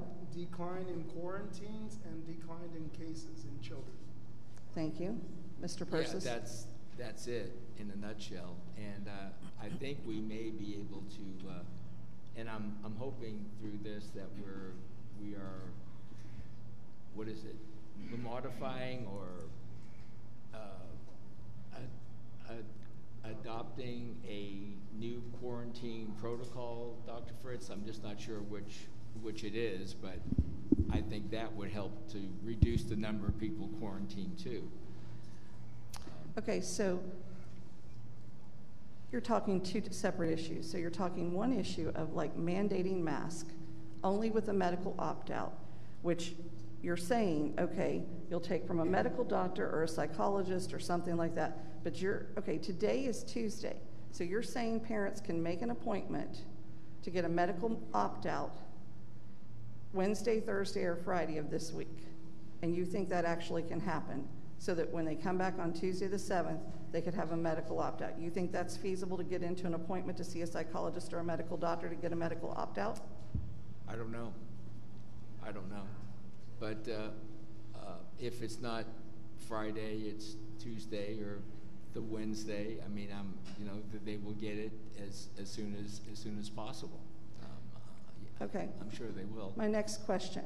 So you believe, so, because we're talking two different things here. You're talking about mandating a mask, you're only talking about giving a medical opt out, you're only talking about a three day window, which means even if they go call tomorrow, there's no way that they're going to get an appointment to get a medical opt out. But you're saying this goes into effect Tuesday the 7th. Then you're also talking about changing the quarantining procedures. So I'm assuming then you're talking about no longer following this quarantining procedure, and I'm not sure what quarantining procedure you're, you're saying. So you believe with a medical, with a mandated mask, with only a medical opt-out, and changing quarantine, you're going to drop numbers. We've already dropped numbers because Friday's numbers on the dashboard were much lower than the first two weeks. Is that what I'm hearing, gentlemen? Yes, but our quarantines are not. Because those, I have a the. Excuse, letter. excuse me, sir, please, let us continue The, uh, with our meeting. The Department of Health, the Department of Health one with Florida Department of Education by the Surgeon General that's appointed by the governor and the uh, Commissioner of Education is putting kids out unnecessarily. I mean, So- if we continue to follow that, we're, you know what, we might as well just throw out the baby with the bathwater because kids are being quarantined, like you said, Jamie, by the hundreds. And I don't know many people who are as passionate about children learning as you are. And kids, all of these things are great, except these kids are not in school. They're going home. Okay, so what is the different quarantining procedure that's going to take place by mandating a mask that's going to keep our kids in school? Because last year we sent them home when they were wearing masks behind plexiglass, spread out. So Ms. Boswell's explained that they, we didn't have this guidance last year from the CDC. Where is this guidance? CDC. The CDC guidelines. Okay, so what, what are we switching to, gentlemen? So, CDC. for starters, No, I need to understand, I mean, you can't just say CDC and nobody knows I what's the criteria for CDC. Uh, Let them explain. Go ahead. So it takes into account if two students are wearing a mask, okay, and they are, there is a known exposure, and I bet you Miss Miss Rowland could probably speak better to this than I can. There is a known exposure. In other words, they weren't just in the room. Right now, the way that, that the Florida Department of Education one says, if they're in the room, they're going out. We sent whole rooms home last year. Well, that's my point. So we don't have to send them all because it would have to be a known exposure to that person who was infected. It's a different set of rules. And like she said, this is new from the CDC in their new guidance that says with a mask, okay? And I tell you, I sent Chancellor leave a message, said, man, you're killing us because we're sending kids home for no reason. We are sending them home for no reason. And he pointed to Department of Health. Okay? But right now, I mean, we, kids are not learning. They're not in school. So is your primary thing for children to learn? Yes. And if they're not in school, they're not learning. Okay. So, and so I think that we could curve the numbers. I think that with the downward trend, I think that with the mask taking into the CDC mask guidance for quarantining, we won't have to send home as many kids as we're sending home right now because it's ridiculous. And this is new guidance. This wasn't there last year. Okay, so primary goal though is children to have the opportunity to learn. Correct. All right. Children be in school. Be in school, period. Because you have no control over whether they're in school or not. We have no control. That's the health department. They go by state statute, they go off of contact tracing, they do all that stuff that they do, which they have a statutory responsibility to do. So they're not in school, and we have no control over that. And they are sending them home left and right. Heritage, poof, two, 300 kids, poof, just like that. Citrus Grove, how many well, kids? and I'm, try I'm trying Grove? to understand how you putting in a mask mandate is going to change that. Because not everybody will have to go home. Okay, nobody has explained, no one has explained to me yet the difference of how we're going to keep kids here. Because last year, we followed CDC guidance and we sent entire classrooms, entire grade levels home all the time. Right. That has changed. Okay. Except we got the state guidance. Then I okay, I need someone to tell me is the where the two of you are going and how this is going to be different. It would be different just adopting the other uh, the CDC guidelines for the quarantine. You know, even if we if we kept the mask optional, and kept our same quarantine guidelines, we'd still be sending a lot of. Look where we are now. Masks are optional right now.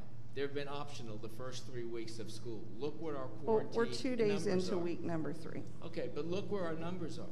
And well, people keep thinking about about uh, when they're not when they're not in in school. You know, to me, the point is not where they get COVID; it's when they bring it to school and spread it. And that's what these help prevent the spread of it. It's not it's not that I'm thinking children are getting COVID necessarily at at school, but some of them are. But we don't know where some of them are getting it. I mean, it's it's hard because they're only in school a certain amount of time. But the deal, deal is when they do have it, then we got to do all this contract tracing and takes all that time and then there's all this quarantining, and it's just detrimental. It's detrimental to everyone, but to the child, to the parents, to the teacher. I mean, there, there's not any good coming from this. Okay, you so have all not. I'm trying to do, all we're trying to do is reduce the number of students who are quarantined, put a mask on for what is this, six weeks, and reduce the spread which will in effect reduce the number of children who will be quarantined so that we can get back to normal as quickly as possible. If, it's, if it happens before October the 12th, that's even better. But I just think we, I, we just think we have to do something because of the way the numbers are. Okay, so the seventeen percent, as I said, of the time that they're actually on campus, that you're now going to mandate that wear a mask with a medical opt-out, and then there was something said about our ESE students. Um, so right there, you're gonna have what percentage of kids on campus that are not going to be wearing them, and, you know, what we've heard is it's either everybody wears it and does their part, or no, it spreads, right? So which is it? Is it everybody wears it and does their part, but if I'm sitting in a room and two of the students in this room aren't wearing it, then have we not just, I mean, are we not back to where we already are with the, the choice? I'm trying to understand, come Tuesday the 7th, if you push this through, what is changing? I need to clearly understand what is changing. Because, like, am I going to see then on next Wednesday's dashboard, all of a sudden it's only six people out? No, I don't think you'll see that on, on next Tuesday's dashboard. Uh, Because why don't we start with, like, I, I agree, these guidelines are ridiculous this year, okay? So why don't we start by going back to the CDC guidelines and following the CDC guidelines before we go and say, we're gonna pull the rug out parents from under you after we told you you had a choice? Because here's the thing, everybody wants to say this is anti-mask versus pro-mask. Choice is everybody makes a choice. I mean, we've got parents that are sending masks with their kids, and their kids are making, like, even get a choice. Some are saying, no, you're going to wear it, and you're going to wear it the whole time. Some are like, well, you don't have to wear it. Others are sending it. So we're taking choice away. When did choice become such a bad thing? I really want to know. It's not, we gave the choice. You know what? Here's where I'm at. Wait, j- I you- stand. Miss, Miss Haynes, please, you, you had, you asked them a question, let them And, answer. and nobody can answer it. Hold on, I'm Well, coming. Let them answer, All right, thank you. so the new guidelines. First question, did the student come into contact within six feet for 15 minutes with a student who has COVID? The 15 minutes could be consecutive or three blocks, five minutes over the day. In other words, cumulative. If yes, what happened next defen- depends on additional factors. If the student is vaccinated, if the student is fully vaccinated, they should be referred to for testing, but do not need to quarantine. If the student is not vaccinated, the next questions are just how close were they to the infected peer, whether both were masked, and if the exposure happened in a classroom. If the student was in a classroom at least three feet from the infected student, and both students were wearing masks the whole time, the exposed student does not have to quarantine. But if the students were less than three feet in the classroom, less than, or less than six feet apart anywhere else in the school, or either student was unmasked, quarantining is necessary. So they are taking into account students who are wearing masks. Where that's new, that is absolutely new.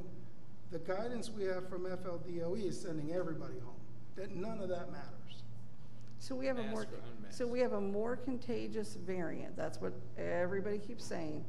But this time, we're saying, now, it, it, does it say if they're wearing it correctly? Does it say depending on what kind they're wearing? We're not saying any of that. You know, this is, again, these are the folks who have provided the guidance to schools. See- We have two sets of rules. We can either continue to send kids home, which is what we have with FLDOE, or we can do nothing and continue to send kids home. That's where we're at. They're So if the idea is we really want to educate children here, Yes, it is, right? yes, absolutely. And you know I believe in choice. No, you do. But if we're to the point that what we're really saying is we want to educate children, and the only way to safely educate children is to make sure they don't come into contact with someone that tests positive with COVID, right? right? Because really, either way, we could run into they still have to go home, right? Not if we follow that guidance. O- Okay, but, uh, all right, here's the thing then. I'm, I'm gonna make a suggestion. Send them all home. Send them all home. I don't believe in it. I believe in learning face to face. But if you really want to stop this virus and you want to stand by every child getting their education, send every child home to learn. If you think that's what it's going to take to stop it, slow it down. I don't think this is gonna make the difference. Now, we supposedly have already peaked and we're going down, but nobody wants to talk about that, all right? Send them all home. Send them all home, have the teachers report to their classrooms, provide live instruction following their schedule for the day, and let's teach these kids. Because then we don't have to quarantine anybody. We don't have to worry if they're vaccinated, unvaccinated. We don't have to worry about if they've got a mask on, not got a mask on, wearing it correctly, three feet, six feet, 15 minutes, five minute intervals. I mean, seriously. I mean, I have sat here and listened to all of this, and where's the common sense? I mean, I want children. I'm the one that stood here last year saying, we're opening schools. We're allowing children to come back into classrooms to learn. We played this game all last year. We did every mitigating strategy and still sent how many children home that never got sick. Now, we told everybody what the plan was for this year. Now you want to pull the plan out. Yes. Whether you want to pull it out for 15 days, 45 days, 60 days. When did we get to decide that we know more and we can we can determine what we're medically going to do for kids and only a medical opt out? We told them the plan and we were sending them home every single day. Then let's send them all home to learn. And that's not within our reach Why not? statutorily. So, I mean, again, we could play anecdotal, but the reality is that's not within our You're reach. the one that brought up the, I am- the, I'm- I am the pro- district that sent their kids home right now. Well, they had to. Well, So, are again, we- I can't Are we speak- at that I can't- point that we have to send them home? That was your suggestion. So again, with all due respect, that's my can't- motion. Um, I think, I think that this will help. I am, again, I didn't agree with the sixty days. I'm agreeing with a shorter time period in hopes that we can make a difference. And That's my motion. Okay. The motion has been made, it's been seconded. Um, We've heard from Ms. Haynes. Um, Ms. Burnett? I'm really struggling with the, the medical only um, opt out, being that there's only a few days. And there's, there are just some kids that don't have um, access to physicians. There's some, and sending them to the ED or to the urgent care is, is not really what you want to do in this environment. Um, I would, I would suggest a um, parent opt out.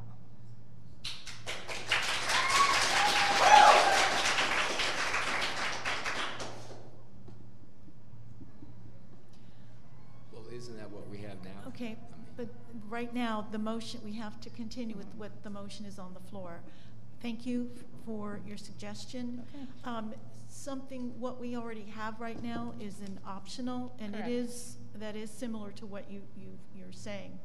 Um, What Mr. Colón has mentioned is that um, there would be a mandatory face covering for a period of about 40, 45 days till the end of the quarter to see if the numbers go down. What he's suggesting and what Mr. Persis has seconded is adding another layer of protection to what we're already doing. Um, everyone has, and I believe everyone has agreed, from, we've heard from both sides tonight, have said a multi-layered approach is really the, the best. And what's different from last year to this year is the Delta variant, which is much more transmissible and it does not, does not distinguish between the elderly nor the young people. So um, they are suggesting just to see it. It's not for the whole year. It's just to check to see if the numbers go down. If the and it takes a little while for it to take effect. If the numbers go down, we will go back and re- reverse this. That's what they're saying. We'll just just want to see, because it's just another layer of protection for our students, and that's what that is. Okay.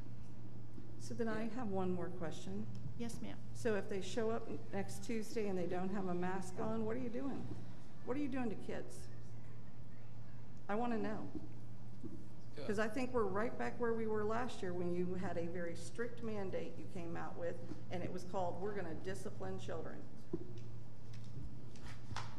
That's a good question, and I was going to ask that to Dr. Fritz too. Uh, I don't know what, what is the plan if the children that decide to come to school without a mask?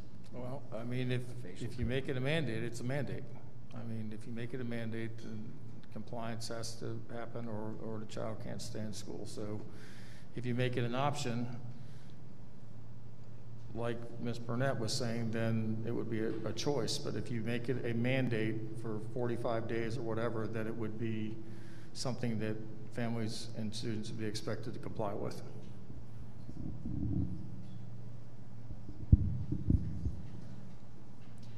Well, I mean, I, you're going to have to give direction to principals how to deal with that. I mean, Yeah, I mean, we would, we would call them, we would, they would, parent would have to come pick up their child, or they'd have to have an opportunity to choose another option, you know, um, but, Wait, no, please, please, this is, please, let us discuss this so we can figure it out. Please, excuse us, please. Go ahead, sir. So I could do it the board's pleasure. If you want me to open up another online opportunity for families, I can, I can try to do that. I can, I can work with HR to see where we, we get some teachers, and we we would open that up for a brief period. It it couldn't be indefinitely. Um, That we could do that if that was the choice parents chose to make. But if you make something mandatory, understand that that's, that means it has to happen.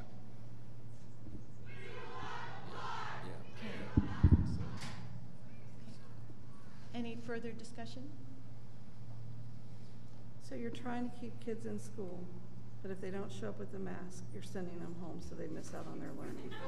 what we're, what we're trying to do is to stop the spread of the virus as quickly as possible so that not only will we have fewer children infected, but we will have fewer children needing to quarantine. It's not perfect. It wasn't perfect last year. I don't intend this is not going to be perfect. There will be children who don't wear their mask right and have dirty masks and do all those things that they did last year. But last year we didn't have near the numbers, not even close to the numbers that we have this year. And so we put all, all these things in place last last year and we kept it, I guess some would say somewhat manageable. But it's not manageable right right now. And we're only two and a half weeks in into the school year. So we just can't pretend like, well, let's just let's just hope that it just drops. But what if it doesn't? What if it goes the other way?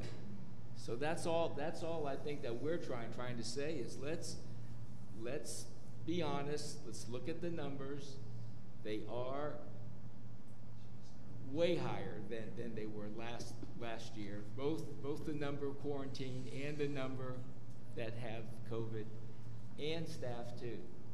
So we have to do something. We have to do something. And uh, wearing a mask, you know, to me is a minor sacrifice for anyone to have to have to make. I mean, it, it, it really is. And we're not saying this is going to be the way it's going to be for the whole the whole year. I mean, as soon as uh, as soon as we see this thing, you know, start to drop and quarantine less and fewer kids get get infected, um, then we can uh, make it optional again.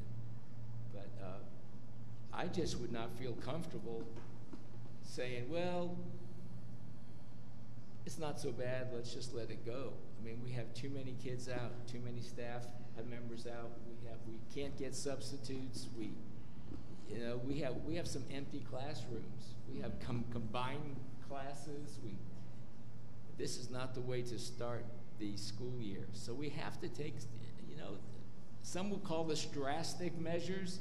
Some call it just putting the mask back on.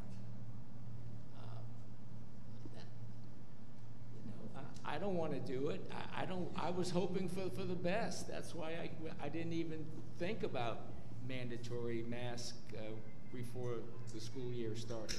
I thought things were going to be fine, but it, it just kept getting worse and worse and worse, and I'm just to the point now where it just can't just let it ride anymore. We, we we've got to do something different, and this is, I think, a logical step to take. Mr. Colón? So I'll amend my motion. I'm sorry, sir. I'll amend my motion. You Amend made your a good motion. point about access to health care, which will give an additional three days, so I mean, that's really operational. So they'll have all of next week to provide that letter. Because I think there was, I know that one of the counties did like a five-day grace period or whatever. So effective Tuesday the seventh with an additional three-day grace period. In other words, the seventh, the eighth, the ninth, and the tenth. That's a grace period. And then, obviously, that Monday, the thirteenth, if they have not been able to get to their doctor, that gives them eight days to get to the doctor and get that medical exemption. So really, it's just adding a three-day grace period, the eighth, the ninth, and the tenth.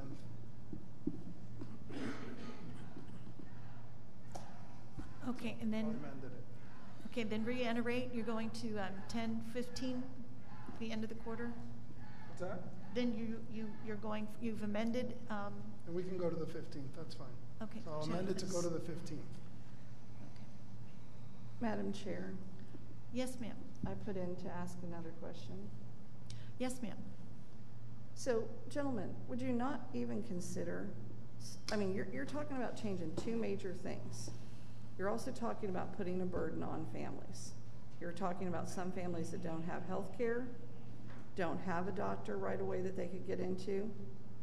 So, would you not be willing to consider that the first step we take, I mean, think about it. Dr. Shanoff came up and shared the air piece we've met, which, you know, I don't think that was even a piece last year, all right? We've got all of the PPE there that they should be using. He told me they're going through a lot of wipes that the middle and high schools are ordering to wipe down the area. What if we, what if we start and change the guidelines that we're following for quarantining? And if we put out what the guidelines are, that we're going to move, and instead of following this set that's sending hundreds of kids home, we follow the CDC guidance, very clearly put it out to parents, still leaving mask a choice, we may find that some of them may choose it if they now know their child's not going to be quarantined. I still go by this don't send your child to school sick, That didn't work. keep them home. Well, uh, my understanding, Madam Chair, was, in relation to that, was we are gonna start using the new quarantine procedures immediately. I mean, why haven't we I used mean, them from day one? Well, Because we wanted to do what the governor asked us to do. I mean, think about it. That came from the Florida Department of Education. Well, the governor did. asked us to give And the parents a Department- choice about face and the masks. Department of Health. It, it came from the Department of Education This as came well. from the Department of Education. Okay, but And we were asked so- to give parents a choice, and we have parental rights bill. If that's the case, then you know what? We would just keep sending kids home. That's what you're saying. Well, you said send them all home, but I'm just saying. I mean, we're picking and choosing what we're gonna follow here. Depends. Excuse us, please. Let us continue So, our a- discussion. Again, I, I just, you know, Jamie, if you're okay with them continuing to send folks home, because the I've difference never- between the CDC guidance and that right there is the mask. The, what makes the difference in that number of who's going home and who's not is the mask. There's also a difference between the feet. We're talking six feet on this one, three feet on the other one. Yep. Right? Oh, I mean, and as I said, the minute they sit down for lunch, they exceed the fifteen minutes and they have no mask on. right. That's how it's always been. No, well, no, because last year, when they sat down for lunch, they were all facing one direction behind plexiglass. Not, not every school. Well, Not a lot every of them. school. Not every place, And- trust me. And I agree with you on a lot of the things you said as far as the mitigation efforts. I tell you, we, we didn't start the school year telling teachers, please socially distance the kids. We didn't. We were all hoping that this year would be That's no right. different. And, you know, yeah, a lot of the things slacked off. I mean, I don't know that every classroom is wiping desks anymore. We, we're probably not doing that as much as we were before. I don't even know that we're, you know, And, and the other thing I asked Dr. Shanoff, I said, do we have enough masks to put in place that right after lunch, every student who has a mask that's not a home mask can get a new mask? And he said, Ruben, we have masks galore. And I, and I understand that, you know, part of the concerns is that the kids wear them all day, and that's fair. I mean, that's nasty. Okay? And mind you, when I'm at work, I wear one all day long. Okay? And so, you know, I wear a mask all day long. Change it out two and three times. So we have enough masks. So, you know, I'm going into, you know, uh, yes, we have to bring back a lot of the things we were doing, but uh, to curve this quickly, I mean, we've got 1,300 kids quarantined. How many of those kids are going to come back positive? A handful. And so they're going out for at least five days. And if they go to CVS or Walgreens, the test to get the test back is going to take three days. And they can't take it until day. So I'm being conservative with the five days. So, I mean, they're not in school. And we don't have live anymore. We don't have, so, I mean, just the burden on the families, these kids. I mean, when folks come to the ER and say, please give me a letter so I don't lose my job because I've got to take care of my kids. That's it. I mean, this is impacting the whole community, and I'm not even going into what I've seen because I'm not even sharing any of that. Okay? Because there's only one person in this room that has done CPR on three people under the age of 40 this week. One. That's me. One two of which had five kids apiece. And I'm not even going there. I'm simply talking about all of these kids going home, and without us making our own guidance, this is what exists that we can follow. And that's what I'm talking about because families cannot continue, families in my community, maybe in other communities they can, in my community, families cannot continue to miss work because every other week their kids are, I mean, we heard kids come up here and say, I'm already quarantined. That's a bummer. If you're taking Algebra 1, if you're taking those classes, if you're in Cambridge. So that's just, that's just my feeling. Thank you. Okay, call Uh, for the vote. Yeah, I, I wanted to make sure I understood the date of the, uh, of the Um, exemption. He changed the Yeah, so it would give them until Friday of the following Friday, week. the tenth. Right, and then after that, it's a dead stop, or dead enforcement starting the 13th, and we'll take it to the 15th. I amend my motion if you want a second.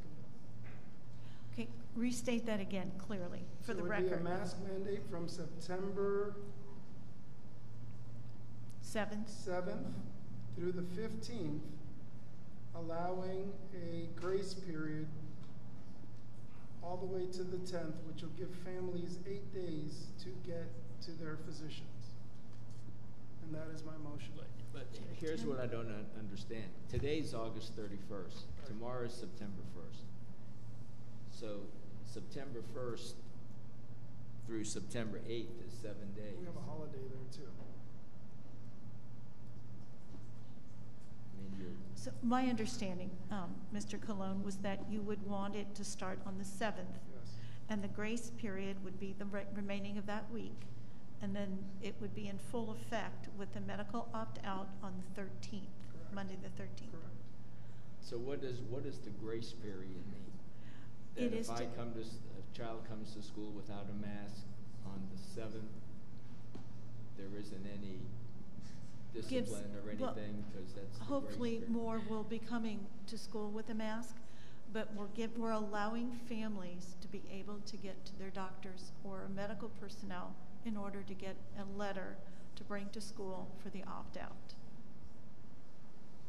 It, it just seems to me that what you're saying is that it's not gonna take effect till the thirteenth. He's trying to, he's trying to, I guess, uh, pr- uh, allow p- families to be able to have that opportunity to find, because she's trying to address what Ms. Haynes had said about they're not going to be able to get there in a couple of days.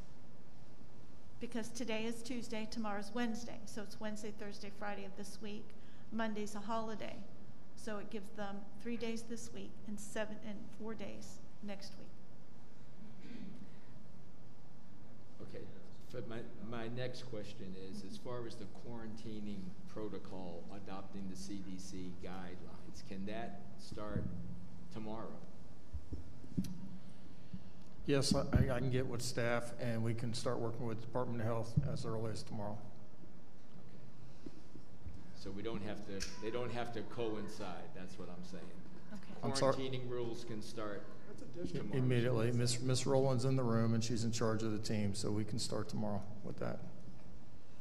Okay, and with the CDC, what's different between the CDC guidelines and the Department of Health that was told to us by the Department of Education is the mask. And it's the And quarantine, feet, and it's and to allow more and more students um, to stay in school and not be quarantined.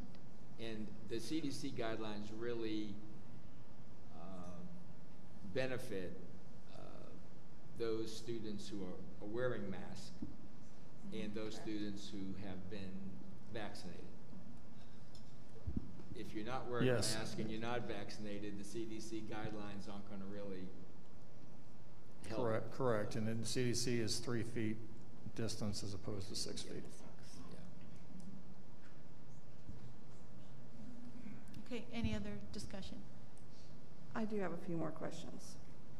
So, you're talking about really this starting on Monday, September 13th, running through Friday, October 15th. You're talking about immediately changing to CDC guidelines.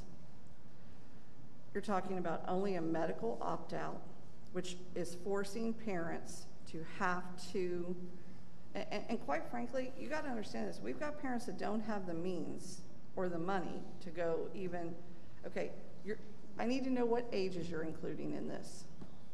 Would be all students? So pre-K, three-year-olds, because we have pre-K ESE three-year-olds through ESE 21-year-olds. What did we do last year? All students, it's all students. No, we did not include any pre-K last year, and we gave kindergarten even the option. Did we? They, they were wearing them, and uh, the uh, four-year-olds were, were wearing masks in pre-K. So we're going to go pre-K through three-year-olds through ESE 21-year-olds. So is this including buses? Yes. Suggestions, I would Dr. think so. Fritz, on this one? I don't, I. I don't know what the cases were last year with pre-K. If, if that wasn't an, an issue, then I'm fine with not having pre. Kindergarten up. Kindergarten up. Okay, is there It's any? K-12, so the recommendations are K-12. But we, there was something we did with kindergarten, I remember. Well, I don't think kindergartners, pardon me for interrupting, um, I don't think kindergartners were required to wear the mask, from what I remember, because COVID is different from the Delta variant. The Delta variant is not discriminating age, and that's the problem we're having. It's, Okay. there's no discrimination. All right, well. It's I- attacking children. See, we need to figure all this out. Like, if you're gonna go this route, because it appears you are, you, you need to have very clear guidance on what you're doing. So you're talking pre-K three-year-olds through E ESE twenty-one-year-olds. So, I- so. Because that's our age span on So I think, I campus. mean, so we can talk, that, those are the things we have to figure out once we decide if this is where the board is going. Because the reality is, again, and I value what you just said, because I didn't even think about pre-K. And so, because I'm not an educator, so these are things we can work out if this is the decision that we want to. So last year, we also had the guidance in there that stated if a student could not put on a mask or remove it, they were not required to wear one. I agree with that. And La- if their I, if their I, IEP said they should wear a mask. Well, nobody's got that written in their IEP for this year because we took mask away as a choice. So when they held all their meetings to do their updated IEPs or reviews, that's not in their IEPs. Not so sure. It could be. It could, it still could, could be. It depends on when their annual re- Right. review is coming up, so.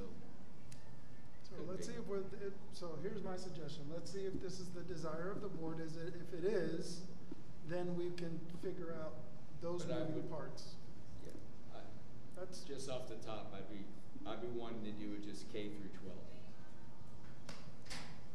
not pre-K. All right, you're talking about K through 12? K through 12. All right, restate clearly your motion then, Mr. uh, Colón. So my motion is a mask mandate. Get my calendar. Face covering? Face covering mandate, beginning on No, September with- seventh. With medical opt-out? Hold on. September seventh, with a three-day grace period extending to the tenth. Uh, allowing for medical opt-out ending on October fifteenth. And that'll give us time on the twelfth to talk about it and decide whether or not we need to continue or we need to, uh, or we're safe to stop it. And that is my motion. Okay, Okay, thank you, thank you. I, I apologize for always asking, just making sure we're all aware, the public is aware of what's, what uh, we're suggesting and making the motion for. Yeah, and I'll, I'll second that, and uh, is the understanding that's going to be K through 12. K through 12, and K following the 12. CDC guidelines. And following CT CDC guidelines effective immediately. Go ahead and put the discipline piece in it too. I'm sorry, Ms. Haynes, what? I said, please go ahead and put the discipline piece in it that you're requesting too. I think it's gonna come down to, didn't, what, what did we do last year? Last year it was mandatory and parents had the option of doing the live or the online program. And that's why I said if the board tells me to go ahead and open up another period for parents to enroll during that same period of time, um, up to the 13th, I could do that. We did not discipline last year. We handed a child a mask because everybody knew it was mandatory. I agree, but, yeah, I agree, but if they have a medical exemption, then they would not be offered a mask. No, but we've got parents right now that sent their kids back to us because we made it optional. And I don't think they're going to be happy when you try to hand their kid a mask to wear. So that's why I'm saying, I, I need to understand what you're gonna do to children. Because you're gonna take their learning away from them. You're- You're saying you, however, it's us. 'Cause we're a board. You've made the motion. We're the board. Well, we are a board. And when we walk out of here, it's the board's decision if that's the case. And at that So time, I'll you. own whatever the decision is, but, right, So- here's my thing, right now, I, I can't support, if, if the whole idea is have children here so they can learn, I can't support sending kids home. Well, And so that, this is, again, let's talk about it. That's why we're here. We're here to talk about it. And so again, if it is the desire of the board, and we'll find out in a minute, we can talk about these things. Because, you know, you have an insight that I don't have. You have a lot of insights that I don't have, and I value those. And so if it is our decision, then we can talk about those things. Okay, Ms. Burnett? Yes, ma'am, thank you. So you had mentioned we could, there's some moving parts we could discuss later. Um, what about the, the, um, people who are over twelve that are vaccinated? Are they still gonna have to wear a mask? Yeah, they would. Okay, and then what, and so the. the- Because, because you can still spread it. I mean, you can be asymptomatic and you can spread it. And so the other one is, is, um, and because I wasn't So- here so, last year. So it says, if, if, if, yeah, if, the s- if yes, what happens next depends on a few additional factors. If the student exposed is vaccinated, if the student is fully vaccinated, they should be referred for testing, but do not need to quarantine. So there is provision in there for that as well. And then um, children that um, do have ESE needs and they can't wear one, they can't tolerate it, is that going to require a medical opt-out or is that part of, and I think you were talking about that a second ago, but forgive me because I wasn't here last year when all this occurred. Um, so the ESE kids who can't wear them, do they have to go get the medical opt-out or is that just part of their plan? I don't know the answer to that question. I, I think you need to be clear on what that's gonna be. You you said one thing earlier, if a child cannot put it on their face or take it off, um, then it would not be required. But I think we, we're gonna need clear direction, because staff's gonna have to know how to follow through with that if it's an exceptional student education student. So what you had said earlier, if, is if a student could not put on or take off by themselves, then it would not be required. Correct. And that's true, and, reminds me of a CPAP mask at work. If a patient's not awake enough to be able to take it off should they throw up inside of it, then it's not a safe mechanism and we intubate. So I, I agree with that. You know, and I, and I think we know who those kids are. We know who they are.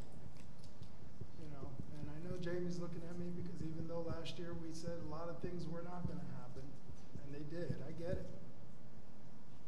But, I mean, again, to do nothing is not an option. Kids are not learning.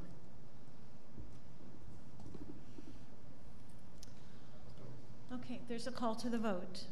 All those in favor, please say aye. Aye. All those opposed, please say nay. Nay. The, the motion has passed three to two.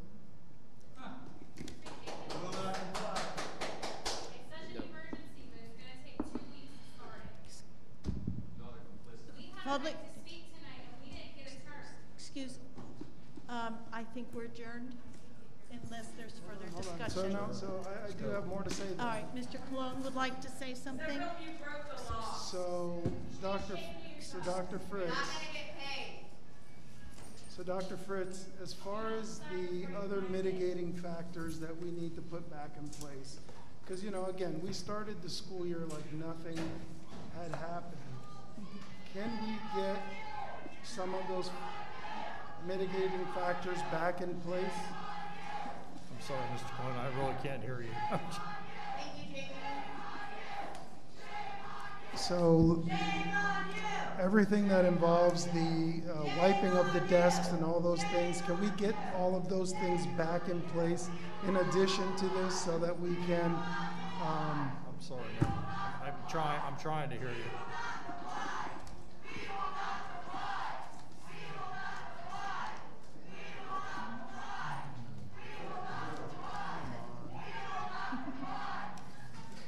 I'm, I'm sorry, Mr. Colón, I couldn't hear you. so, we, we spoke about the layers of mitigation. Is there a way that we can start to, like, example, you know, social distancing in the classroom? We really didn't start the year thinking we would be there, even though, you know, start to look at those things that we did last year that worked. You know, making sure that the teachers have the, the stuff they need to wipe the desks, you know, the kids to wipe the desks. We're not doing that stuff this year. And we have a more contagious virus, yet we stopped those mitigation efforts.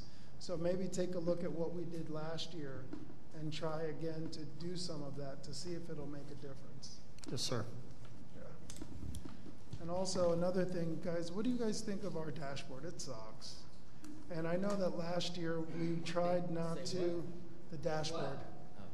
The dashboard. I know with last year because the numbers were so small, we were concerned with, um, we were concerned with folks being identified. But now with the numbers being so high, I think it's important that the public see how many kids are being quarantined because they have no idea that there's 1,300 kids who are going to be out of school for the next week. They have no clue. So, Mr. Colón is speaking. He has the floor. Thank you. Mr. Colón, please continue. so Just- I think that it's important that, you know, because you have, people have no idea how many, how this is impacting the school district. You look at Seminole County, they're up to 7,000 total for the year quarantined. So again, That's disgusting. You guys are kicking me out. Disgusting. This, you should all be ashamed. This is disgusting, guys. Good night, sir. Good night to you. Um, No. Go ahead, Terrible go ahead, Mr. country. Colón. Please continue. Are you finished, sir? So, no, that was it. So I think we really need to relook at our dashboard and, and also, um, I think it could use some defining because I think there's a lot of confusing, confusion out there. A lot of folks are saying, you know, there are cases at my school, I don't see it on here. So also provide some clarity there. I think right now, a lot of that's being done manually and where it could be a Power BI dashboard. Those are my thoughts. Thank you. All right, anything else for the good of the order? Yes, Ms. Haynes? So the bottom line is, though, you still haven't laid out all the parameters of what you're doing. What you've said is you're mandating a mask starting on Tuesday, September 7th, with a three-day grace period to get a medical opt-out running through Friday, October 15th. You did exclude pre-K. That is the only group, but you're doing this K through 12, and you did exclude children that cannot put it on or remove it themselves. You still did not address buses. You still did not address outdoor recess. You did not address PE. You did not address any of the events. You didn't address football games, wrestling, basketball games. You didn't address the prom. You didn't address any of that. Let's talk about it. So, no, I I mean, didn't- I didn't adjourn the, I wasn't the one that tried to adjourn the meeting because I thought there was more discussion to be had. I mean, you didn't address, you didn't address, can it be face shields versus face mask? I mean, you didn't address any of that. I mean, you guys, you just, you just made a rule and said this is the way it's gonna be, and said, oh, by the way, switch the guidance, and oh, maybe now we should go into looking at the mitigating factors that we haven't been doing. So let's talk about it. So let's go down the list. I'm okay with that.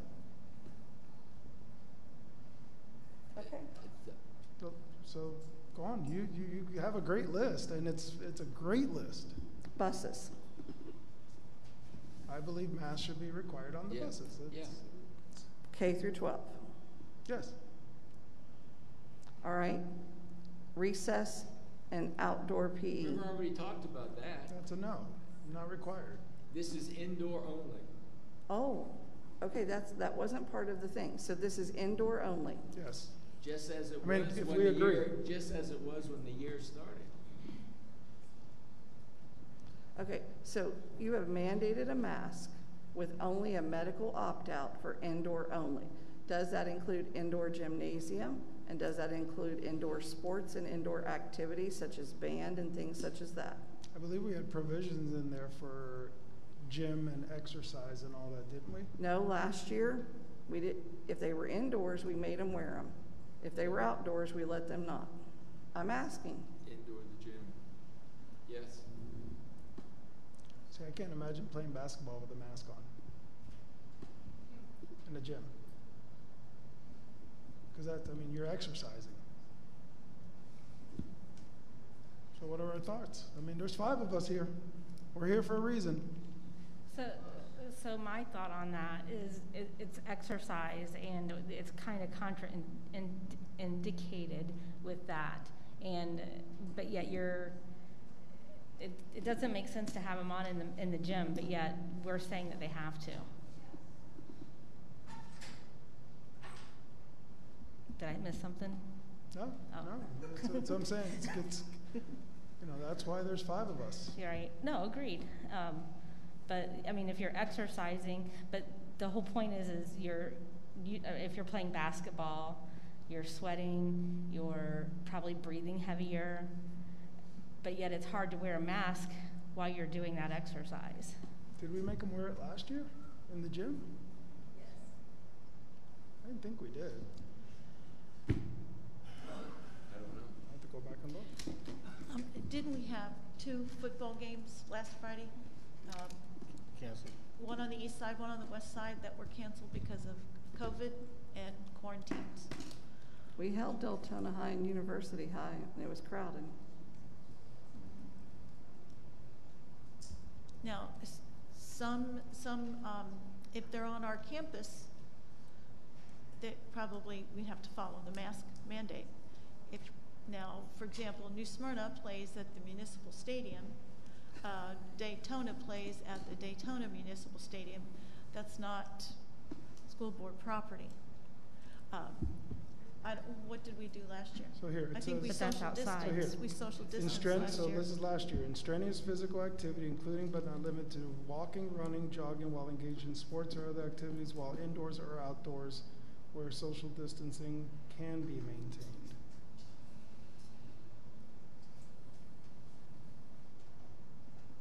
That's what we did last year. I'm sorry, can you repeat that, please? It says in strenuous, so general exceptions. In strenuous physic, physical activity, including but not limited to walking, running, jogging while engaged in sports or other physical activities while indoors or outdoors where social distancing can be maintained. So there was an exception for For wearing the mask. physical activity. We also added the social distancing. and then in the cafeterias, everyone was facing um, the same way. Again, these are all the, I mean, those mitigating things are district things, things that we could, you know, Dr. Fritz could say, this is how we're gonna do this in an attempt to, so, you know, I don't, I don't know that, I mean, we can go down the list, so, I mean, again. Well, uh, listen, we, without knowing where the board went, I, I do need to bring one up because I already talked to my principals and we made a decision that we would allow homecoming. Um, if, if, if it's a, it's a voluntary event, it's not mandatory. Um, it's one that parent, or they can choose. They will have it on their campus. It'll be after hours. And you can always say they can have it, with- they must have to wear a mask because they're going to be inside. But we did say that that event would be permitted, and I'd hate to take that away from the schools at this That's point because they've already started their planning. Yeah, don't take that away. Yeah, that's your Right. call. So I, I'd like to allow that to be permitted and to work with the principals um, to That make was- sure that that can still happen. That was your call last year, think that's a district function, that's. I think so, I too. agree, yeah. What else, Jamie, what else did we We miss? cut field trips out last year. We've already approved field trips for this year. I wouldn't take those away, so, I mean, again. Let's, let's take these away then. I mean, oh, let's not put them back or We whatever. don't have them Well, what, what we've said already, and just so you know what we said, if a teacher feels like they need that in the classroom or a student feels comfortable, then we've allowed them And to then, put that up. then, but with that. But it's not comes- mandatory. But then with that comes the cleaning of, of it, you know? It's just another thing to clean. It's And not a we- whole lot of them And we were just told that the air is circulating more than enough, so this is blocking it. That's what it does. Traps it right in between. Well, we could follow the It's a- recommendation. it's Ms. a false Boswell and those sense of, folks uh, on that one. And I would suggest uh, we continue to allow open house with some guidelines and restrictions that are coming up. Masks. We have the policy now for adults as well, We so do. that's not changing. And again, that's an optional event. Yeah. What else, Jamie? Did we get everything? Dr. Fritz, what do you say? I. I, didn't hear the question. I mean, are there any other things that you? I mean, open house was the big one, homecoming are, are the events that are popping up. I think the CDC guidelines says outdoor activities, you do not need to wear a mask. I- I'm, I'm pretty confident. Rose, is that, yes, okay, so I think you're safe with football games and outdoor events and things like that. Um, spectators inside for like volleyball and things like that where you're close together, the CDC would say that people should have masks on, but clearly not athletes when you're doing strenuous activity. Um, I have a principals meeting tomorrow at ten thirty where I can kind of review this with them so that they understand how to govern the campus and Have the we, timeline. have we had to cancel a foot, football game yet? We've had two that have been canceled, uh, last, last Friday due to, uh, cases, positive cases. Well, you know, this is only in effect for, think it's twenty-five days now, or so, so, something like that, so, uh, Dr. Fritz, were they canceled because of exposure or because of positive?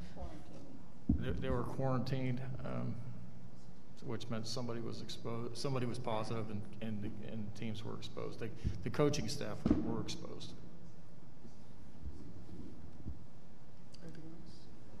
Okay, any further discussion?